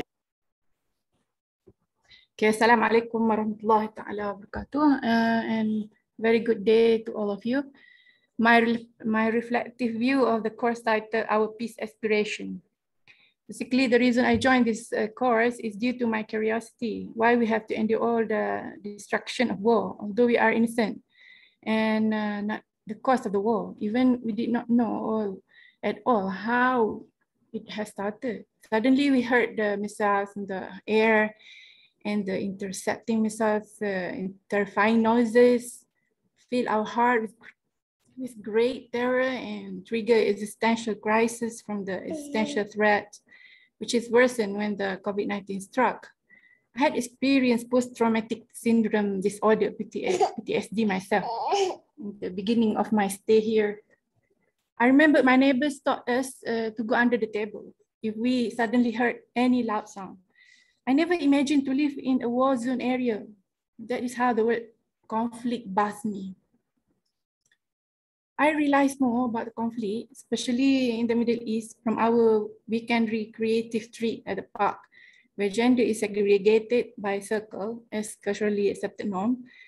I related the circle I had at the park uh, with my female friends with the circle at Peace Talk uh, Gloria gave. It is comprised of the wives of the lecturers here. They originated from Jordan, Palestine, Syria, Yemen, Algeria, Egypt, Sudan, India, Pakistan, Cuba, Russia. Like in the circle piece, we relaxedly discuss about the conflicts we face, either about experiencing war here, new casualties, latest news on the issue, the ongoing or worsening issues in the Middle East, even the conflict occurred in each family. Stories goes on and on. We sort of knew the solution, as Bu Gloria said, it will have a magic to present the solution from the circle dialogue. Some solutions are not at our hands. So just endure like the war here in Syria, in Yemen, in Palestine, or the Arab Spring experience in Egypt, Algeria, or Sudan, even being marginalized like in Cuba and Russia as Muslim minority. Then I began to realize that the circle is not yet into conflict uh, transformation, but resolution in Bujani's talk. She made me realize that I could actually relate the methodology I was exposed in the academic setting outside within the conflict setting with regards to post-colonial, decolonial, or indigenizing, as much as why we need to Islamize, like with the white supremacy here. The core is relevant to the conflict issue and on how we as humans respond to it. The case study from Indonesia and Philippines uh, are also very revealing and the Middle East should be educated as well as Pak Gomes and uh, company already promoted. As a Malaysian, we are educated as a peace agent. So I'm already being actively involved in, in peace educating, especially through nonviolent communication within my peace circle in the park. Like uh, when I was asked, why, why, you why you did not curse? So I told them there is, uh, it was stemmed from my mom's education, who took it seriously to ethics, especially to say no to cursing and uh, reintroducing back the social ethics to promote social justice from the Surah Al-Hujurat to my circle, which is very relevant in maintaining peace in our peace ecology. Among the recommended ethics are to feel that all humans are our relatives, regardless of any factor to always try to glue back broken relationships between, between two human beings from a grudge, not to feel superior. Maybe they are better than the ones who feel superior in many ways, like being men over women, not to assume, but verify. Also to get to know people as interesting individual, as a person, deep within, although from different races, ethnic tribes, countries, continents, because genetically we are related. It goes back to the belief system we have in our mind Usually humans are good. They will avoid to have to deal with their conscience because it will be undesirably distressing. It was a normal thing for us to see child abuse, aggression by children, verbal abuse in the spark cycle, uh, circle, sorry. By the time the unpeaceful acts are lessening, when I exchange experience and scenarios, how we are living in multicultural Malaysia. Also, the longer we are together with the frequent meetings at the park, we become closer to each other. So feel the love for all of us and missing each other too much other during summer vacation annually. I feel happy to convey a Malay adage of peace, peace promotion. Tak kenal maka tak cinta. Meaning if you do not get to know someone, it is hardly for you to feel love for them. When you feel love, commonly you will avoid harm and care for their well-being. That is important to maintain peace among humankind. Finally, it dawns on the individual's belief system makeup and attitudes that are influenced by it, like being known in the theory of reasoned action. Ad academically, I will continue to contribute to promote peace through the Islamic psychology in what fits us as Muslim in resolving the constant dissonance, especially cognitively. We are imposed to experience to accept the colonial way in everything. It is a way to appreciate and return back to our lost legacy at being local in peace building efforts. And thank you all of you for everything. The ecology of this course is a very deep, meaningful event in my life that will eternally mark my individual self-growth chart. Assalamualaikum warahmatullahi wabarakatuh. Thank you so much, Afifa. Terima kasih banyak. Um, and now uh, Mas Ari will take over. Okay. Uh, we continue to the next presenter, Fawaz.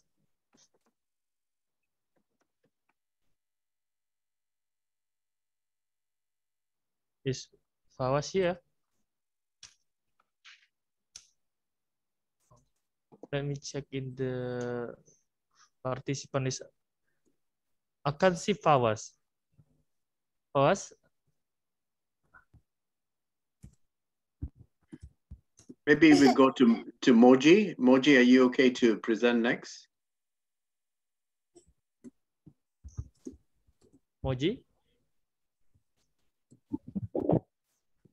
Can I present next? Tuba, okay. Uh, yeah. Because my light went off and my mobile phone is not charged enough, so I have a doubt that I cannot be able to do it with after five minutes. So may I? Yeah, please go ahead. Yeah. Okay. Uh, when I started this course two weeks ago, I have a very doubtful uh, mean definition about peace. So now when I, after these two weeks uh, life go on, I think peace is a phenomenon which is hard to define, but we know what it is when we see. When we see someone in the peace, we know that person or that state or that community in the peace. We cannot define the peace at that way that elimination of the war is a peace or everyone is happy in the in your circle is a peace because everyone is struggling their own efforts and their own point uh, worries at that time. So for me, peace is a thing we can enjoy when we see and we can define it when we see it. As a Pakistani, as a Muslim girl, as, and luckily have a very opportunities in my life. I have very different location politics about peace or politics location of peace. So when I see my neighboring state like Afghanistan, I think elimination of the war is peace for them, yes, elimination of the war is a peace. But for my society as a Pakistani, we are not in war, but we don't have peace. So we can, in the situation of Pakistan, we can easily assume what is negative peace and what is positive peace. During this session, we realized that during this session, as a student of IR, we realized that peace is a thing that comes from inside, not from outside if uh, as a student of IR we say that UNO do that, UNO will do that, or other states will do that, IGOs have these duties, NGOs have these duties, MNCs can produce a piece, but it is not possible, uh, which I realized, which I come to realize after this course and this efforts of your Dr. Alberto. So that when the piece is inside from you, you can automatically learn the active listening from direct communication. Someone is, am I, uh, when peace comes inside from from you, so we can uh, know what is the active listening, what is the non-violent communication, real meaning of dialogue, peace, educa peace education, peace ecology, philosophy, importance of local values can also be justified and also be appreciated during the peace system, peace circles. Uh, as a Dr. Gloria session of peace circles, I am very big fan of that session and Ma'am Gloria about peace circles and how can we transform conflict and spread peace from one person to another person because of these peace circles we can give our uh, inner energy, inner peace to the other person through the active listening and only with the justice that I am here for you. I am listening to you. I am here for you. And that can bring peace to the other conflictual person. That is a very good and very big phenomena for the world. And and as a student of international relations, so I want international peace. So I come to know that inner peace can transform to the society and social peace can transform to the nation and national national peace can transform to the international peace and we can live in that, we can wish for that international peace in a long live, in the long lifetime, but we can pursue with the one person to another with not only with the conflict transformation, but transformation of peace to one to another person. And at the end, I want to appreciate the Indonesian government and Indonesian government's way of conflict resolution because it is giving hope to me that we can resolve our issues, we can de-radicalize our population, our tribes, or our issue, uh, conflicts around, and other states can also uh, transform their conflicts to the peaceful version. And last but not the least, I want to appreciate the efforts of Dr. Alberto Gon and Mas Eri, Mas Idham, Sasha, Aisha Abubakar, and Divya, and so many people. I have, I haven't come to know that active team who can actively participating as a participant or as a secretariat to resolving every issue and transforming peace through their project. And I love ICCTP at that. Thank you so much. Thank you, Tuba, for the sweet words and then for your comments regarding the ICCTP program and your reflective uh, ideas about the uh, you know presentation of the presenters. Okay. Thank you uh, so much, Master. We stay blessed. Yeah, stay blessed. We continue to uh, next presenter, Prof. Andrew. Um, Professor. Yes, yes. Okay, this is Moji. Maybe if I can come in. Okay, okay, okay. You can go, Moji. Okay, thank you very much, Professor. Uh, I would like to share my screen. Yes, please. Okay. Um, I'm trying to do that. Okay. Okay, can, can you see my screen now? Yes, yes, I can see. Okay, um, I want to first start by saying that uh, this course has really uh, broadened my mindset and uh, opened me to new perspective on conflict transformation and peace building. I have learned a lot from different uh, professionals and I've also widened my network through this uh, uh, course. And I can really say that I'm so privileged to be part of the of this training. And I really thank you, Professor, for giving us the opportunity. Um, I have I am a young uh, peace builder from Nigeria, and um, I, I have a youth organization that I am promoting uh, uh, peace education uh, uh, and, and peace building, uh, looking at it from the uh, women, young women involvement. And and um, most, mostly I, I, I engage in facilitation, you know, training of young people.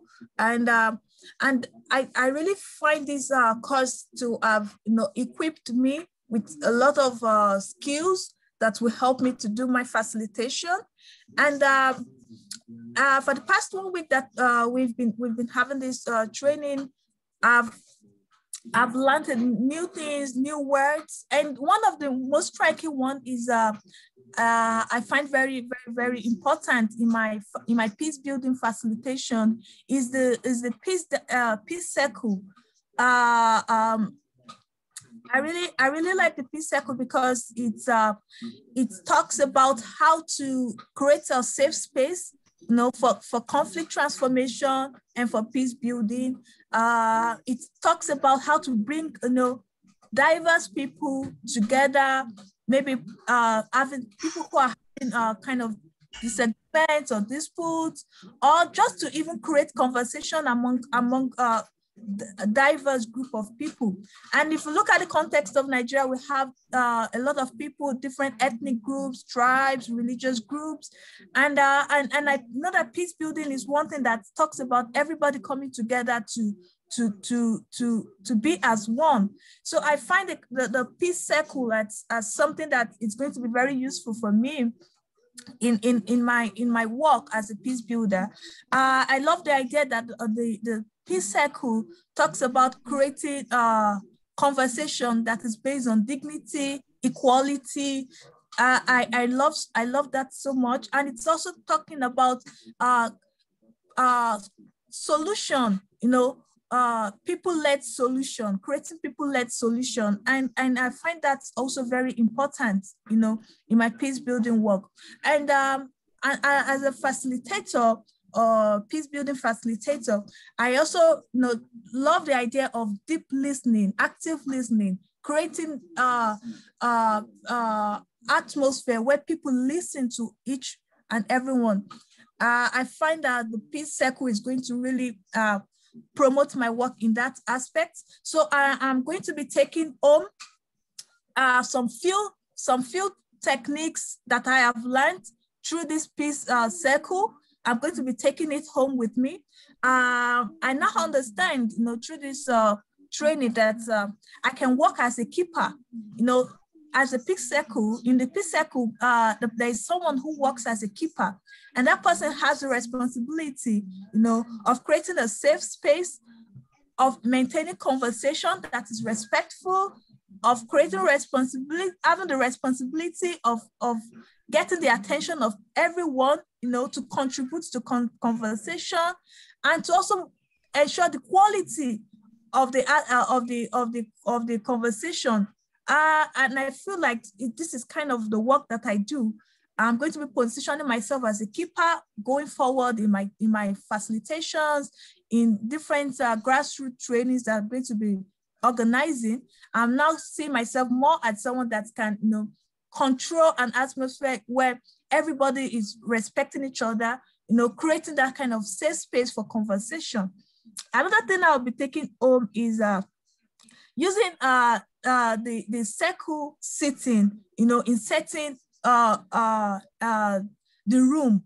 So for instance, um, you know, usually when I want to organize my uh, training, my peace building training, I mostly do it in a way that, you know, people sit, you know, the way they want. But now I understand the importance of people sitting in a circle. You know, it creates that connect connectivity, it gives that connectivity.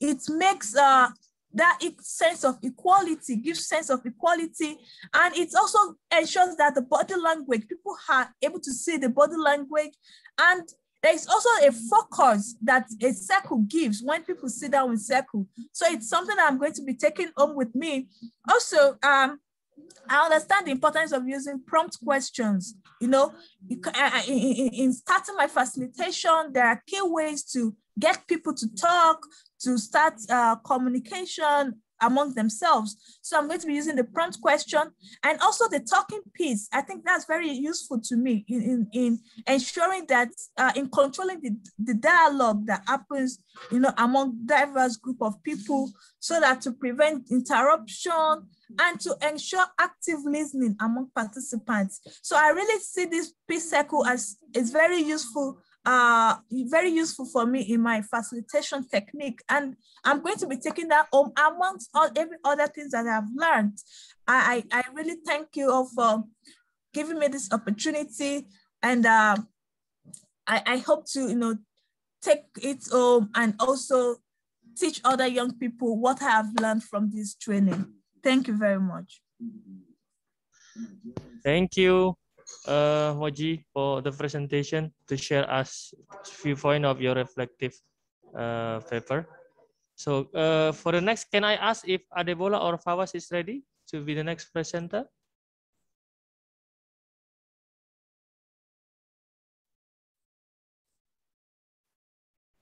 Hello.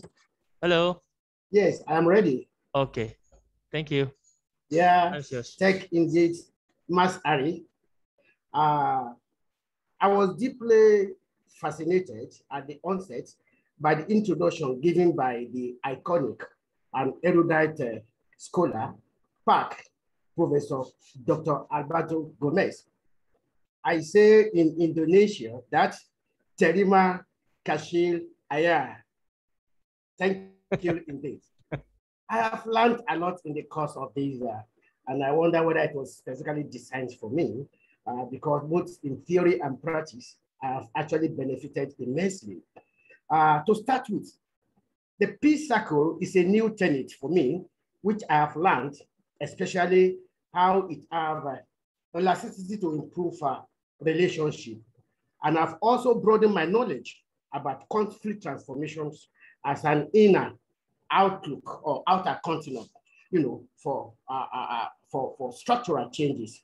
Though I was expecting the presenter to talk much about, uh, you know, uh, uh, uh, uh transformations, about the, that is actor transformation, issue transformations, rules transformation, and uh, structural transformation, but not standing as land alone. The case study of Indonesia has added to my academic uh, effrontery to challenge some inclinations about conflict transformation. That is, some theories and practices of conflict transformations. What I have learned in the course of Indonesia case studies has opened my eyes to know more theoretically and even to have some theoretical propositions to challenge existing theories about, uh, you know, what I just said about conflict transformations. Yes, dialogue module, which was delivered by Dr. Michael, uh, made me to know that the world will be better if we jojo more than war war. And uh, this is regardless of our you know, race and uh, primordial affinity. I equally believe in peace education. It's one of the areas I've been trying to have actually made use of. Uh, I believe in peace education as a new paradigm to attain positive peace globally, and especially if you can inculcate this into academic uh, syllabus right from the kindergarten to university, uh, because each students are compelled indeed to pass compulsory courses, essential subjects that lead to higher studies. Why not peace education also as a compulsory subject in our you know, institutions? Uh, what I'm only trying to say here is that what? It will inculcate the value of peace right from the onset, right from kindergarten, right from infantry. And uh, if you are taught peace education, actually you are bound to live and acculturate in peace. The lectures on nonviolent communication is a masterpiece by Dr. Kundo. And as a chartered mediator, I've added to my conflict resolution skills based on what he delivered. Yes, I need to say thank you once again to Dr. Alberto for what you have given us about peace ecology. Peace and ecology are indeed intertwined. I really agree with that. And it is on the basis of it that empathy, love, and tolerance, they are the basic ingredient of peaceability, according to Dr. Gomes on the 2nd of August, 2001.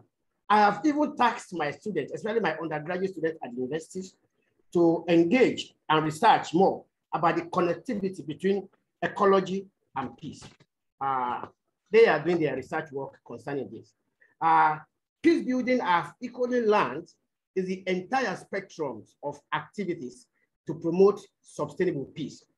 It is therefore imperative for us to foster the culture of peace at all levels of humanity, especially by deploying the theme of world anthropology and enhance and also an enhanced sort of you know uh, uh, media as an agent of mass communication for global peace. Uh, from all inclinations, much effort into teaching, into research, and into practice in human security is therefore very germane. Personally, from my own perspective, is germane because the contemporary paradigm emphasizes much on the seven strands of human security. And if you look at this critically, if you can sustain this, if you can ensure this, I can bet you that, you know, it will be a shortcut to global peace. Uh, I therefore want to conclude on a good note that I have been benefited immensely uh, uh, both in the realms of academic and also as a practitioner. Uh, we must not forget that what conflicts generally are becoming global. There are global tentacles about conflicts. There are global attributes about conflict. We must therefore not forget that what these are global problems. Therefore, it's or they require global solutions. I thank you indeed for accepting me to be a participant in this program. I have learned immensely and you have actually extended the residual of my knowledge uh, my, my data bank about peace and conflict studies, conflict transformation, peace building, violent conflict, peace ecology, and so on has been so enhanced. I want to appreciate you, and I wish to participate in a forum like this. It is an enlightenment, and it is a lifelong, you know, thing that I'm so pleased with. Thank you indeed to the team, and thank you especially to Pa Albert Gomes. I wish you all, I believe uh, we shall still meet in the course of the struggle to have peace and throne in the whole world.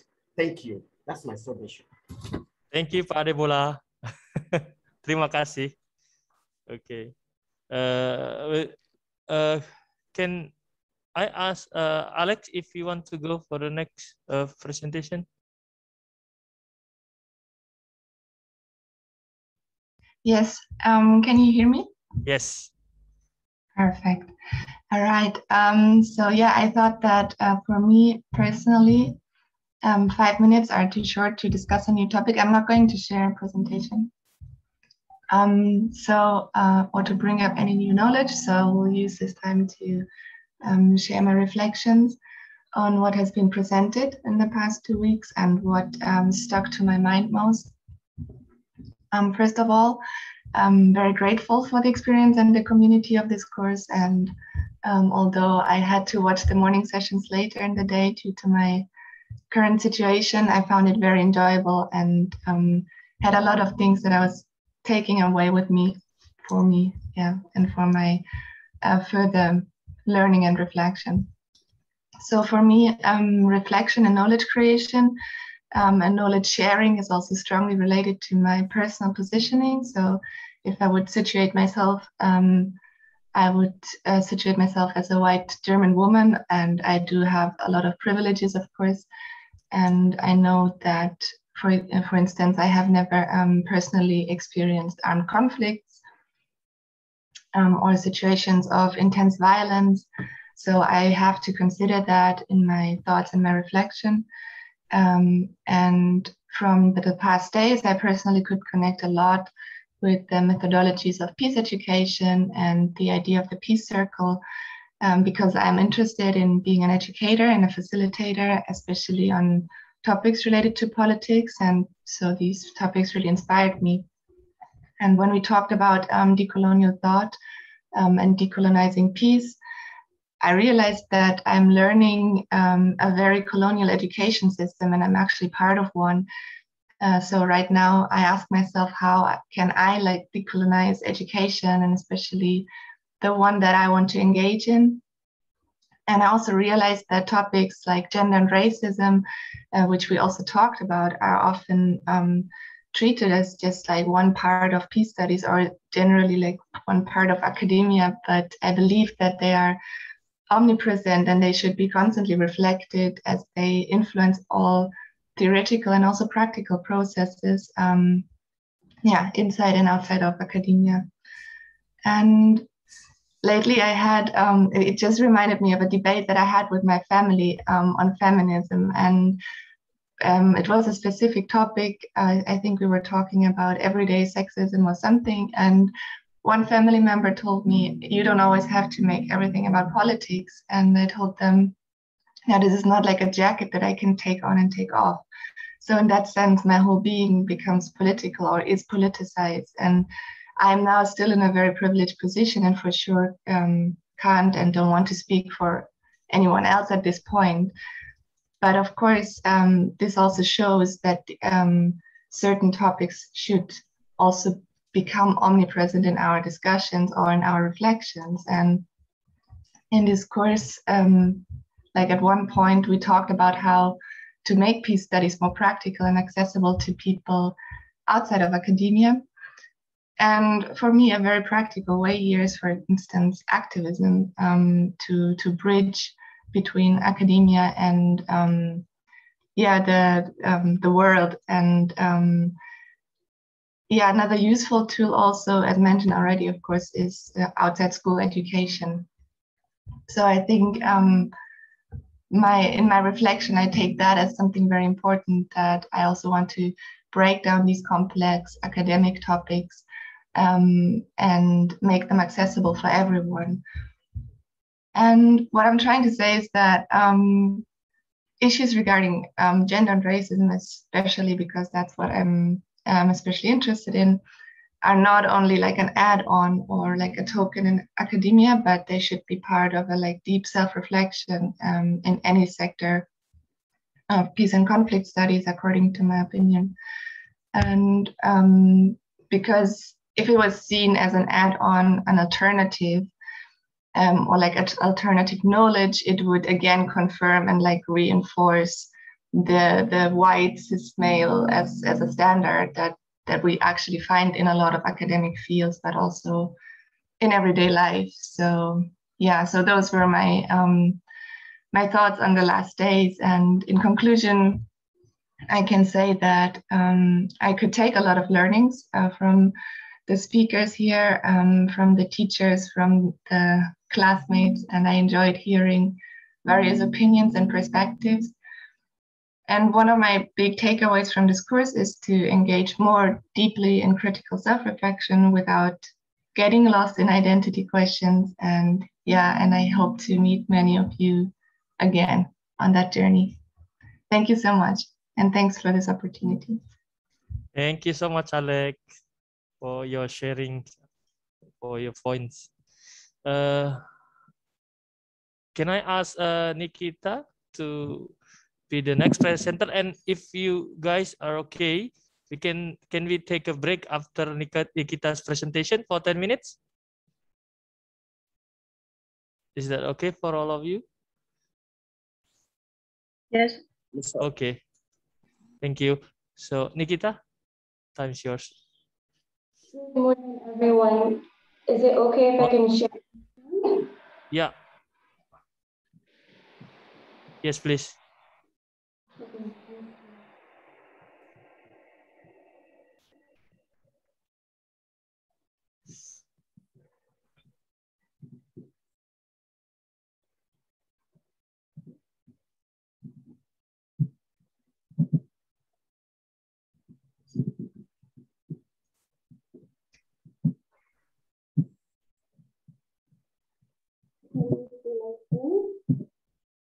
Yeah, I can see your presentation. Thank you very much.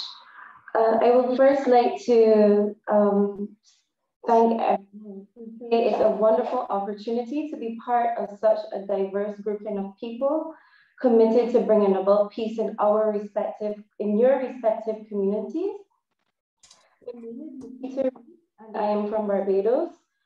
I am a gender practitioner, a, gender advocate, a scholar, and a PhD student here at the Universitat Jaume Primer. And I am dedicated to bringing about peace, equality, and justice. And without further ado, I will go to my presentation, my brief presentation. And for those who know me, know that I'm usually very uh, dynamic, a very dynamic present, presenter and very interactive, but I will try to keep it as engaging and yet concise as possible. So I am from the beautiful Caribbean region. And when you hear about the Caribbean, what comes to your mind? So can you just unmute? I'm sorry for asking. Um, if you want to unmute yourself and just say, what comes to your mind when you hear about the Caribbean?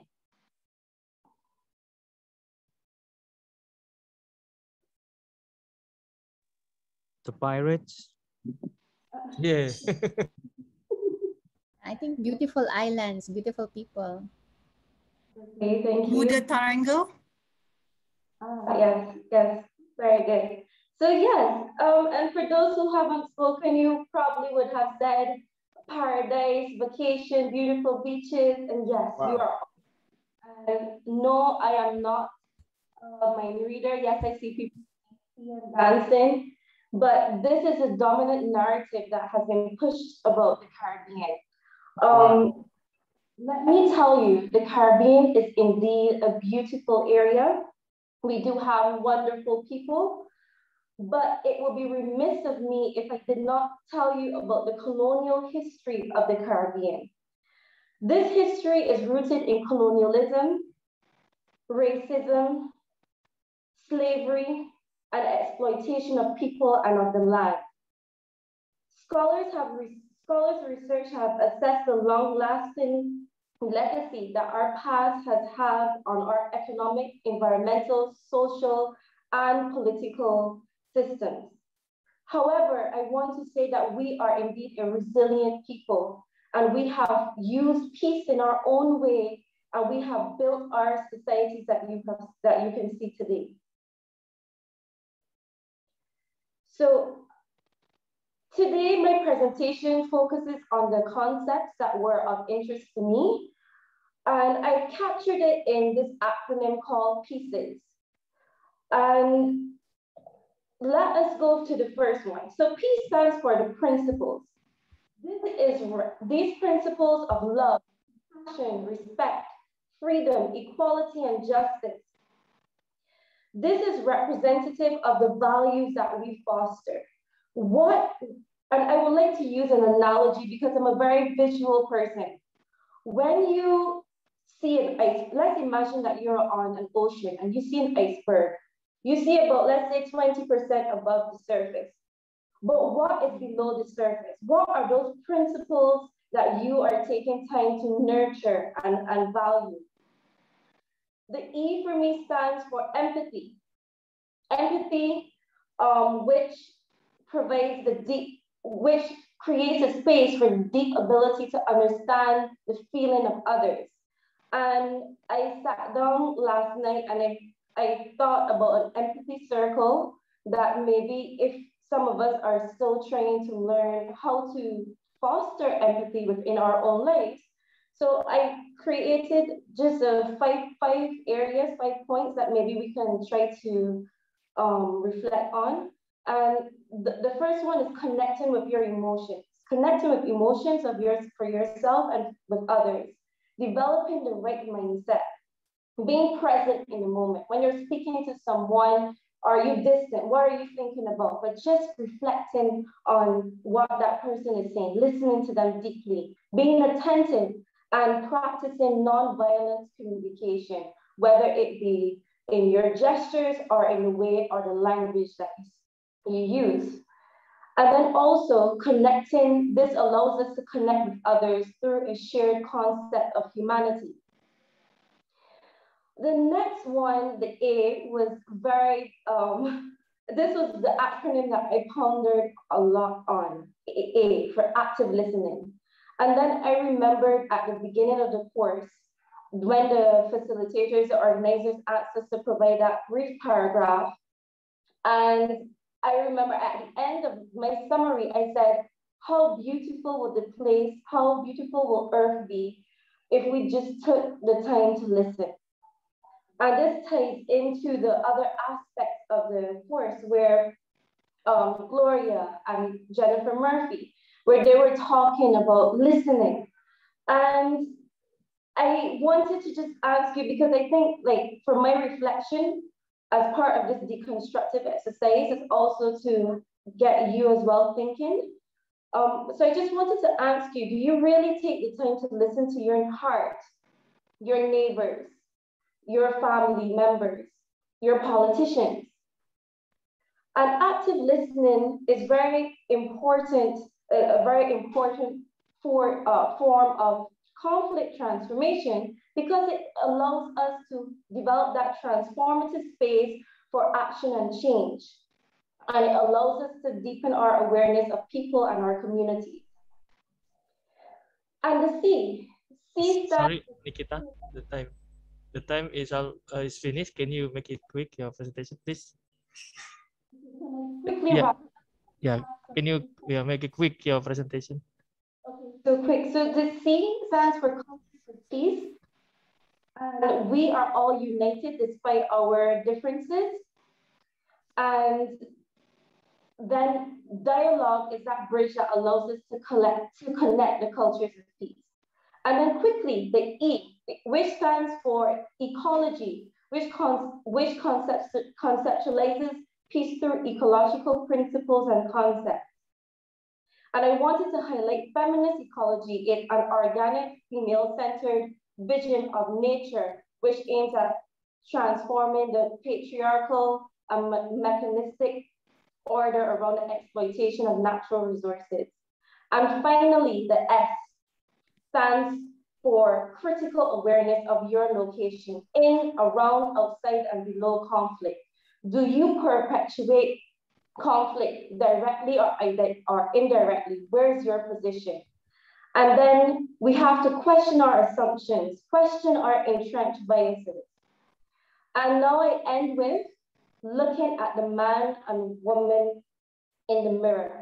And I know this um, to some of you might point, might refer to Michael Jackson's song, Looking at the Man in the Mirror, but how do you feel? What when you look at your reflection? So there's a mirror right here on the screen.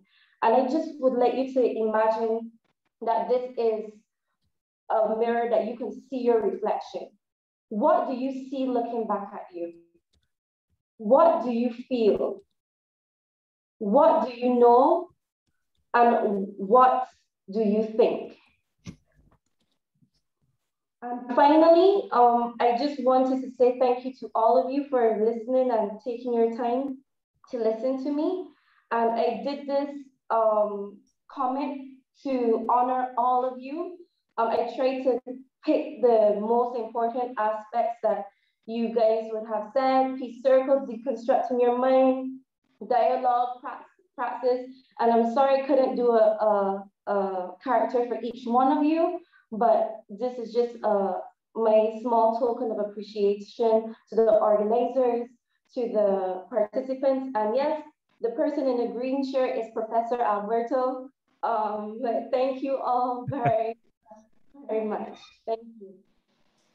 Thank you, Nikita. It's a wonderful picture. so, guys, uh, shall we have a break for 10 minutes? Uh, so now it's 2.25 p.m. Indonesian time. So we can come back here uh, again, 2.35 is that okay? Okay. Okay. Thank you. On my list is, okay, the next person on my list is um, Andrew. Are you, are you ready, Andrew?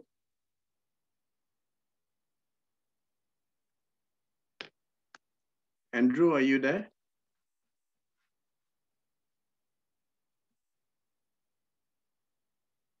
Okay, if Andrew is not there, Tabby, are you ready to go? Do, do you mean Tabby or? Tabby, yes. Uh, me? Yes, yes, uh, absolutely. Uh, can I have one minute first? Sure, sure, of course.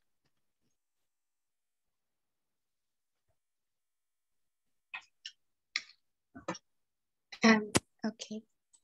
And I shall share my screen, right? Mm-hmm. Perfect.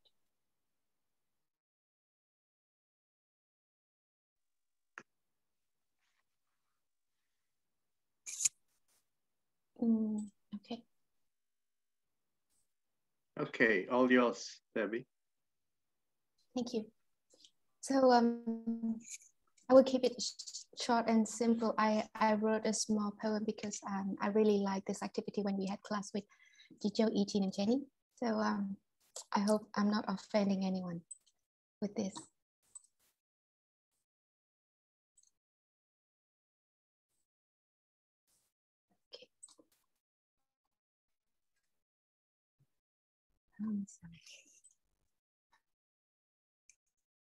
Um, this is my poem um, about the conflict transformation and peace building course. Here we have uh, just uh, my reflection on some topics and not all.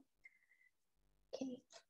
Um, I have listened and observed in a circle of peace where people from another part of the world promise one another non-judgment and respect, although they've never met. Why can't we even do it with the neighbors of our own? My thorn, I'm trapped between academic and practical worlds, and you are anchoring me down. Thank you. My rose, I'm trying to give up my ego or the art of not giving a fuck. And thank you, Lederach, for suggesting how we unnumb a person by the vibration of empathy. What about nonviolence communication inside my own body? Freire gently reminds me that education is not a competition of grades, but somehow children are still discarded as garbage if they fail to fit in a box labeled submissive enough to save the world, to serve the world. And we keep saying we must, they have to, they should. Are we not colonizing others with our narrow perception? Please make sure you're not stuffing your children with knowledge, yet forgetting to tell them that kindness matters too, so that they are well equipped with depression and a closed heart, ready for society that judges humans based on how fat their wallet is. Oh, and the word humans, um, one that seems normal and harmless, yet indeed so problematic with its endless violence and iniquitous breach that not too once upon a time ago, people still thought skin colors made them a better creature than someone else. But then the UNESCO said it was a myth, um, a delusion that prevented humans from their normal development. But what is normal de development if not according to Western standards again? European, US, top of the game, south of the equator, still got much to learn. Building ego is the life purpose, but respecting nature is not the way forward. And don't even ask why I hate the word subaltern. And love, the word that stays stuck in my throat, unable to get out, as we were taught that without the acknowledgement of a man, a girl would just be another wasted doll, that somehow love is more of a contract where women exchange a whole life of unpaid labor to their own development, an insurance for whichever wife who can produce an heir to her husband. And if your children don't succeed, it's because the mothers fail to teach them but fathers always take the credit if a child makes it to med school. Romanticism and masculinity are toxic, but who cares if you're still in the possession of a man? So, how do I answer my professor? What is love in your culture? What would I tell him? But let's not collapse under the weight of the pedagogy of fear, for there are still individuals who are giving their best to share little but substantial sparks as our network of deep. And shall we bear in mind the wise words of Nelson Mandela? May our choices reflect our hope and not how afraid we are. So, yeah, I think that's my poem. Um, thank you for listening and for sharing a lot of your thoughts and wisdom in this course with me from everyone. Thank you. Thank you, uh, Tabby. That's beautiful. As uh, Ayla has just said in the chats. Thank, Thank you so you. much. Thank you. Um, yeah. Who do we have next? And Tabby uh, Kafil says that you are, that was amazing. Thank you I, I'm reading uh, in the chat from everyone. Thank you so much for your okay. Yes, for your hearts. okay, we have uh, Fawaz. Are you there?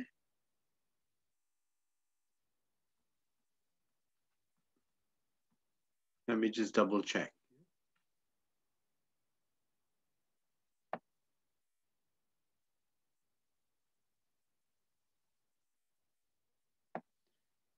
Okay, we don't have Fawaz there. Um, Andrew, are you there?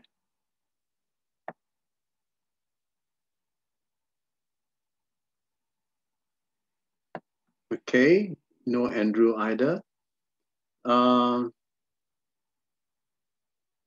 Simra? Yes, I'm here. Okay, do you want to go next? Yeah, sure. Okay, wonderful.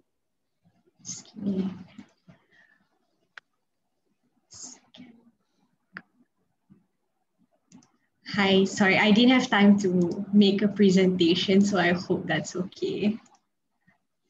You are you are making a presentation now. No, I mean oh, presentation. I, um, all right.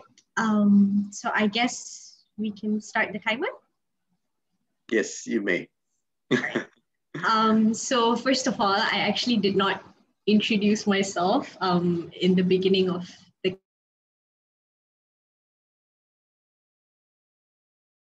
so you know a bit of a shyness there but firstly i would like to just express how grateful i am to be part of this course i think being in a community of people who have achieved so much, you know, compared to me, I'm still in my undergraduate.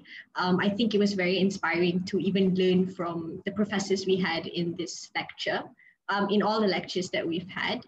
Um, so to keep it plain and simple, what I have reflected on or what that has impacted me more from this course, I think is the part about nonviolent communication um, being a new age of conflict resolution. So how I intend to use this um, to, to look at the world in a more, um, to, to just have more peace in the world, I think instead of just using nonviolent communication between individuals, I think I would use this in a way to extend it on how we can improve international relations between countries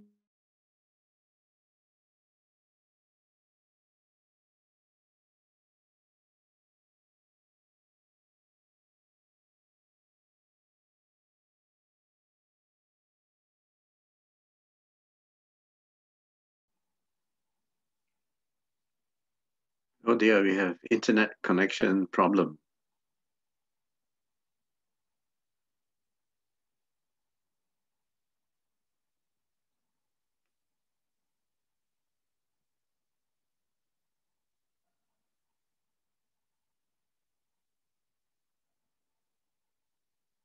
example, Ukraine and Russia Russia are at war. So how then participants from these countries can come together to talk about, you know, how do they handle the relations between these countries? So another example would be the Syrian and Palestinian war.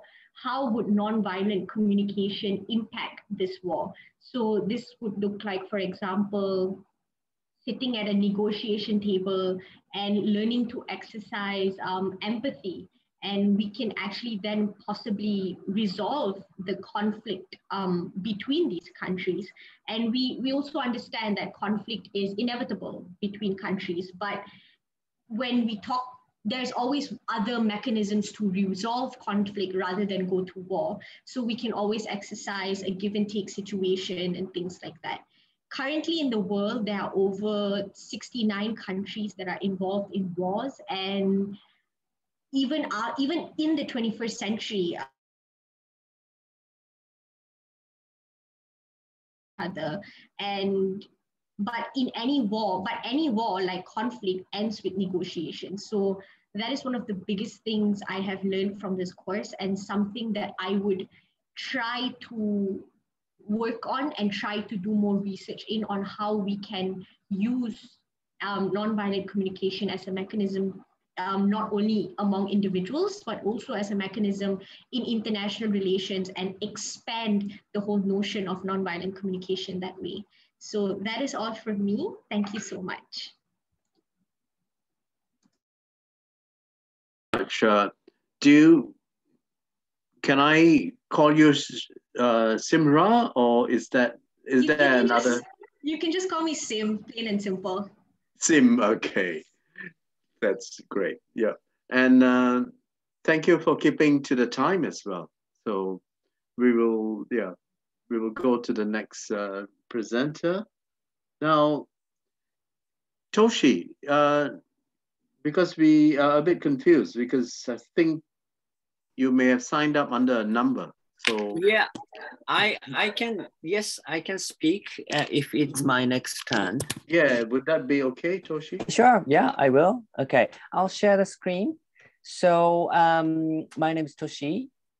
I am um, interested in um, the conflict transformation Um, I myself is a mediator, the, um, the neighbor dispute mediator. I was always interested in how people understand each other and how the mediator can help this um, the process of understanding each other. Um, Jennifer um, introduced uh, Lederach um, to us. And then I actually read very carefully um, the book she introduced in the class. I, I, read all chapters and I just wanted to find out something to add. So th this is my presentation. So um, as uh, Jennifer said, the, he takes conflict as an opportunity for a change in our way of thinking okay and such change are seen in four dimensions according to Lederach personal, relational, structural, and cultural. The goals of conflict transformation is to minimize destructive effects of social conflict at the personal level and maximize understanding of each other. Um, goal number three is promote non-violent mechanism to reduce confrontation by maximizing people's participation in decision making. I believe this is uh, connected to structural and cultural violences. Um, in, in, the, in, in the book, uh, Lederach speaks more about personal and, and re relational level so uh, my, presentation, my presentation will focus on these two dimensions. Um, sorry, yeah.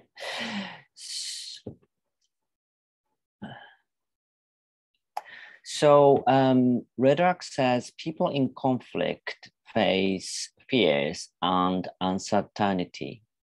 Okay, and then the challenges for conflict resolution is um, to minimize the level of reactivity and blame, blame on others, reactivity, overreaction to the other. And another challenge is to maximize the capacity, the individual capacity to express a clear sense of self and place. Um, how do we do this? How do we overcome these challenges? The three guiding principles that Lederach suggests are honesty, interactive learning, and appropriate exchange. Honesty is um, probably we know already. So the people who are deeply honest with themselves and the others, where they feel safe. And this is why safe environment is very important for conflict resolution. Um, Lederach says honesty reveals identity. So uh, honesty reveals who she is, who he is, who they are.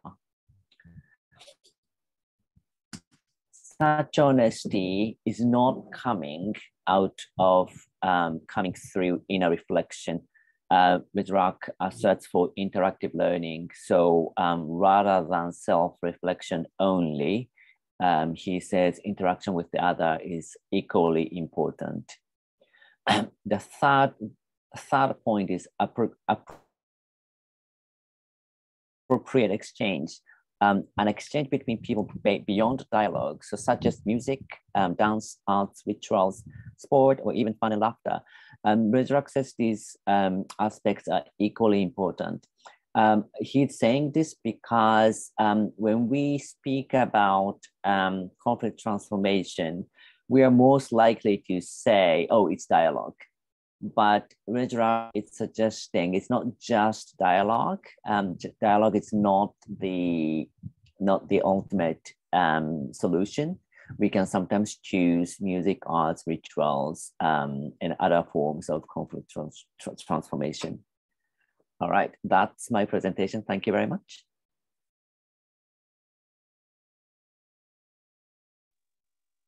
Thank you so much, uh, Toshi. Now, this is supposed to be a peer review, but uh, unfortunately, uh, your name did not appear on the list. So yeah, I was just trying yeah. to check. Yeah, I couldn't I find it. To, I couldn't find it. yeah, I was just trying to check with uh, the AC, uh, ICCTP uh, uh, Secretariat. So uh, participants, if, if it's okay with you, um, can you just I do not know whether you can maybe just send the ICCTP. Um, just send them a message. Okay. With, it with, says I'm uh, on it. It says I'm on it. It says you're on it. Yeah, latest WhatsApp message says it's I'm on It's it. It's already there, Alberto. All right. Okay. So good. So they are they were working behind the scenes while I was here Thank presenting. you. So thank you. Okay. Thank you very much. All right. Thank you so much. And uh, we proceed with uh, the next person on our list. Um, now, is uh, Inas, are you ready to go? Nor Safina? Well, might as well finish it up, right? Or else I can't, I can't be sleeping the whole night. okay. No, okay, please go ahead. Can I share the, the screen? Okay, let me check. Uh, can you share now? Yes. Okay, good. Okay, wonderful. Thank you. Okay. Hi, I'm Ines. Today I will talk about Rumah Baca Orang Asli.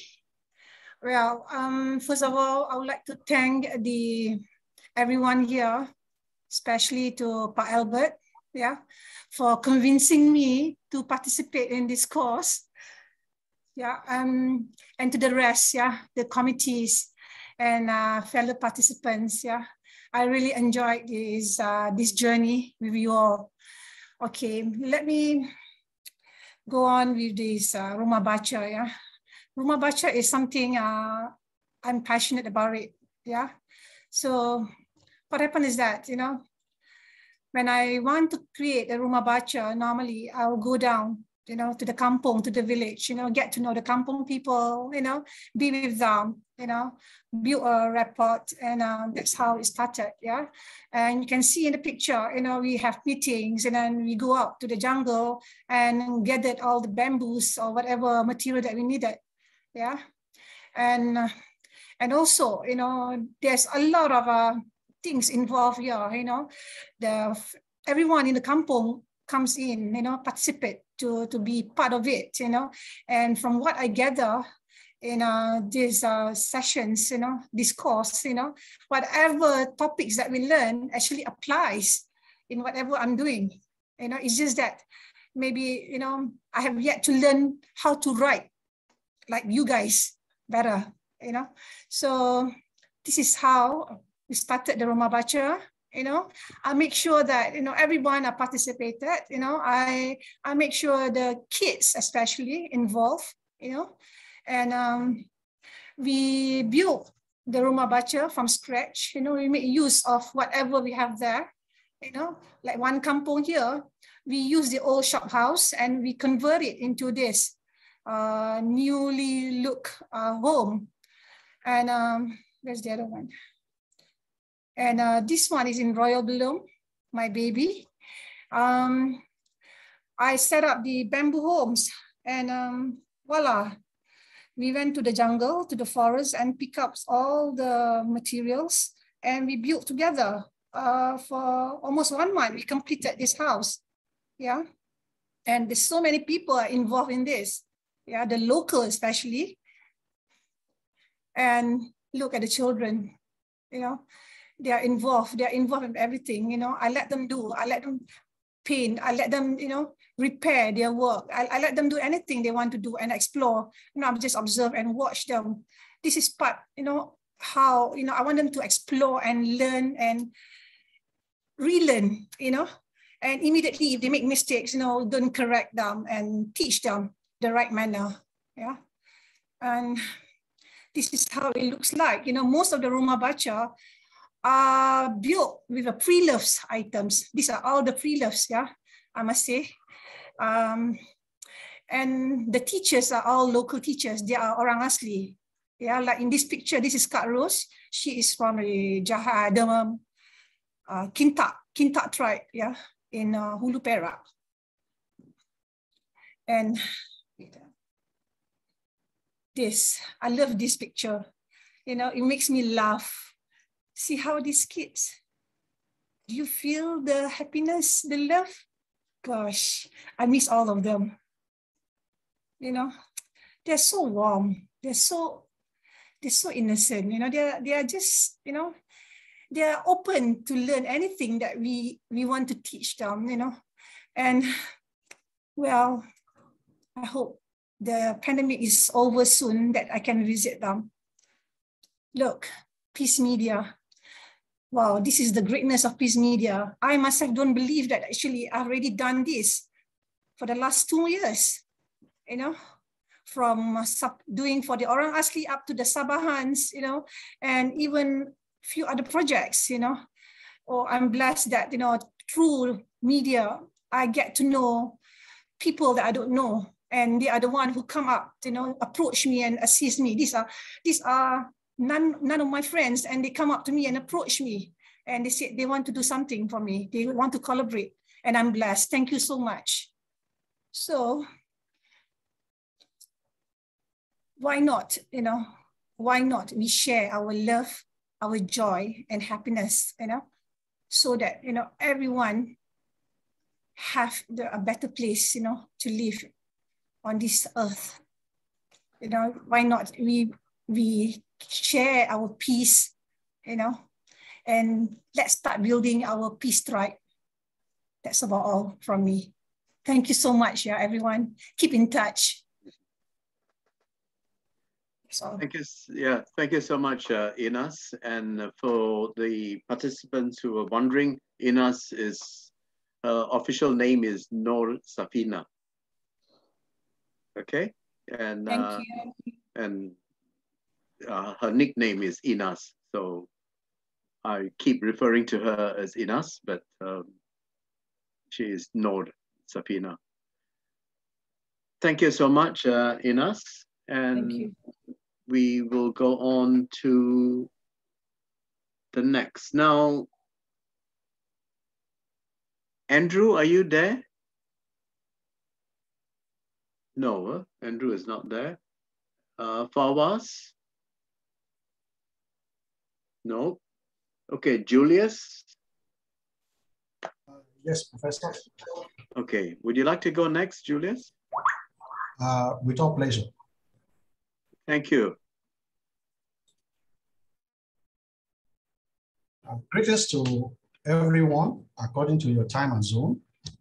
My presentation is a summary from my reflective paper, and it is entitled My Understanding and Takeaway After the ICCTP course. Prior to this course, I perceived conflict transformation and peace building in two actions. Stop the conflict and let there be peace. However, Little did I know that there are many factors involved in conflict transformation. And little did I know that peace building is a process over a period of time or even years to accomplish. This, indi this indicates that United Nations and other stakeholders in peacekeeping had played vital role in creating peace and trying to make the world a better place by investing their time, resources, and bringing together experts from different parts of the world to work together for peace building. During this course, I began to understand the factors that contribute, that contributed to the conflict transformation and peace building are enormous, are enormous, ranging from anthropological point of view to history, to human psychology, peace psychology, and peace ecology, while embracing peace, circle, conflict transformation, dialogue, peace education, non-violent communication, race and decolonization, empathy, love, and compassion, peace, culture, and culture of peace are knowledge required for peace process and conflict prevention. Hence, I have come to the knowledge and to consider these aforementioned as factor for conflicts, transformation, and peace formation process. This factor indicated that peace is a process that needs to be initiated by peacemakers and agreed upon by other factors. Looking at the word peace circle, which has its roots in the ancient tribes of the Native Americans based on the presentation by Dr. Gloria Abaca. It is being introduced to our modern way of community life. This shows that the elements of style of making peace had been with us for decades or even centuries. As it is identified that the main objective of a peace circle is to create a sacred space that will lift barrier between people, opening fresh possibilities for connection, collaboration, and create mutual understanding. I also identify the use of dialogue where all participants have the opportunity to share common values, create a safe space to keep a genuine, meaningful, inspired, and restorative conversation. By coming to this understanding of peace, the importance of peace circle and the use of talking peace as a token for a control, I have come to the conclusion that in conflict transformation and peace building, everyone has a voice and the ability to listen actively and, and deeply share their thoughts by using objects which connote a symbol to make sure that everyone has a chance to speak while the rest actively do the listening is an effective process towards peace. Therefore, I will admit that the fact that peace circle and dialogue play a leading role in conflict transformation and peace building, according to the lecture given by Dr. Gloria Abaca and Dr. Michalis Michael. However, I have witnessed a case, mostly in the traditional African setting, where only leaders in the community speaks and the opinion of the youth and others are not welcome. In my personal experience, I wasn't welcome to contribute to the dialogue for peace because I was considered to be too young to involve. And if I do without being authorized, then it will be considered as rudeness. Understanding conflict transformation is not only to resolve conflict, but also to transform actors in harm conflict into developing effective dialogues. Maintain nonviolence communication during dialogues, which I believe would be possible through peace education, which I came to understand by the lecture given by Dr. Sophia Herrero Rico. I remember when I was in the voluntary service with a non-governmental organization, I saw the effect of dialogue and non-violent communication played some pivotal role in bringing the farmers together and they finally worked in harmony afterwards. During this land fragmentation, I do not really understand how dialogue and non-violence communication was used to achieve peace among these farmers. However, this course has enlightened me to appreciate the use of dialogue in peace building and it, is, it has changed my perception and to humbly accept and drop down all egocentric. I could not have a reflection that conflict can be good for organization change because it encourages open-mindedness and help build a stronger relationship to avoid future occurrence. Although many others may consider conflicts as an exciting opportunity for personal gain and growth. And I also try to do my best.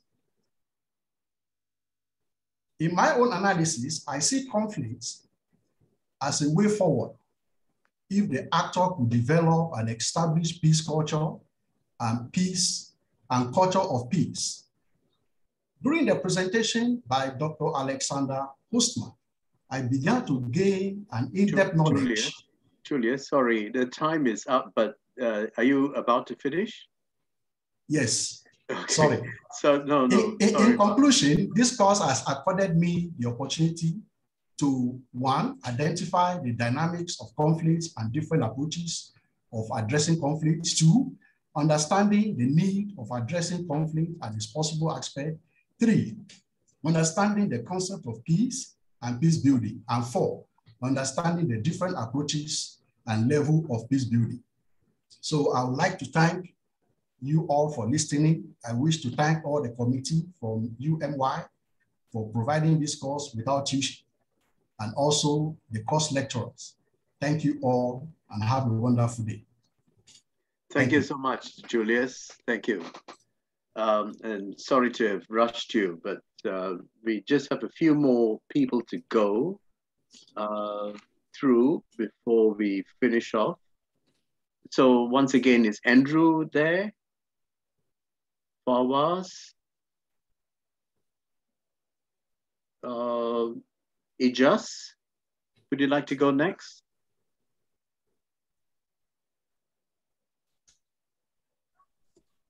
Ijas, are you there?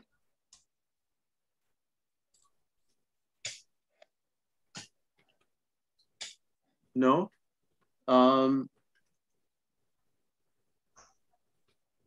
okay, is there anyone who hasn't uh, presented as, uh, yet?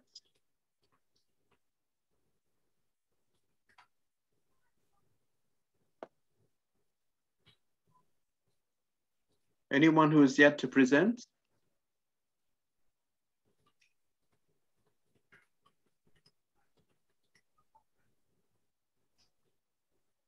Prof? Yes. Yeah, according to the notes uh, here, uh, those who haven't presented, Dr. Neha, is that correct? Fawaz Kamis, Fawaz Kamis, Andrew, okay. Amselia, uh, Ijaz Ahmad, Muhammad Yasin, and, Dr. Muhammad Yasin, and Irfan Khan. Okay. Uh, any of you here in in uh, in the Zoom meeting?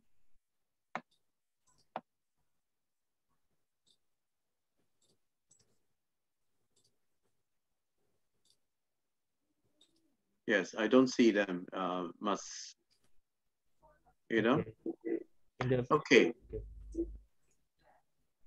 So I just want to begin by uh, this is the, the last uh, session before we say our goodbyes and see you later. So I just want to, to say how much I enjoyed all the presentations. It, it was just absolutely superb. And um, and Mas, Mas Ari, what, what do you say? No, I'm, I'm, you know, to be honest, bro, very, very honest, this is the first time in my life having a discussion, such, such a long discussion, yeah, a day discussion involving participants from all over the world and they are consistently engaged, you know, active, and then become such a lovely family, you know. so I'm really happy, you know, it's more, it's really an honor for me to involve in this ICCTP, you know.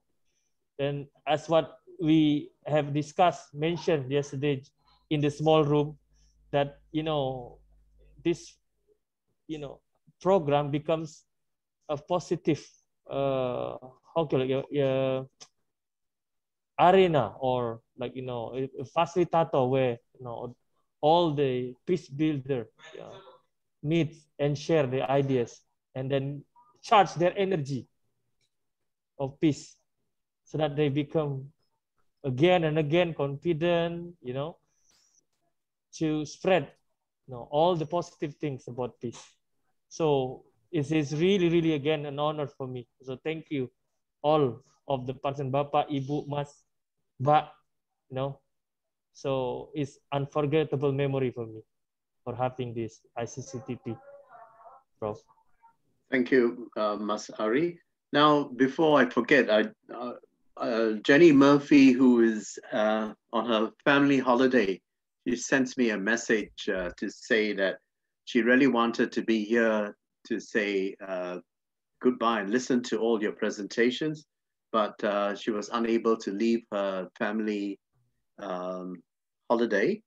So she says um, she wants wants me to express her, her thank you to, to all of you for being such a wonderful group. And so she said that she would hope that she'll be able to keep in touch with all of you. And I also just received uh, a message from Joanne uh, Lim saying how much she has thoroughly enjoyed uh, engagement interactions with, with all of you.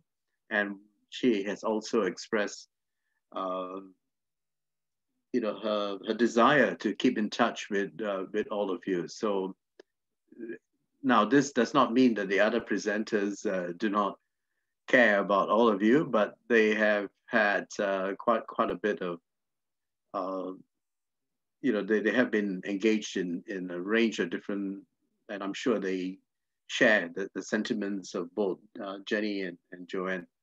So in the last uh, few minutes that we have, and oh, sorry, I should also say, uh, Aisha, do you want to do you want to say something? Bu Aisha? Yes, there you are. yeah. Hi, everybody. Hello, Bu. Yeah, uh, now I cannot see myself. Ah, yeah. can you see me? Yeah, we can see you. Oh, you can see me. Okay. Yeah, I'm I'm very much impressed. Yeah, I'm very much impressed with the uh, with the reflections of the students. So I think this program is on the right track. It's great to know that uh, many of the students really pick up very important lessons from this.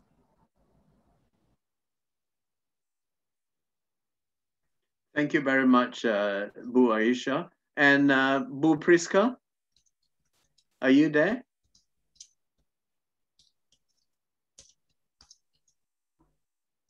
Bu Priska?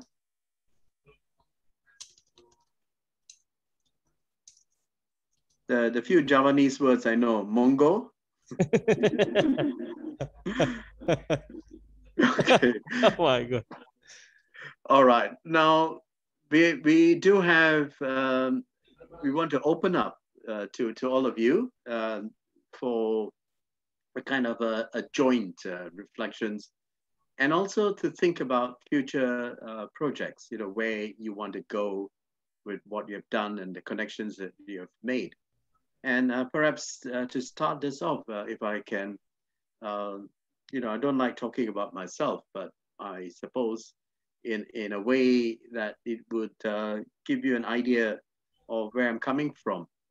So I spent almost my whole life uh, in a university. I joined as an undergraduate student in 1974, uh, but my first year of university was not in any way involved in any kind of scholarship. I spend most of my time uh, with either, you know, playing sports. I played uh, hockey for the university, uh, or you know, drinking with my mates in the pubs around the U University of Malaya, or being involved in student politics. And um, for those Malaysians here, uh, I have I, I would like to express very proudly that I was uh, selected as one of the runners in the student demonstration. And my role was to run up, grab hold of the tear gas canisters that the, the Federal Reserve Police would shoot, and then run towards the police and throw the canisters back at them. So that was my, my role. I was, of course, terribly scared for what I, I did. But then when I got back, when I got into university, I found that there was a there was a disconnect between what was happening in academia and what was happening outside the world. So a lot of my fellow academics, they sat in the ivory tower, they uh, wrote a lot of papers that only collected dust in the libraries. They wrote books, uh, they wrote papers, and I always found it very uh, discomforting. And so from a very early, uh, in my career as, as a lecturer, I always found it uh, quite uh, difficult to engage in that. For those of you who are Malaysians, uh, you will also know that from a very early stage, I started to be an environmental activist. Uh, I was one of four uh, various uh, people in Malaysia that tried to stop the largest bank in Malaysia from building its headquarters in Maybank, you know, up um, and, and we got a campaign. So that was always where my heart laid. But then as an academic, I was always pushed into writing papers, publishing, and I lasted, what was it, like, you know, 30 over years in academia, but always found finding it so difficult because my heart was not into just publishing papers that no one actually read. Or, but then I realized that one thing that the university did for me was they unleashed me every week to face four to 500 introductory anthropology students. And I felt that this was an opportunity for me to mold the thinking.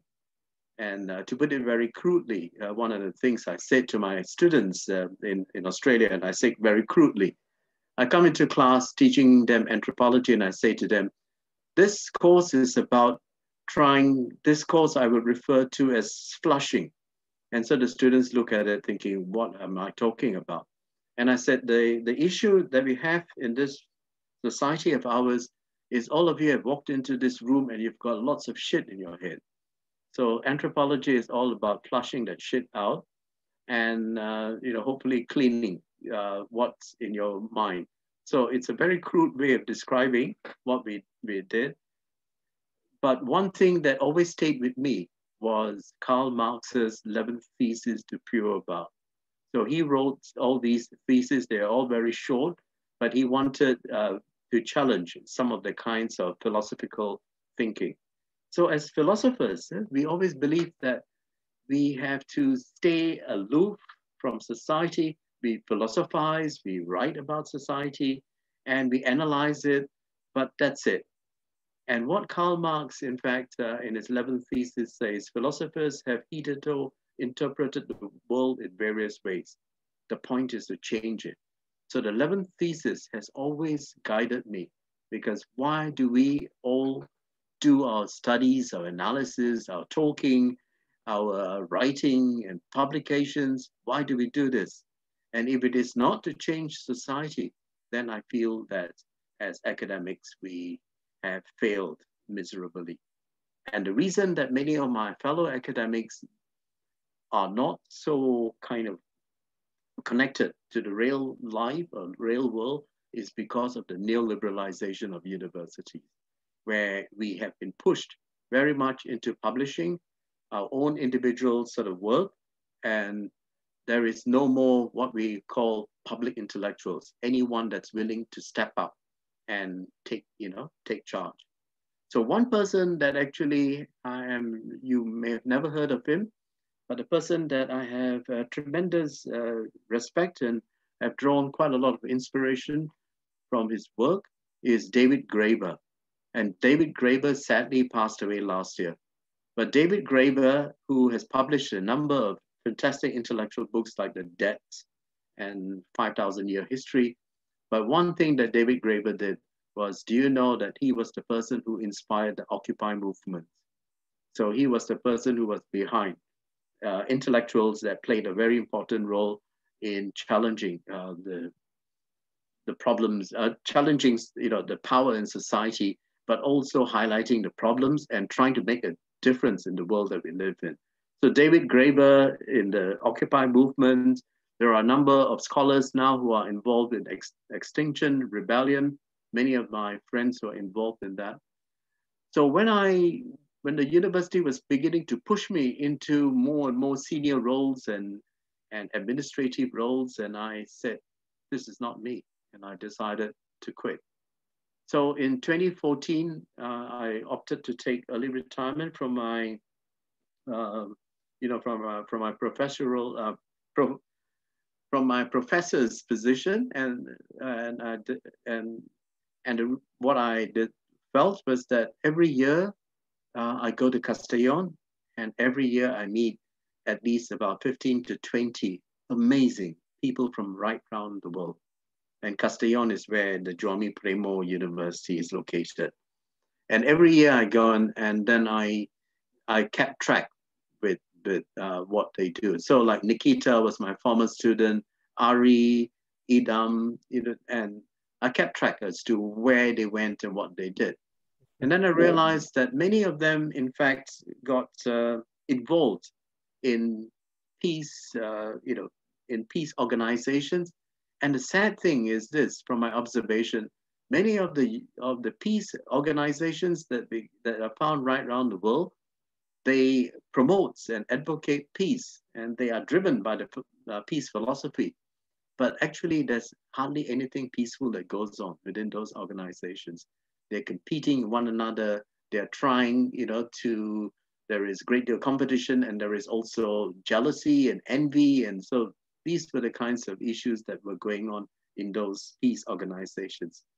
So I got together a number of my friends and I said, look, let's try to look at ways of how we can create a space, uh, create a kind of a framework uh, to to invite uh, students to um, our former students, alumni, to come and join us and to make a difference in this world. But there are certain things that we wanted to focus on. One is that the organization that we're going to set up is inspired by indigenous wisdom. Two, it has to be connected to ecology. So when you look at the deep network, it is uh, driven, you know, and guided by indigenous philosophy, indigenous wisdom, indigenous knowledges, it is also uh, very strongly inspired by ecology and nature. So if you start looking at it, you will see that our, our symbol is the tree of life. But if you look through the, the icon, you will see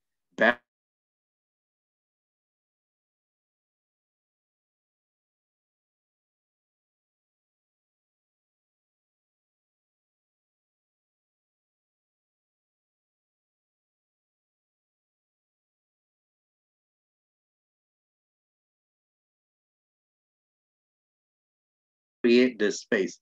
But there are certain other things that we wanted to focus on. One is that the organization would be among equals. So uh, there is no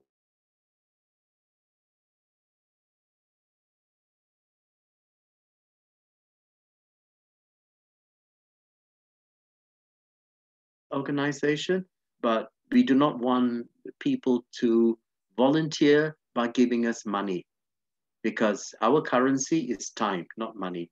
So we don't want money. And I always say that um, if anything that we need to spend on, uh, let me pay for it. So, you know, the web page and those kinds of things is what is my contribution, financial contribution.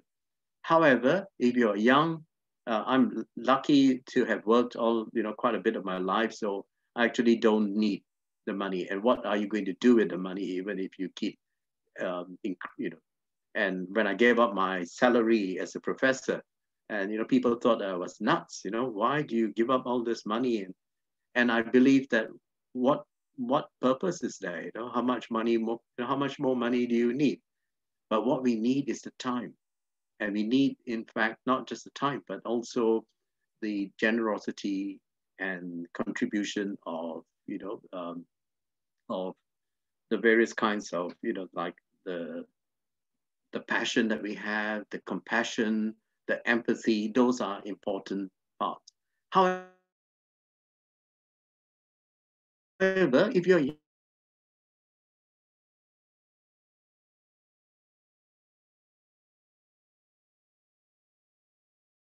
after that, I would say this seemingly very impressive organization, and we we we persuade uh, all the young people who are involved, use it.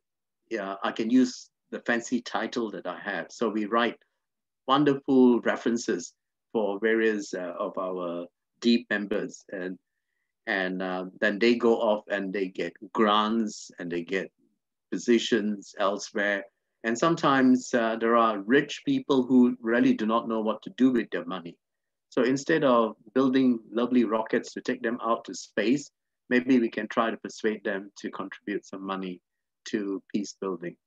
But we don't want any of your money. Okay, all we want is your time. And if you, and time is our currency, if you feel that you can devote your time. And why we want this time is there's not an empire building uh, project. Okay? We're not creating a network so that we all be great and wonderful. Uh, the late Vicente Martinez Guzman, one day when I met him in Barcelona, you know, we, when he was alive, we I used to make it a point to sit down and have a coffee with him. And so Vicente once said to me, "Oh, you know, Alberto, I like I like your your network that you have created." And I corrected him. I said, uh, Vicente, this is not my network. It is our network. So I don't own it. And this is an indigenous idea, okay? We, nature does not belong to us. We belong to nature. Deep, deep does not belong to me. I belong to deep. And everyone belongs to deep equally. So this is the kind of thing that we want to, to promote, you know, in, in this.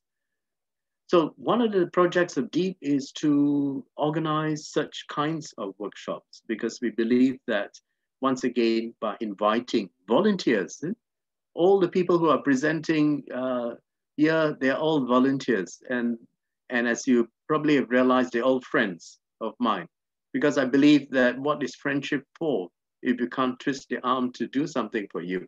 So, but which means that uh, you know, my life is really hectic because if I, uh, if Mas Ari does something for me, I feel that I have to do something for him because this is the kind of reciprocity that we have. So I'm very busy uh, having to give talks because at the same time, through that reciprocal relationship, I can turn to them and say, okay, can you please help me with this? And so this is how we have worked. And very soon, I think I, I have given a keynote to almost all the different religious universities in, in, in Indonesia. And uh, in, I think next month, I have to give a keynote to the Hindu University of Indonesia in Bali.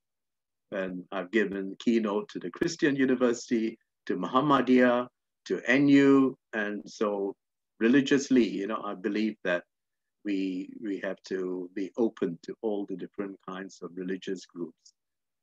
So anyway, yes, I've been to China uh, dating. I've been to uh, to Beijing a few times, and in fact, uh, the people in Beijing they um, they considered me. Uh, I'm I'm married to a Chinese and a Malaysian, you know, Chinese. So when I went to Beijing, um, they treated they they treated me amazingly. The hospitality was just absolutely superb.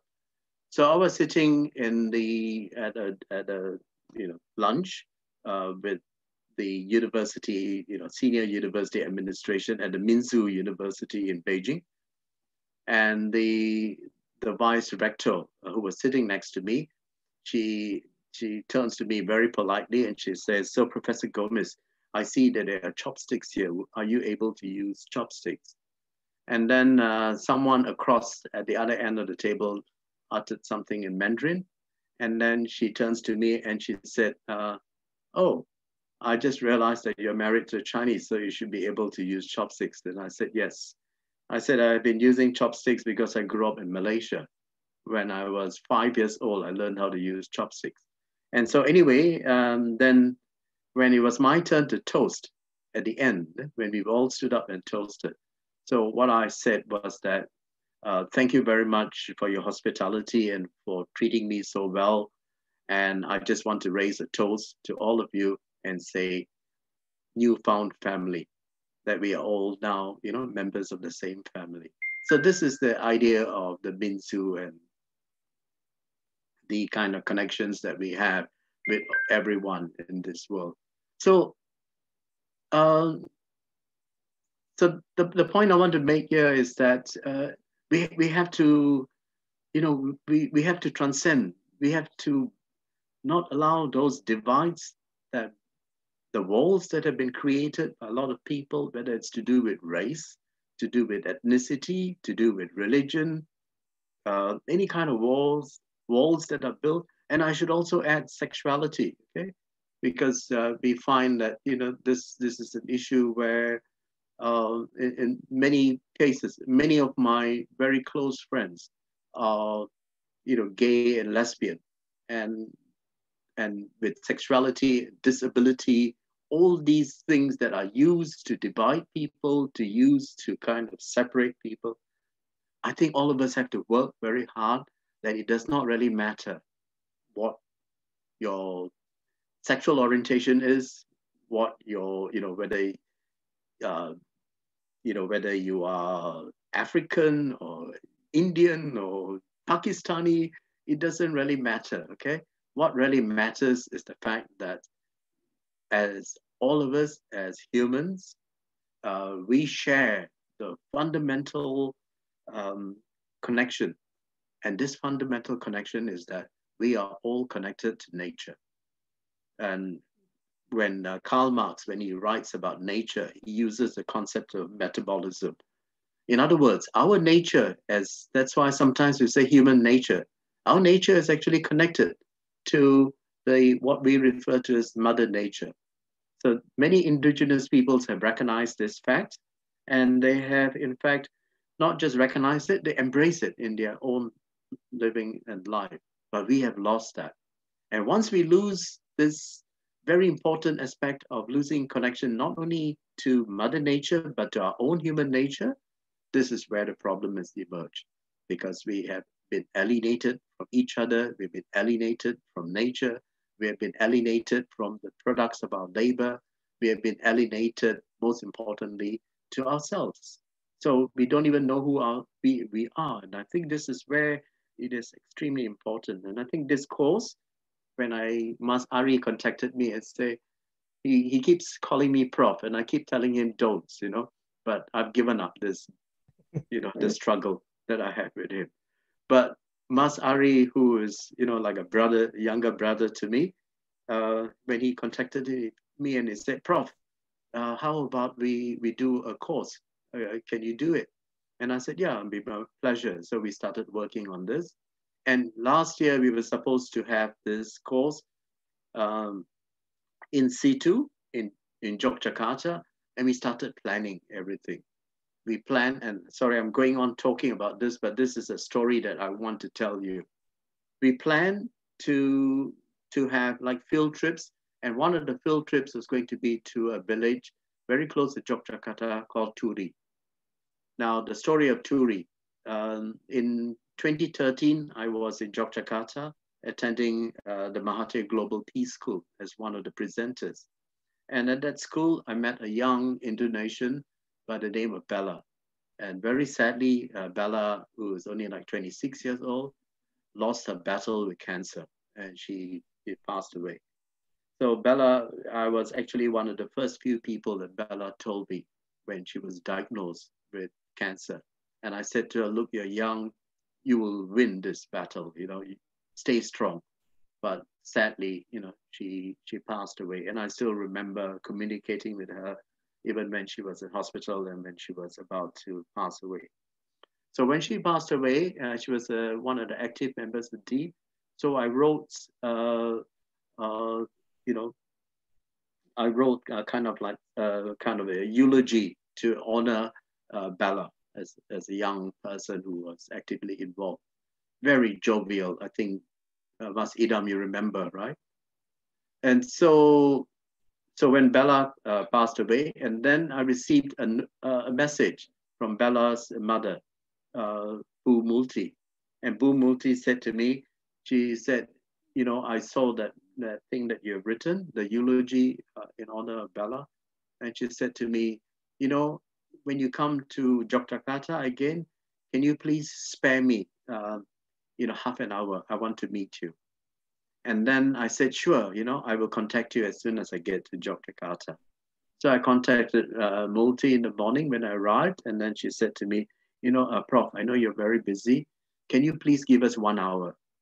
And I said, it's okay. I said, I have a few hours because my next meeting is in the in the afternoon, uh, later in the evening. So she said, I want to take you to the to the cemetery. I want to take you to the grave of where Bella was uh, buried.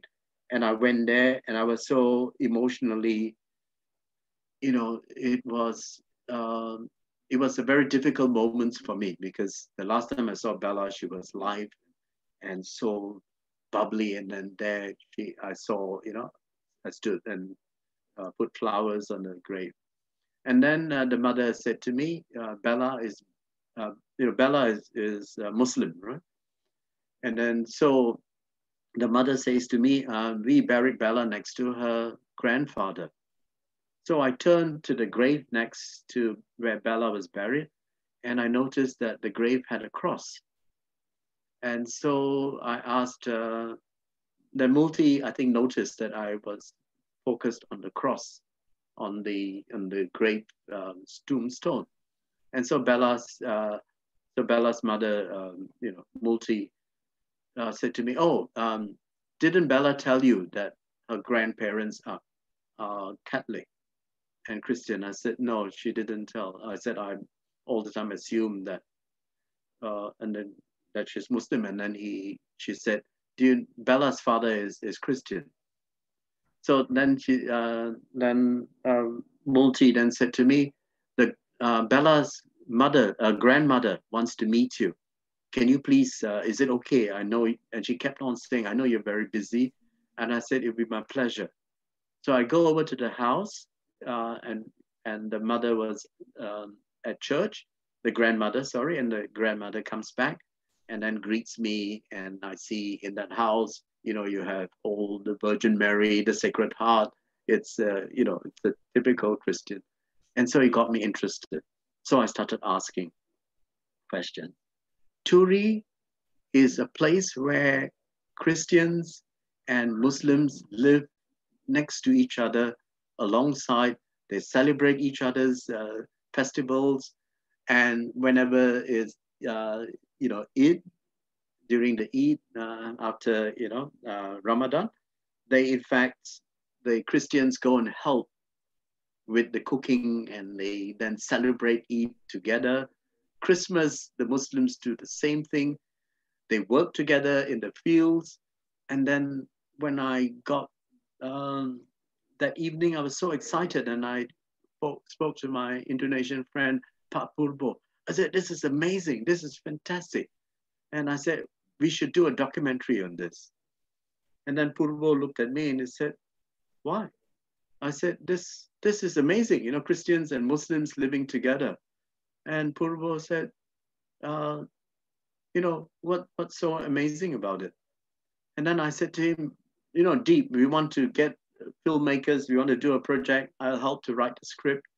And then uh, Purbo says to me, but this is common. And this is what we have to try to keep that our focus has always been on the uncommon things. And we think, you know, of those things that happen. We think about violence. Violence is uncommon. We think about killing. Killing is actually uncommon. When we look at the disproportionate me- uh, attention given to media, we think that it is common. Peace is the norm. In fact, more people right around the world live in peace with one another, but yet we tend to focus on the you know aberration, the things that that are uncommon in human society. So war is sexy. People write about killing, they write about murder, they write about all the forms of violence that happen. But let's focus on what actually happens far more frequently more commonly, but yet uh, are neglected. And once we do this, I think in the media reporting, in the focus in our talks, and then we are able to convince and persuade more people that peace is the way. And in fact, peace has always been the way.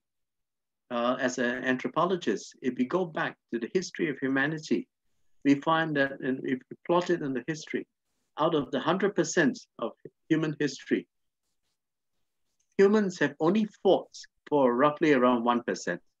So for 99% of human history, humans have lived in harmony with one another. So I think it is really important that we, we stress this fact. And when we are, you know, giving our talks, when we're working, let's focus on the fact that it is not, uh, it is, you know, we are not doing something unusual, untypical, or we are not doing something that does not really happen, but we're actually working on something that is the common denominator in all human society. And all we have to do is turn to our indigenous brothers and sisters, and then we should be able to get lessons from them in order to build peace. So, my friends, you know, I call you my friends. When I started this course, I only have a few friends here. So, Inas, as you know, is someone I've known for a number of years. Mas Idam and Mas Ari, yes, of course. Uh, I've known Nikita, I've known for a few years. So there are a number of you who are here who are friends, like Conchita earlier. But now I feel that I have a lot more friends. So I hope you would, you know, consider that kind of connections that we have made. And let's work together wherever we are. Um, any part of the world we are, any part of the stage of our lives we are located, and let's just focus on working together. So what do you get? What do you think? I, Anyone? I saw Roji raising her hand. Oh, Roji, please go ahead. And let's make this open. I just wanted to make the opening remarks, but I want you to add to it and enhance what we have just, you know. Roji, yes, you so go much, ahead. uh, thank you so much, Pak Alberto, uh, for the story you have shared and what's your life had been through. And it was, it's very amazing to hear such kind of stories. And I, I was curious to know that uh, uh, because we have been doing this course for like 14 days and I don't consider uh, my fellow mates and of course, uh, Pak Alberto as a stranger. So I feel like a family. Uh, so, uh, so I was asking to share to uh, may, may I know a picture, a family picture of. Um, can, we have a family picture of uh, you? And I mean, like we get we, we would like to see it. okay, I'll send you. I'll send you. Yeah, Uh, it's uh, curious will. for us to know that uh, Sure. Alberto has lived in India and has lived in Australia and Malaysia and then married Yeah. to a Malaysian lady. Um, it was very nice for us yeah, to Yeah, see the picture also. That's right. Because when I was growing up in Malaysia, uh, people will often say things like, "Oh, you're Indian," or and you know, people are Chinese. So I decided, let's create, you know, let let me work towards creating my own ethnic group or race. So my kids are Chindian, Chinese Indian. Indian. And I had to write, uh, uh, you know, some time ago. This is another story. Some time ago, when I was a professor at University of Helsinki, I had a Mexican team that come and visit the university. And when they saw my name, they came into my office and they said, you know, rattle off in Spanish. And that time, I my I had hardly any word in Spanish, so I just turned to them and say, "Me no comprendo español." which was I don't even get it. it was it was absolutely awful. But then uh, then the person said to me, "But you have got a, a Spanish name and you look Mexican. So what are you?" So I started to be playful and I said, "I'm a Manchi." And then she asked me, um, "So what is a Manchi?" And I created my own identity because I'm Malaysian born. That's the M. Australian, which is my nationality, my citizenship. G is for Goan, which is my ethnic group in India, and I is India. And then I said that my I'm married to a Malaysian Chinese, so my kids are magic. All we can say that we are from Africa. Yes, of course, I'm, Afro- I'm we all are from Africa. From Africa. Yes. That's right, and that's why you know Julius and Ade Adebola, they all are you know you are closer to to my ancestors as I am, but Yes. we are all brothers Yeah, after yeah. all. Very, very true. And yeah, I will I will remember to send. And uh, my three granddaughters were here. Uh, that's why I Oh. had to turn off my my sound quite a bit because they were coming in and out of the room. And my three granddaughters are even, my son is married to, uh, my son is married to an Australian of Scottish background. My daughter is married to an Australian of, of Italian background. So they are as it's like a whole world in a family. Multicultural, that's right. It's multicultural. Yes, and uh, yeah, so we and it's all kind of very mixed. So, so I think we had to embrace that, you know. So when I'm having Indian food, I use my fingers. When I'm having Chinese food, I use my chopsticks. When I'm having Western meal, I use my fork and knife. So utensils are there for you to use and uh, for any kind of food that you you know that you have. Okay. Less of my of my my personal life but i want to hear from you.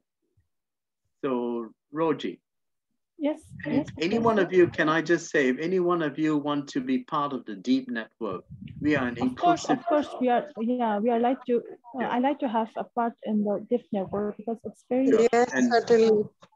You can contact me, and I'm, i think everybody wants it. Yes.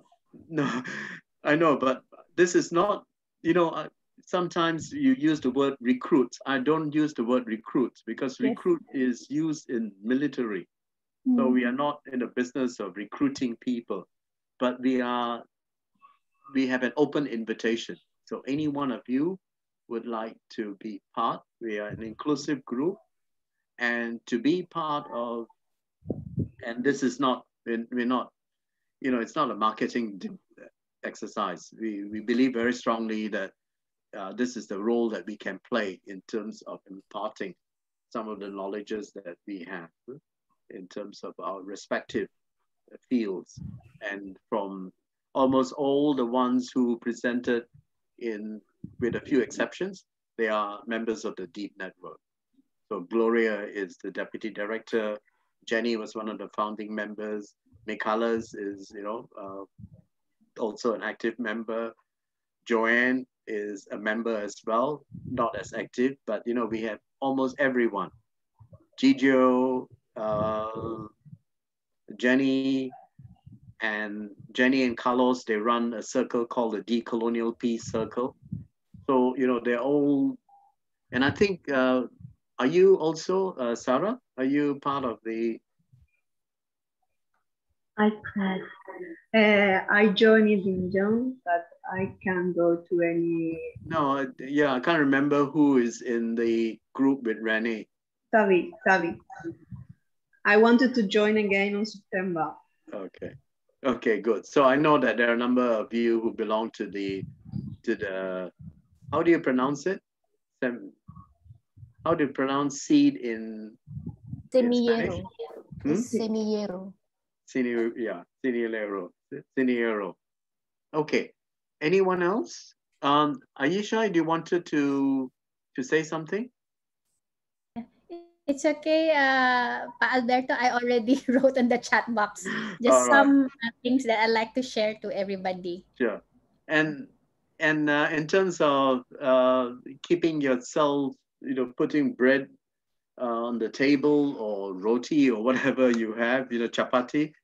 If you if you are concerned about that in terms of the financial aspects of it, uh, go and look for someone who is who has lots of money and just do not know what to do with the money. Yeah. yeah. Talk to Christina because Christina has knows how to make money. okay. Yeah, talk, talk to Christina has got lots of contacts with the corporate world. So, you know. I have tried very, very hard to get out of that world and I promised myself not to go back. But if I cannot stay in the field, I have to go back, and that actually will be my misery. So I hope you'll help me to get in the field and never to to go back. Uh, don't go back to the field, but just get those people who are in the field to come to us. Don't you worry, that's what I will do. Okay. Anyone else would like to say? Adebola and Irfan, raise. Okay, Adebola, please. Yeah, thank you, Prof. We continue to appreciate you. But I want to ask you one very simple question. Do you have plan to visit Africa? I have big plans. I because I must I must confess another thing. I've never been to Africa, and yes. what happened was uh, when I was in the university, I organized. Uh, uh, I can't remember the exact. I think it was Congo for Africa. Uh, no, Cong Conga for Africa. So what we did was, oh, no, sorry, it was Conga for Congo, because at that time there were problems in Congo, and what happened uh, in Australia, there is this very negative uh, image of Africans. So uh, I organized, I used to, I got a group of university students and we organized this project, which was called, you know, Conga for Congo. And then we held a Conga dance around the university just to, uh, you know, to kind of educate the, and, and to challenge the prevailing image that people had of Africans. But when I was a director of the Center for Dialogue, I organized a, a project that was called the African Dialogues. And the whole idea was to have invite uh, African communities within uh, Australia and to, to, you know, to organize sort of dialogues with governments in, and once again is to challenge the, the image that people have. And the images that, um, that people have of Africa, that it's a poor continent, and they show you know Africans, uh, especially like World Vision and all these organizations, they show starving African kids in order to you know in order to get money for their own projects, right? So what I wanted to do was to challenge those images, and I say that you know Africa is is not a country of poverty. In fact, in, uh, Africa is a very rich country that has been impo impoverished, and you know Walter Rodney's work. I always talk about this, how Europe under underdeveloped Africa. And so this is, you know, what we do is we try to challenge those kinds of images. But I was sitting, uh, you know, since I was the organizer, I was sitting next to several of the African uh, high commissioners and ambassadors when we organized this, and we invited um, the former Prime Minister of Australia, Kevin Rudd, to to launch the African dialogues. So Kevin Rudd comes, and then one week later, he becomes the prime minister again. So I was sitting with Kevin Rudd, and we were sitting with amb ambassadors, and then so the the Ghanaian ambassador asked me, "So uh, Professor Gomes, uh, you know, have you been to Ghana?" And then so I said, I just smiled at him and said, "Actually, I've never been to any country in Africa." So he turns to the uh, he turns to his uh, staff and he said, you have to do something to get this man to come to, to Ghana. But I've never had the opportunity. So I hope. But having said that, uh, Adebola, Bola, I don't have to go to Africa. Okay. Uh, because I don't have to go to Africa because I have people like you and Julius and in these courses. Thank you. And, and in this world of ours, you know, through at the moment online, um, there is, you know, no, there is not really necessary, but I, I would love to go just because uh, I feel that I'm very much in touch with Africa. Thank one of my cousins, one of my cousins is a novelist and he grew up in, in Kenya. Sorry, he grew up in Uganda and he has published a number of novels and one of it was to it was entitled "The General is Up," and he forecasted the rise of he forecasted the rise of Idi Amin before my cousin Peter Nazareth got kicked out of Uganda ended up in Britain, and then subsequently now it's in the US. So we we have that African connection. Thank you, Prof uh, notwithstanding, we hope to see you one of these uh, days. And uh, you'll be given chieftaincy title. It's an honor to be given chieftaincy title in Africa. many head of state would like to receive you, community leaders, and so on and so forth. We duly appreciate yeah. you. Please factor this into your plan. Yeah.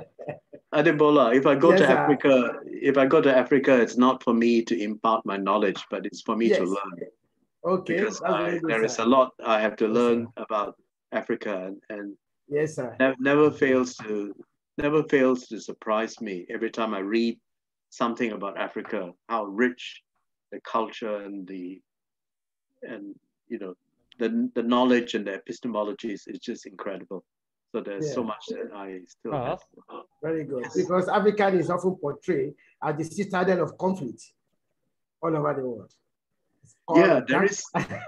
yeah, I know there is conflict, but however, we also have to stress the fact that uh, a lot of people in Africa live in peace with one another. You know, so let's yes, uh, let's not just gloss over the conflict and and be blinded to it, but um, we also have to focus on the the fact that there is, you know, this wonderful aspect of, of Africa. Okay. The song. Thank you, sir. Dance, okay. The song and Thank the you, dance Prof. is just incredible. Yeah. Thank you, Prof. Uh, I say Tarima Kasi Aya again. sama sama. And uh, yes, Mas Ari. Yeah, there are some uh, participants that would like to present, Prof.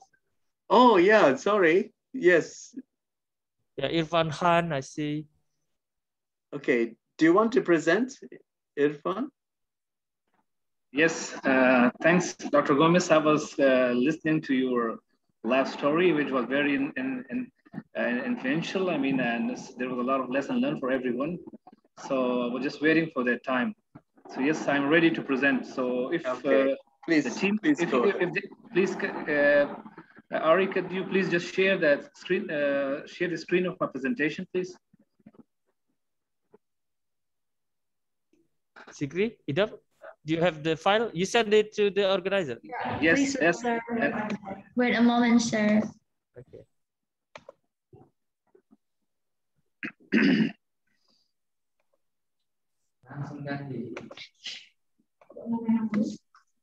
okay, uh, should I start right now?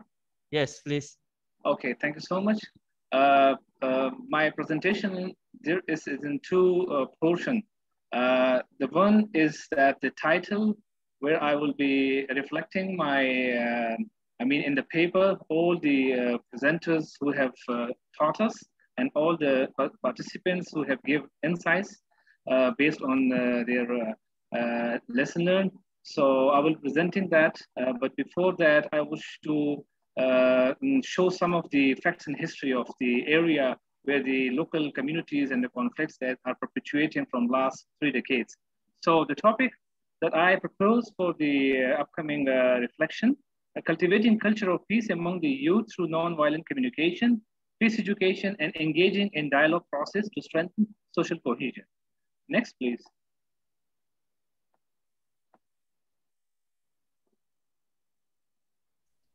Yes, so in terms of if I can define a peace, so peace cannot be maintained through force. It can only be established through mutual understanding, respect. A uh, few questions. Uh, it's uh, self-explanatory. How can we cultivate the seed of peace for our future generation? At grassroots level, how important are engagement of the various stakeholders living in conflicted communities? and what are the role that can religious leader, teacher, and community representative play in setting a benchmark to achieve this long-lasting objective? Next, please. Uh, so there are factors that perpetuating the local conflict, especially in our newly merged tribal districts, previously known as part of federally administered tribal areas. So the history is that, uh, that Pakistan basically being in a geographical location where the area has already already and in the past attracted by the major power to extend their sphere of influence, like Great Britain, USA, Russia, China, in relation to their national interest abroad. So uh, let me share a few of the uh, defects. Successive imperial powers have used their launching passport expeditions in the Afghan hinterland. USA so seed of using religion as a whole to, to the Russians, that was the case when uh, they, they were in the Cold War era, and uh, they were trying to, I mean, like uh, maintain and uh, dominate the region. Uh, and because of that, uh, Afghan Jihad war back in 1979, when Russian reformer USSR were disintegrated, this whole idea of indoctrination of the jihad that, that has a lot of uh, I mean, like results. The chicken that has flawed experiment has come to rules in the shape of religious extremism, which today face conflict in the tribal district of Pakistan and beyond. Conflict and religious extremism uh, in Pashtun society have global political roots that can be traced back to the colonial legacy. Next, please. A major factor that responsible that responsible for conflict perpetuation in this area. So I have split that in uh, two. A lead trigger that is the bad leaders, the state level. I mean that the state policy and doctrines, old system theory, human error and their decision, uh, like the like world system theory, we say that core and periphery, Washington dictate Islamabad to do more war on terror and different things in the past. They used to uh, utilize Pakistan as a transit state war against the uh, fight against the Russians through uh, Mujahideen. Uh, bad neighborhood that unfortunately these are the terms which I have taken from one of the book written by uh, Michael Edward Brown, uh, International Dimension of Internal Conflicts. So Iran, India, and Afghanistan, we have that neighborhood. the second thing is the mass trigger, the trust deficit with neighbors, migration influx, breakup of the positive negotiation channel uh, uh, whether it is Iran, Afghanistan, or India. And unfortunately, we do have that bad domestic problem in our country in, a, in our tribal district, like social inequality, injustice, disparity, lack of opportunities, and the most important is religious intolerance, which is one of the offshoots of the uh, Afghan Jihad war. Uh, next, please. My understanding from uh, this course, uh, I mean, like, which I will be applying all the, uh, the concept that I have uh, learned uh, to replicate in the reflective paper based on the same topic. So some of the things that I want to do uh, for this uh, communal level conflict, especially in the tribal belt where the Sunni Shia and the Christ, Sunni Shia, Sikh and Hindu, they are living side by side. So the first thing will be an institutional building that increase institutional capacity to supply conflict sensitive and peace education. That is very important to understand at institutional level. Then the second one is the individual capacity development, increase capacity of the children from a very, I mean, childhood, parents, teachers, community members through uh, peace psychology, peace psychological tools like inner inner peace, how we can engage people so that they can have uh, all those uh, um, uh, important things to know, uh, empathy, love, care, effective and positive use of media, which is a very important thing in our culture because it really transforms the minds. It creates images of people about, I mean, uh, any issue. So that is very important uh, for, for a reason to prevent, reduce, and cope with conflict and uh, promote peace. Um, it's yes. Uh, already five minutes. Can you make quick your presentation, please? Sorry. Can I, what? Yeah, it's already five minutes. Uh, okay. Can you quick make a quick your presentation? Okay, please. please. Uh, languages development at the role of religion leadership to promote the interfaith harmony. Next, please, the last slide. The last slide. It's delay on the internet. okay. Peace can only last when human rights are respected, where people are fit and where individuals are, nations are free. It is one of the Dalai Lama Tibetan spiritual leaders quote. So uh, let's talk peace, listen to peace, and discuss peace. I extend my gratitude to the ICCTP team, as Alberto Gomes, professor, and all the invited presenter and the participant that has enriched uh, our understanding and their through their valuable uh, comments. Thank you so much. Thanks. Thank you so much, uh, Irfan, for the presentation, Pak Irfan. Okay. Uh, shall we go to the next presenter, Prof?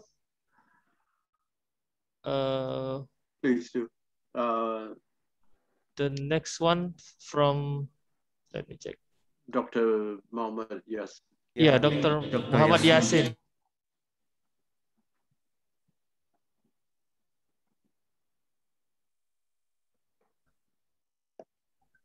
Hello?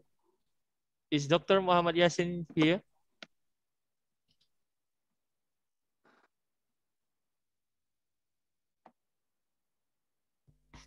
He must be praying. He's not in right now. Okay.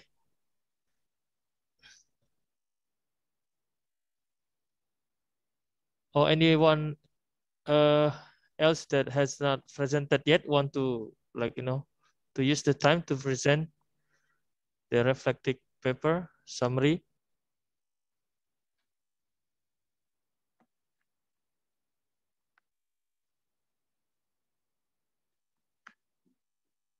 Maybe we can open open up for yeah while while any waiting more, yeah, any, any more comments from anyone.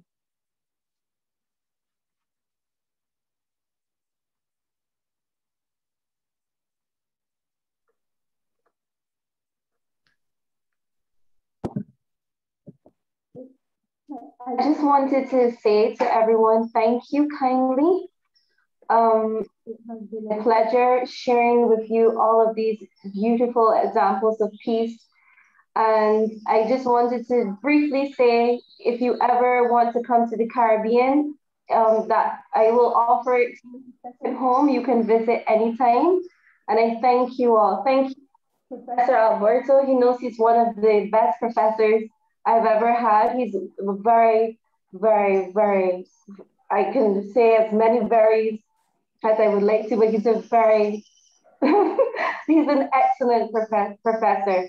And his deconstructive analysis and the way how he engages with topics and constructs, it is to be commendable. And I do thank you all. Thank you very much. Thank you, uh, Nikita. Thank you so much for that.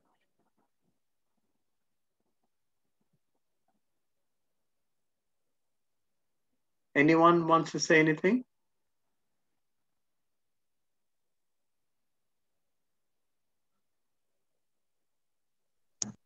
Uh, yes, sir. Go on, go on. Someone is here. Yes, Christina, yes. I think someone is back. I just wanted to say, when are we going to meet again? When these uh, ICCT, the August 2021, going to meet up again? Um, any anyone? We we hope that uh, well the, the plan is to to hold ICCTP again uh, next year. So we we are just that's that's the plan. Um, and after this year, uh, with the wonderful participants that we have had in this course, um, I think it has inspired us to to look at uh, running ICCTP again next year. But we hope that uh, we really hope you know that the this crazy perilous you know perilous times of the COVID pandemic ends soon. Uh, not just for us, but I'm talking more of the sadly the people who have suffered you know the consequences of the pandemic. So uh, if that happens next next year, uh, we probably look into organizing ICCTP in Indonesia. So that's that's our our plan. Uh, but you know we cannot these days plan in advance. Um, now the other thing is that um, we, I think uh, Mas Ari is probably gone to pray as well, but when he comes back. But there are a few things, um, administration that we need to sort out. So next week, as we talked about, you'll receive uh, a Google form for the various things that we talked about, you know, if you re recall. Uh, and we also would, uh, we are also in the process of we, we felt that we should also evaluate this course so that uh, to give you the opportunity to to provide you know feedback to us. Uh, if we're going to offer this course next year, um, we we have to look into the mistakes that we have made and the errors and how we can improve from on them and how we can, you know, offer a better course next year. So that's one. Uh, so the evaluation be sent out. Uh, but not just the negative aspects of the course. So if you've got anything positive to say, please do so, because we want to use the the positive remarks, the feedback from all of you uh, to persuade the the people with, with money to support uh, uh, to support this this course next year. Not not for us, but the money is so that we can provide like scholarships and airfares and you know things accommodation like that for the participants. Yes, Inas. Albert, would you consider of um, having a course for youth? Yes. Yeah. You know, like Izzy's age, you know, the high schools, yeah. you know, the teenagers. Certainly. You know, you should focus on the, the teens group, you know. Mm. Know, to create more so that we have more bigger peace tribe, you know. You know, because we are oh. this era and they are the new era. So this could be your project Inas and uh, you can you can, uh, you can start a kind of a project for the youth, and um, we will all help out in any way we can in terms of supporting. It's so where's my tribes? it's just the yeah the, the the issue that we have is because there's so much time in the in the day for us to be you know and there are so many things that I wish I can organize, but unfortunately, uh, I have to be realistic as well. Uh, and because I want them to be more proactive, you know, towards the real thing. Sure. I think the yeah, I think the youth they like the camp that we organized, um, the Indonesian youth camp. It was just amazing. All these young uh, school kids. We brought them together in a camp and we we actually went through, we taught them various things like the importance of dialogue and, and non non-violent communication. So we provided all these kinds of of training sort of courses. So yes, of course it is. Uh, you know, any one of you can can organize it, and if you need assistance with the resources or pointing you to direct to the direction of what might be some of the.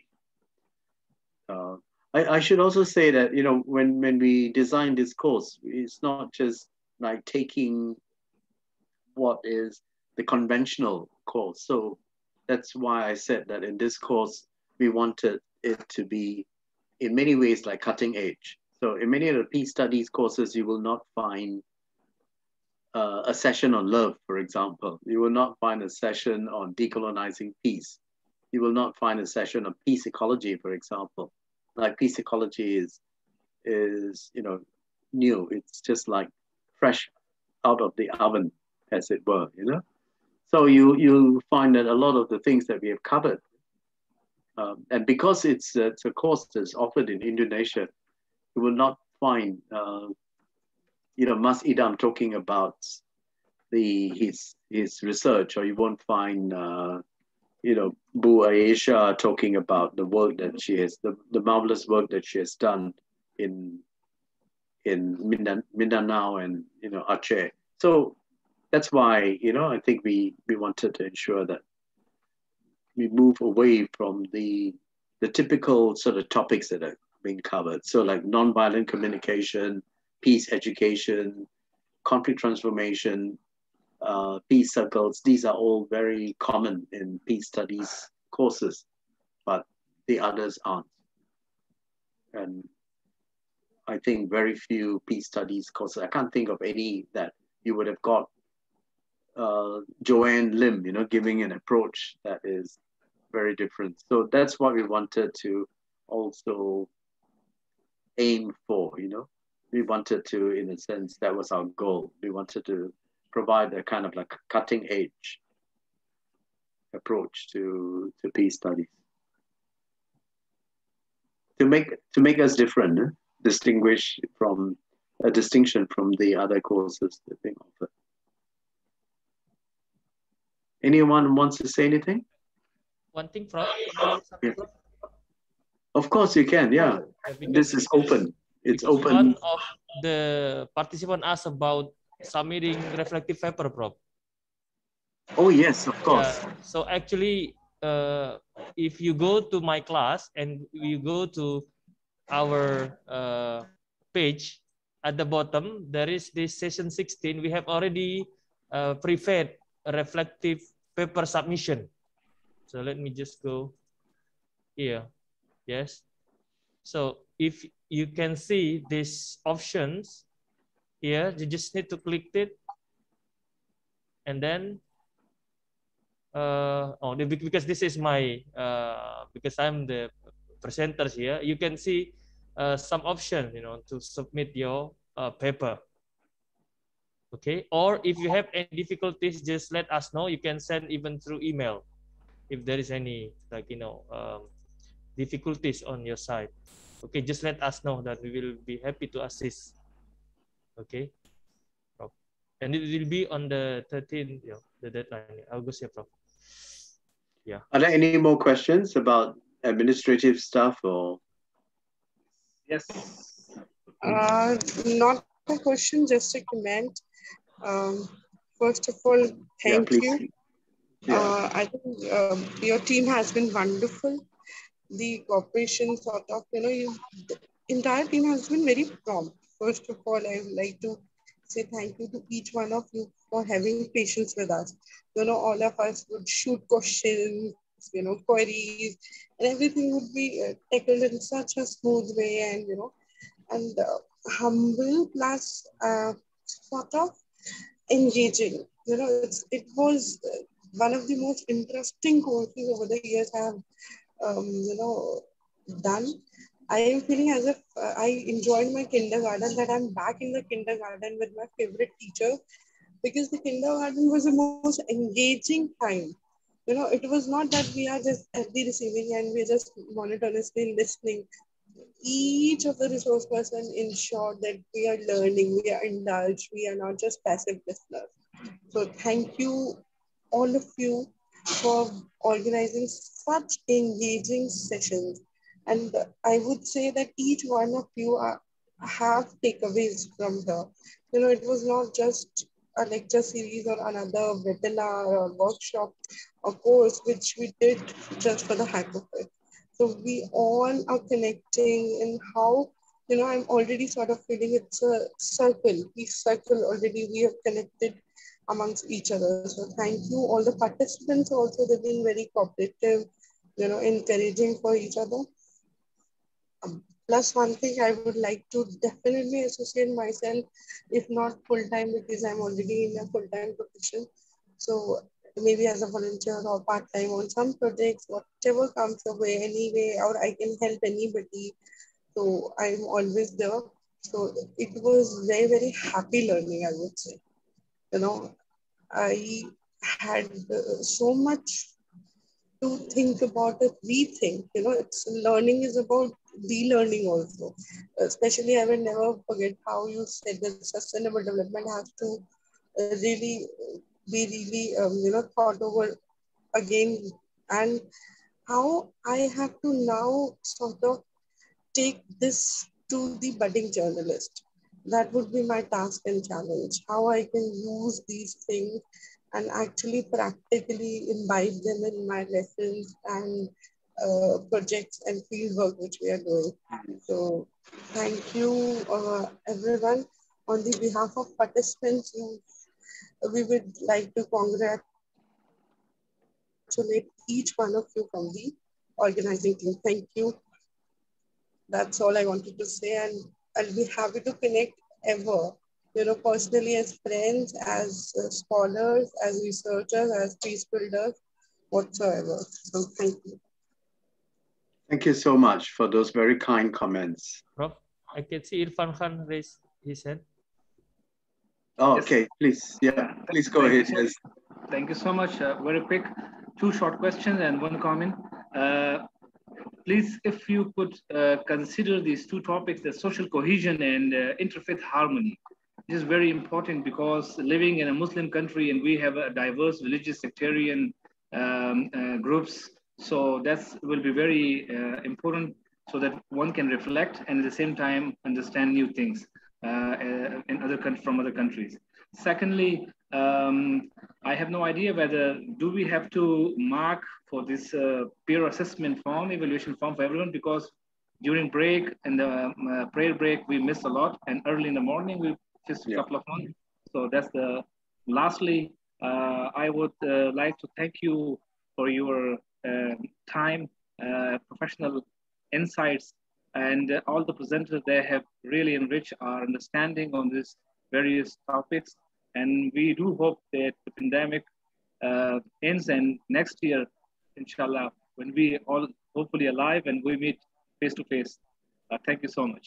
Thank you so much, uh, Irfan. Is anyone else here? And, and thank you for your, your suggestion is on uh, cohesion and harmony, inter, especially interreligious uh, harmony. I think it's important to keep in uh, mind. Prof, I just want to hear the voices from Belakang Tabi. The voices from where, sorry? Belakang Tabi. Tabi, the organizing. Oh, sorry. Okay. I, I yeah, Tabi, which is uh, you should explain what it means. Organizing committee. Is this?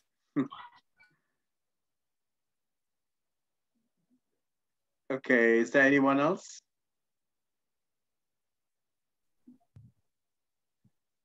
Um, the, the word I? is Hello? the word is salute. May uh, I, Doctor? Afifa wants to salute. Yes, please go ahead, Tuba. Uh, uh, I'm feeling very sorry about myself because last one hour my light went off and you're all talking and your all speeches. I'm not there to listen to it because of electricity issue. I will listen to it recording. But uh, Mr. Irfan Khan was saying that interfaith harmony. So in Pakistan, me, under the organization of Awam in Faisalabad and under the organization of Peace and Education Foundation, PEC, we are doing uh, interfaith, interfaith harmony. It is uh, like uh, between uh, making bridge between madrasa students and university students. We create a space for their dialogues about democracy, about peace, about Islamic way of government and Western way of government. We did so many projects like this. So I want to share this. If anyone want to contribute from Pakistan on these type of bridges between university students and madrasa students to de-radicalize both sides because university students are also radicalized about the madrasa student and madrasa students are also about uh, radicalized about the way of thinking of university students. So we are making bridges and we are trying to making bridges between two different school of thoughts in Pakistan. So I'm there for any assistance if you need and anyone needs. And I'm really happy to help you. Thank you. Okay. Anyone else? I have raised my hand, so I was please, trying uh, to. Dilam, please, Dilawar, yeah, go ahead. Uh, I'm, I'm thinking what to say. Uh, I guess uh, most of the participants have already uh, say thank you to the ICCTP, but I would say we are welcome to ICCTP again and again instead of thank you. And I hope ICCTP and the all organizer committee will be looking to towards every participant in the similar way. So I I I uh, I, I have been thinking uh, being a part of the development sector, which is uh, which is of course uh, is uh, despite of the fact that it is a kind of distraction in one mean, uh, we have to deconstruct. But as per my understanding, that what has been pinching me from last few years uh, that that was that uh, I have been working in development sector almost for 14 years right now. But from uh, uh, when I completed my nine to 10 years in development sector, then I, I tried to uh, questioning myself, uh, despite of having any academic background, uh, a good academic background on the critical perspective. Because unfortunately, we, we I, I guess uh, the friends in South Asia will agree with me, we do not have a, a rich content in our education system, which made us critical towards things that is around us. Even the actions that we do in our daily life. We we live in the society where in the capital you might any one of you might have heard and uh, during the Eid days the one of the lady uh, was beheaded just because she regretted uh, to get married with the, the boy. So we we live in a, a, such a maybe I, I might I might be some people might feel it bad, but a brutal uh, and inhumane society. So these, these are not, uh, for me, it was not just a course to listen few people and to take one, two, three tools and then apply it in my professional life. And that is more than enough. And then I should say thank you. And I, I also expect someone to thank me because I have applied. But it is beyond it. I, I, don't uh, I don't know for how long I will be living but these these uh, these are something like that refresh my memory that I have to be human being. I have to be not to be violent. I have to respect women. I have to to to communicate uh, with decency with people, because we uh, we it is not just a Pakistani society, but it might be the entire world where the capitalism and imperialism has it uh, grounded their roots and they have made everything, uh, uh, they have consciously made conflicts around the communities that they can, based on those, those conflicts which exist in the society, that the capitalism can grow up more and more and more.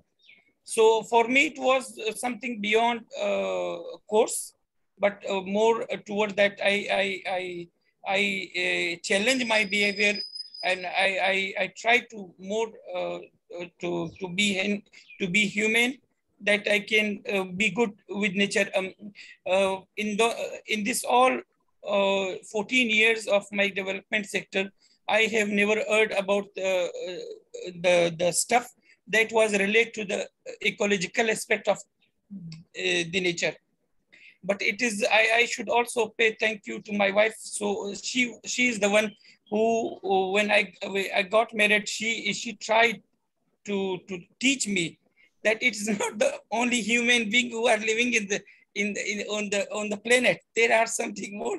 I should reflect on that as well. So then we started planting trees, and we we we uh, in every aspect of our own uh, uh, circle of influence.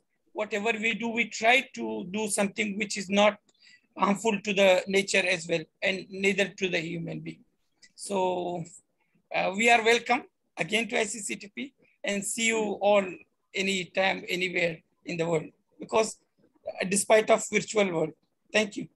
Thank you so much, uh, Dilawar. And I, I keep repeating myself, but Dilawar is one of the deep members and he and, and Najiba, they, they run the empathy uh, circle.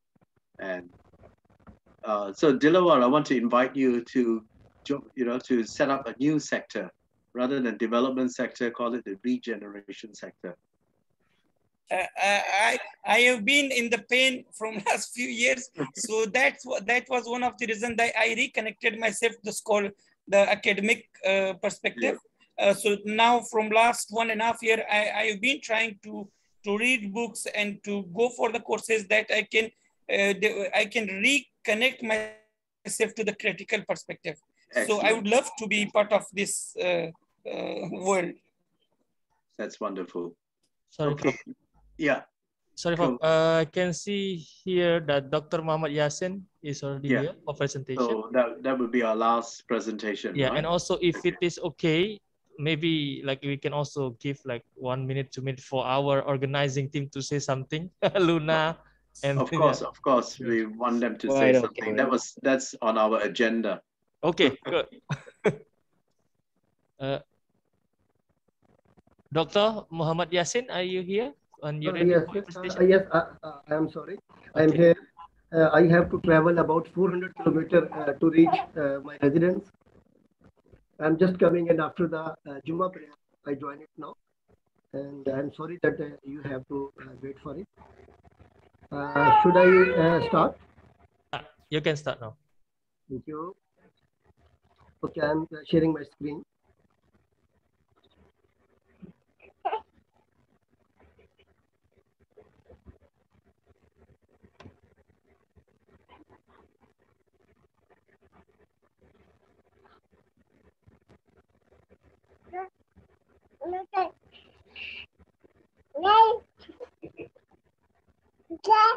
Uh, just a minute, sir. I'm going to uh, share the screen.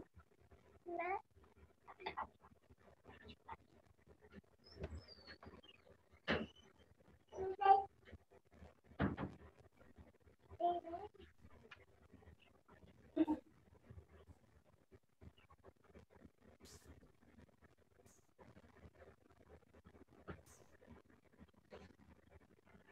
they just uh, reached after offering the prayer.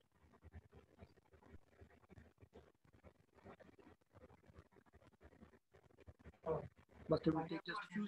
It will take just few seconds for sharing the screen.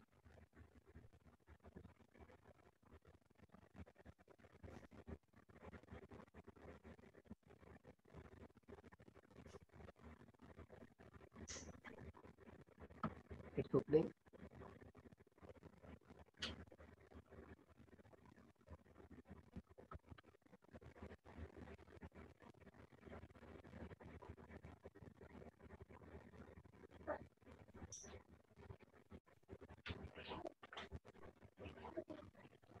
Okay.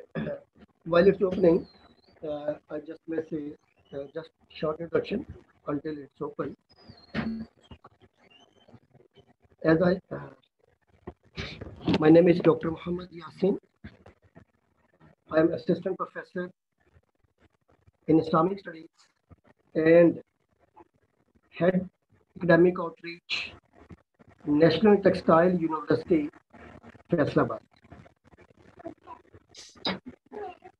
And I'm going to present, my topic is the role of media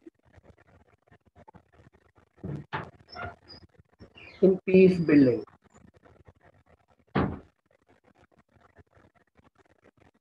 As we know, as we know, that media play a very important role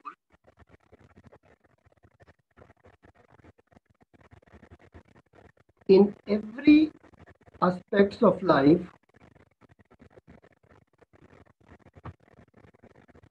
especially in peace building. At first stage we can say that media is basically a hidden power behind any issue. It can play a positive role and also a negative role in peace building or destroying any nation. The present day is known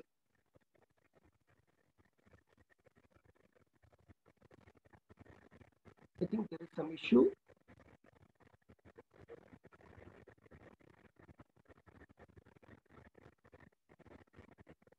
Yes, and uh, screen sharing is not, I'm trying.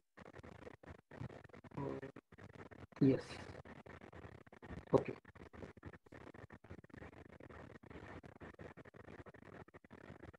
At first step, then we can say that media can play a very positive or negative role in building peace or destroying it.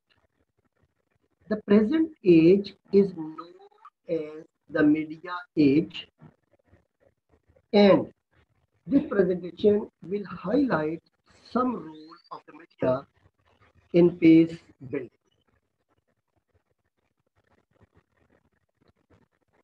First of all, I will clear that what is media. Several mediums or channels used in an organized fashion to communicate information to groups of people as a service to the public, it is said by Howard. And what is peace building? Peace building attempt to encourage development of structural condition, attitude, band modes of political behavior that may permit peaceful, stable, and ultimately prosperous social nation. And there are some aspects which are used especially by media for peace building. The first one is that it analyzes the conflict which is present in any country or in any area. Then the face saving and consent building is created among the people. And then counteracting misperception if there is found in anywhere it is removed. And then the confidence is built among the nation and then a channel is communicate between different parties if they are creating some hurdles or some problems at any place. And then the issues identifying and try to find out its solution. And after that, the media encourage the balance and the power and then frame and define the conflict and ultimately they find out a solution for it.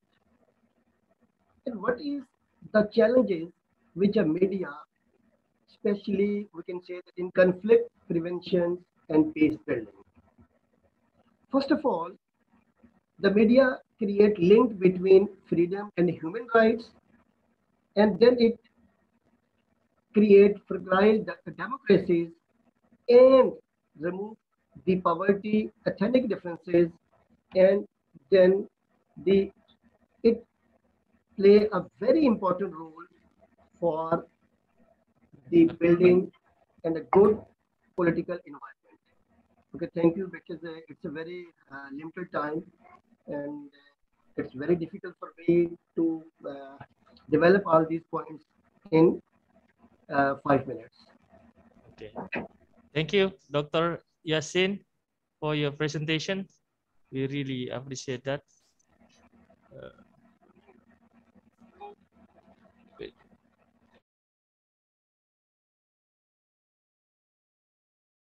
Prof. Gomes, shall we hear like, you know, one, two, Sure. Okay. From the secretariat, yeah. no? Yeah.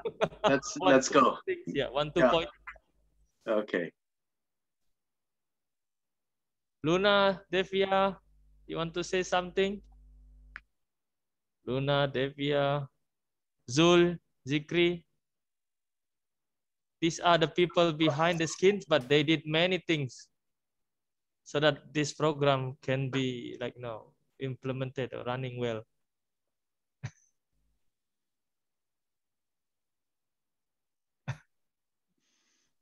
Okay, let me, so let me introduce each one of them. And I, before I do that, I want to say that this is perhaps the best team that I've ever worked with. They are absolutely incredible. So it's been a pleasure, such a pleasure working with every one of them. So let me start with uh, Luna. You want to say something, Luna? Uh, Unmute. Hello, everyone. My name is Luna. Uh, I just want to tell you guys that I hope you, everyone here, enjoy these sessions, all of the sessions until today. And I do really hope that we can meet someday offlinely, like directly, and things should get better next time. I think that's all. So good luck, everyone. Terima kasih, Luna. Now, Zikri, okay, who is next? Um, Zikri? Zikri is next to Luna. Yeah. Okay, sir. Um, actually, not much, uh, but um, we would like to uh, clarify and say that uh, as a organi uh, as a committee and organizer, we do listen to you guys and we do listen to the speakers too because yeah. uh, we need to um, be ready and prepare in case Doc, uh, Prof Gomes or Pak Ari or Mas Idam need to make a breakout rooms or prepare a break uh, break session. And in order to do that we need to listen every single of the speakers what say and we do learn something too actually in the in these courses. Every every every every course we listen to and um, actually the interesting part is uh, uh, besides of the um, um, on uh, pandemics issues well in this zoom meeting we do feel like uh, closer than uh, it used to be uh, uh, i think that's all am i too much talking. uh, and thank you for you guys. I think Zikri is the IT man, bro. IT man. Yeah, yeah. Zikri is the one that takes care of all the technical aspects. The time differences.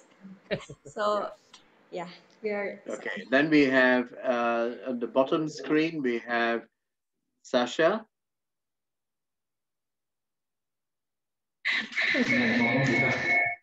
Sasha, silakan.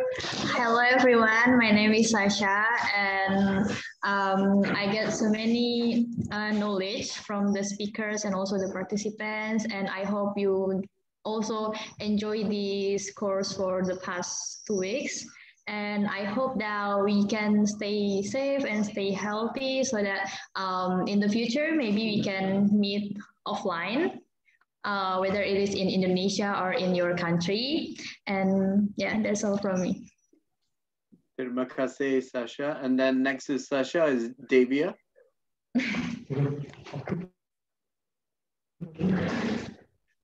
Yeah, hello everyone. My name is Devia, and I'm the person behind of the WhatsApp group and also the email as usual. And um, I just really like your enthusiasm in this course because like everyone can join the Zoom even if you are in different time zone. But uh, yeah, I like your effort. Thank you.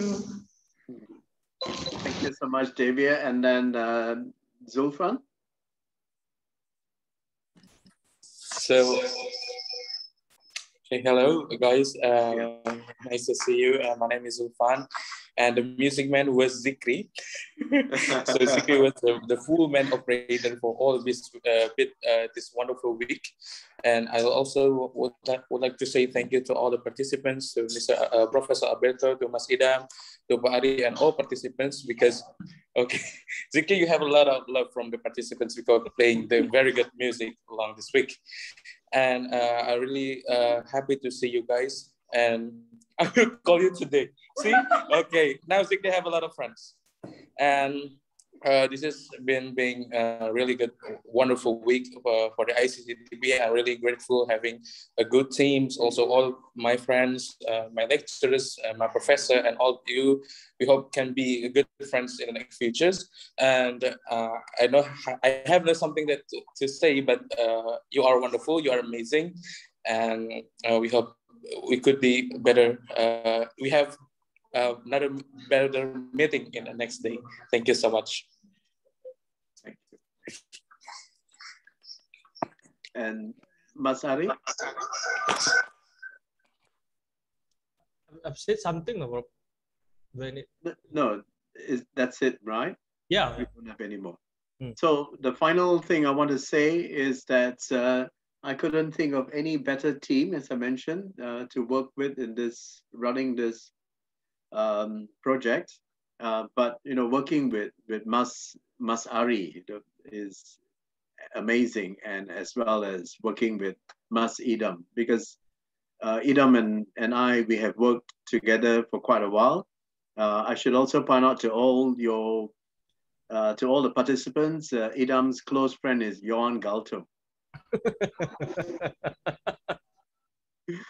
so when Galtung was in in Indonesia, uh, I was there as well because I I knew Galtung from previously, and and uh, yeah, so it was. We won't say anything more, but it was good fun uh, with you know Idam and and and Galtung and I on our trip to the museum.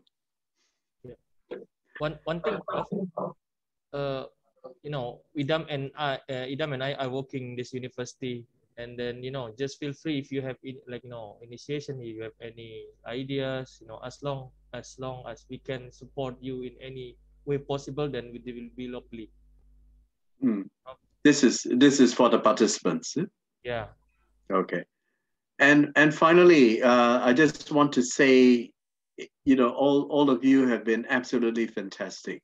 Yeah. Uh, and you you have made this whole course what it is, and you know it has been such a joy and a privilege and a pleasure to be uh, for the last two weeks to be. It's gone quickly, uh, but it was, um, you know, it was something for us to treasure. So thank you so much for being amazing, fantastic uh, participants. So on that note, uh, for lifting sorry. up our energy levels every time. Sorry? I'm saying thanks to you for lifting up our energy levels every time. You yeah. didn't let the, you know, you didn't let the aura go down. Thank you so much for that. No, you're most, yeah, most welcome. So on that note, uh, we won't say goodbye. We will just say see you later wherever we are, but please do keep in touch. You have my email address. You also have my WhatsApp and just let's, you know, keep in touch. And I wish you all the very best. Take care, be safe, especially at these times of our lives. And, um, and till we meet again. Can we play this song, please? Before we go, can we play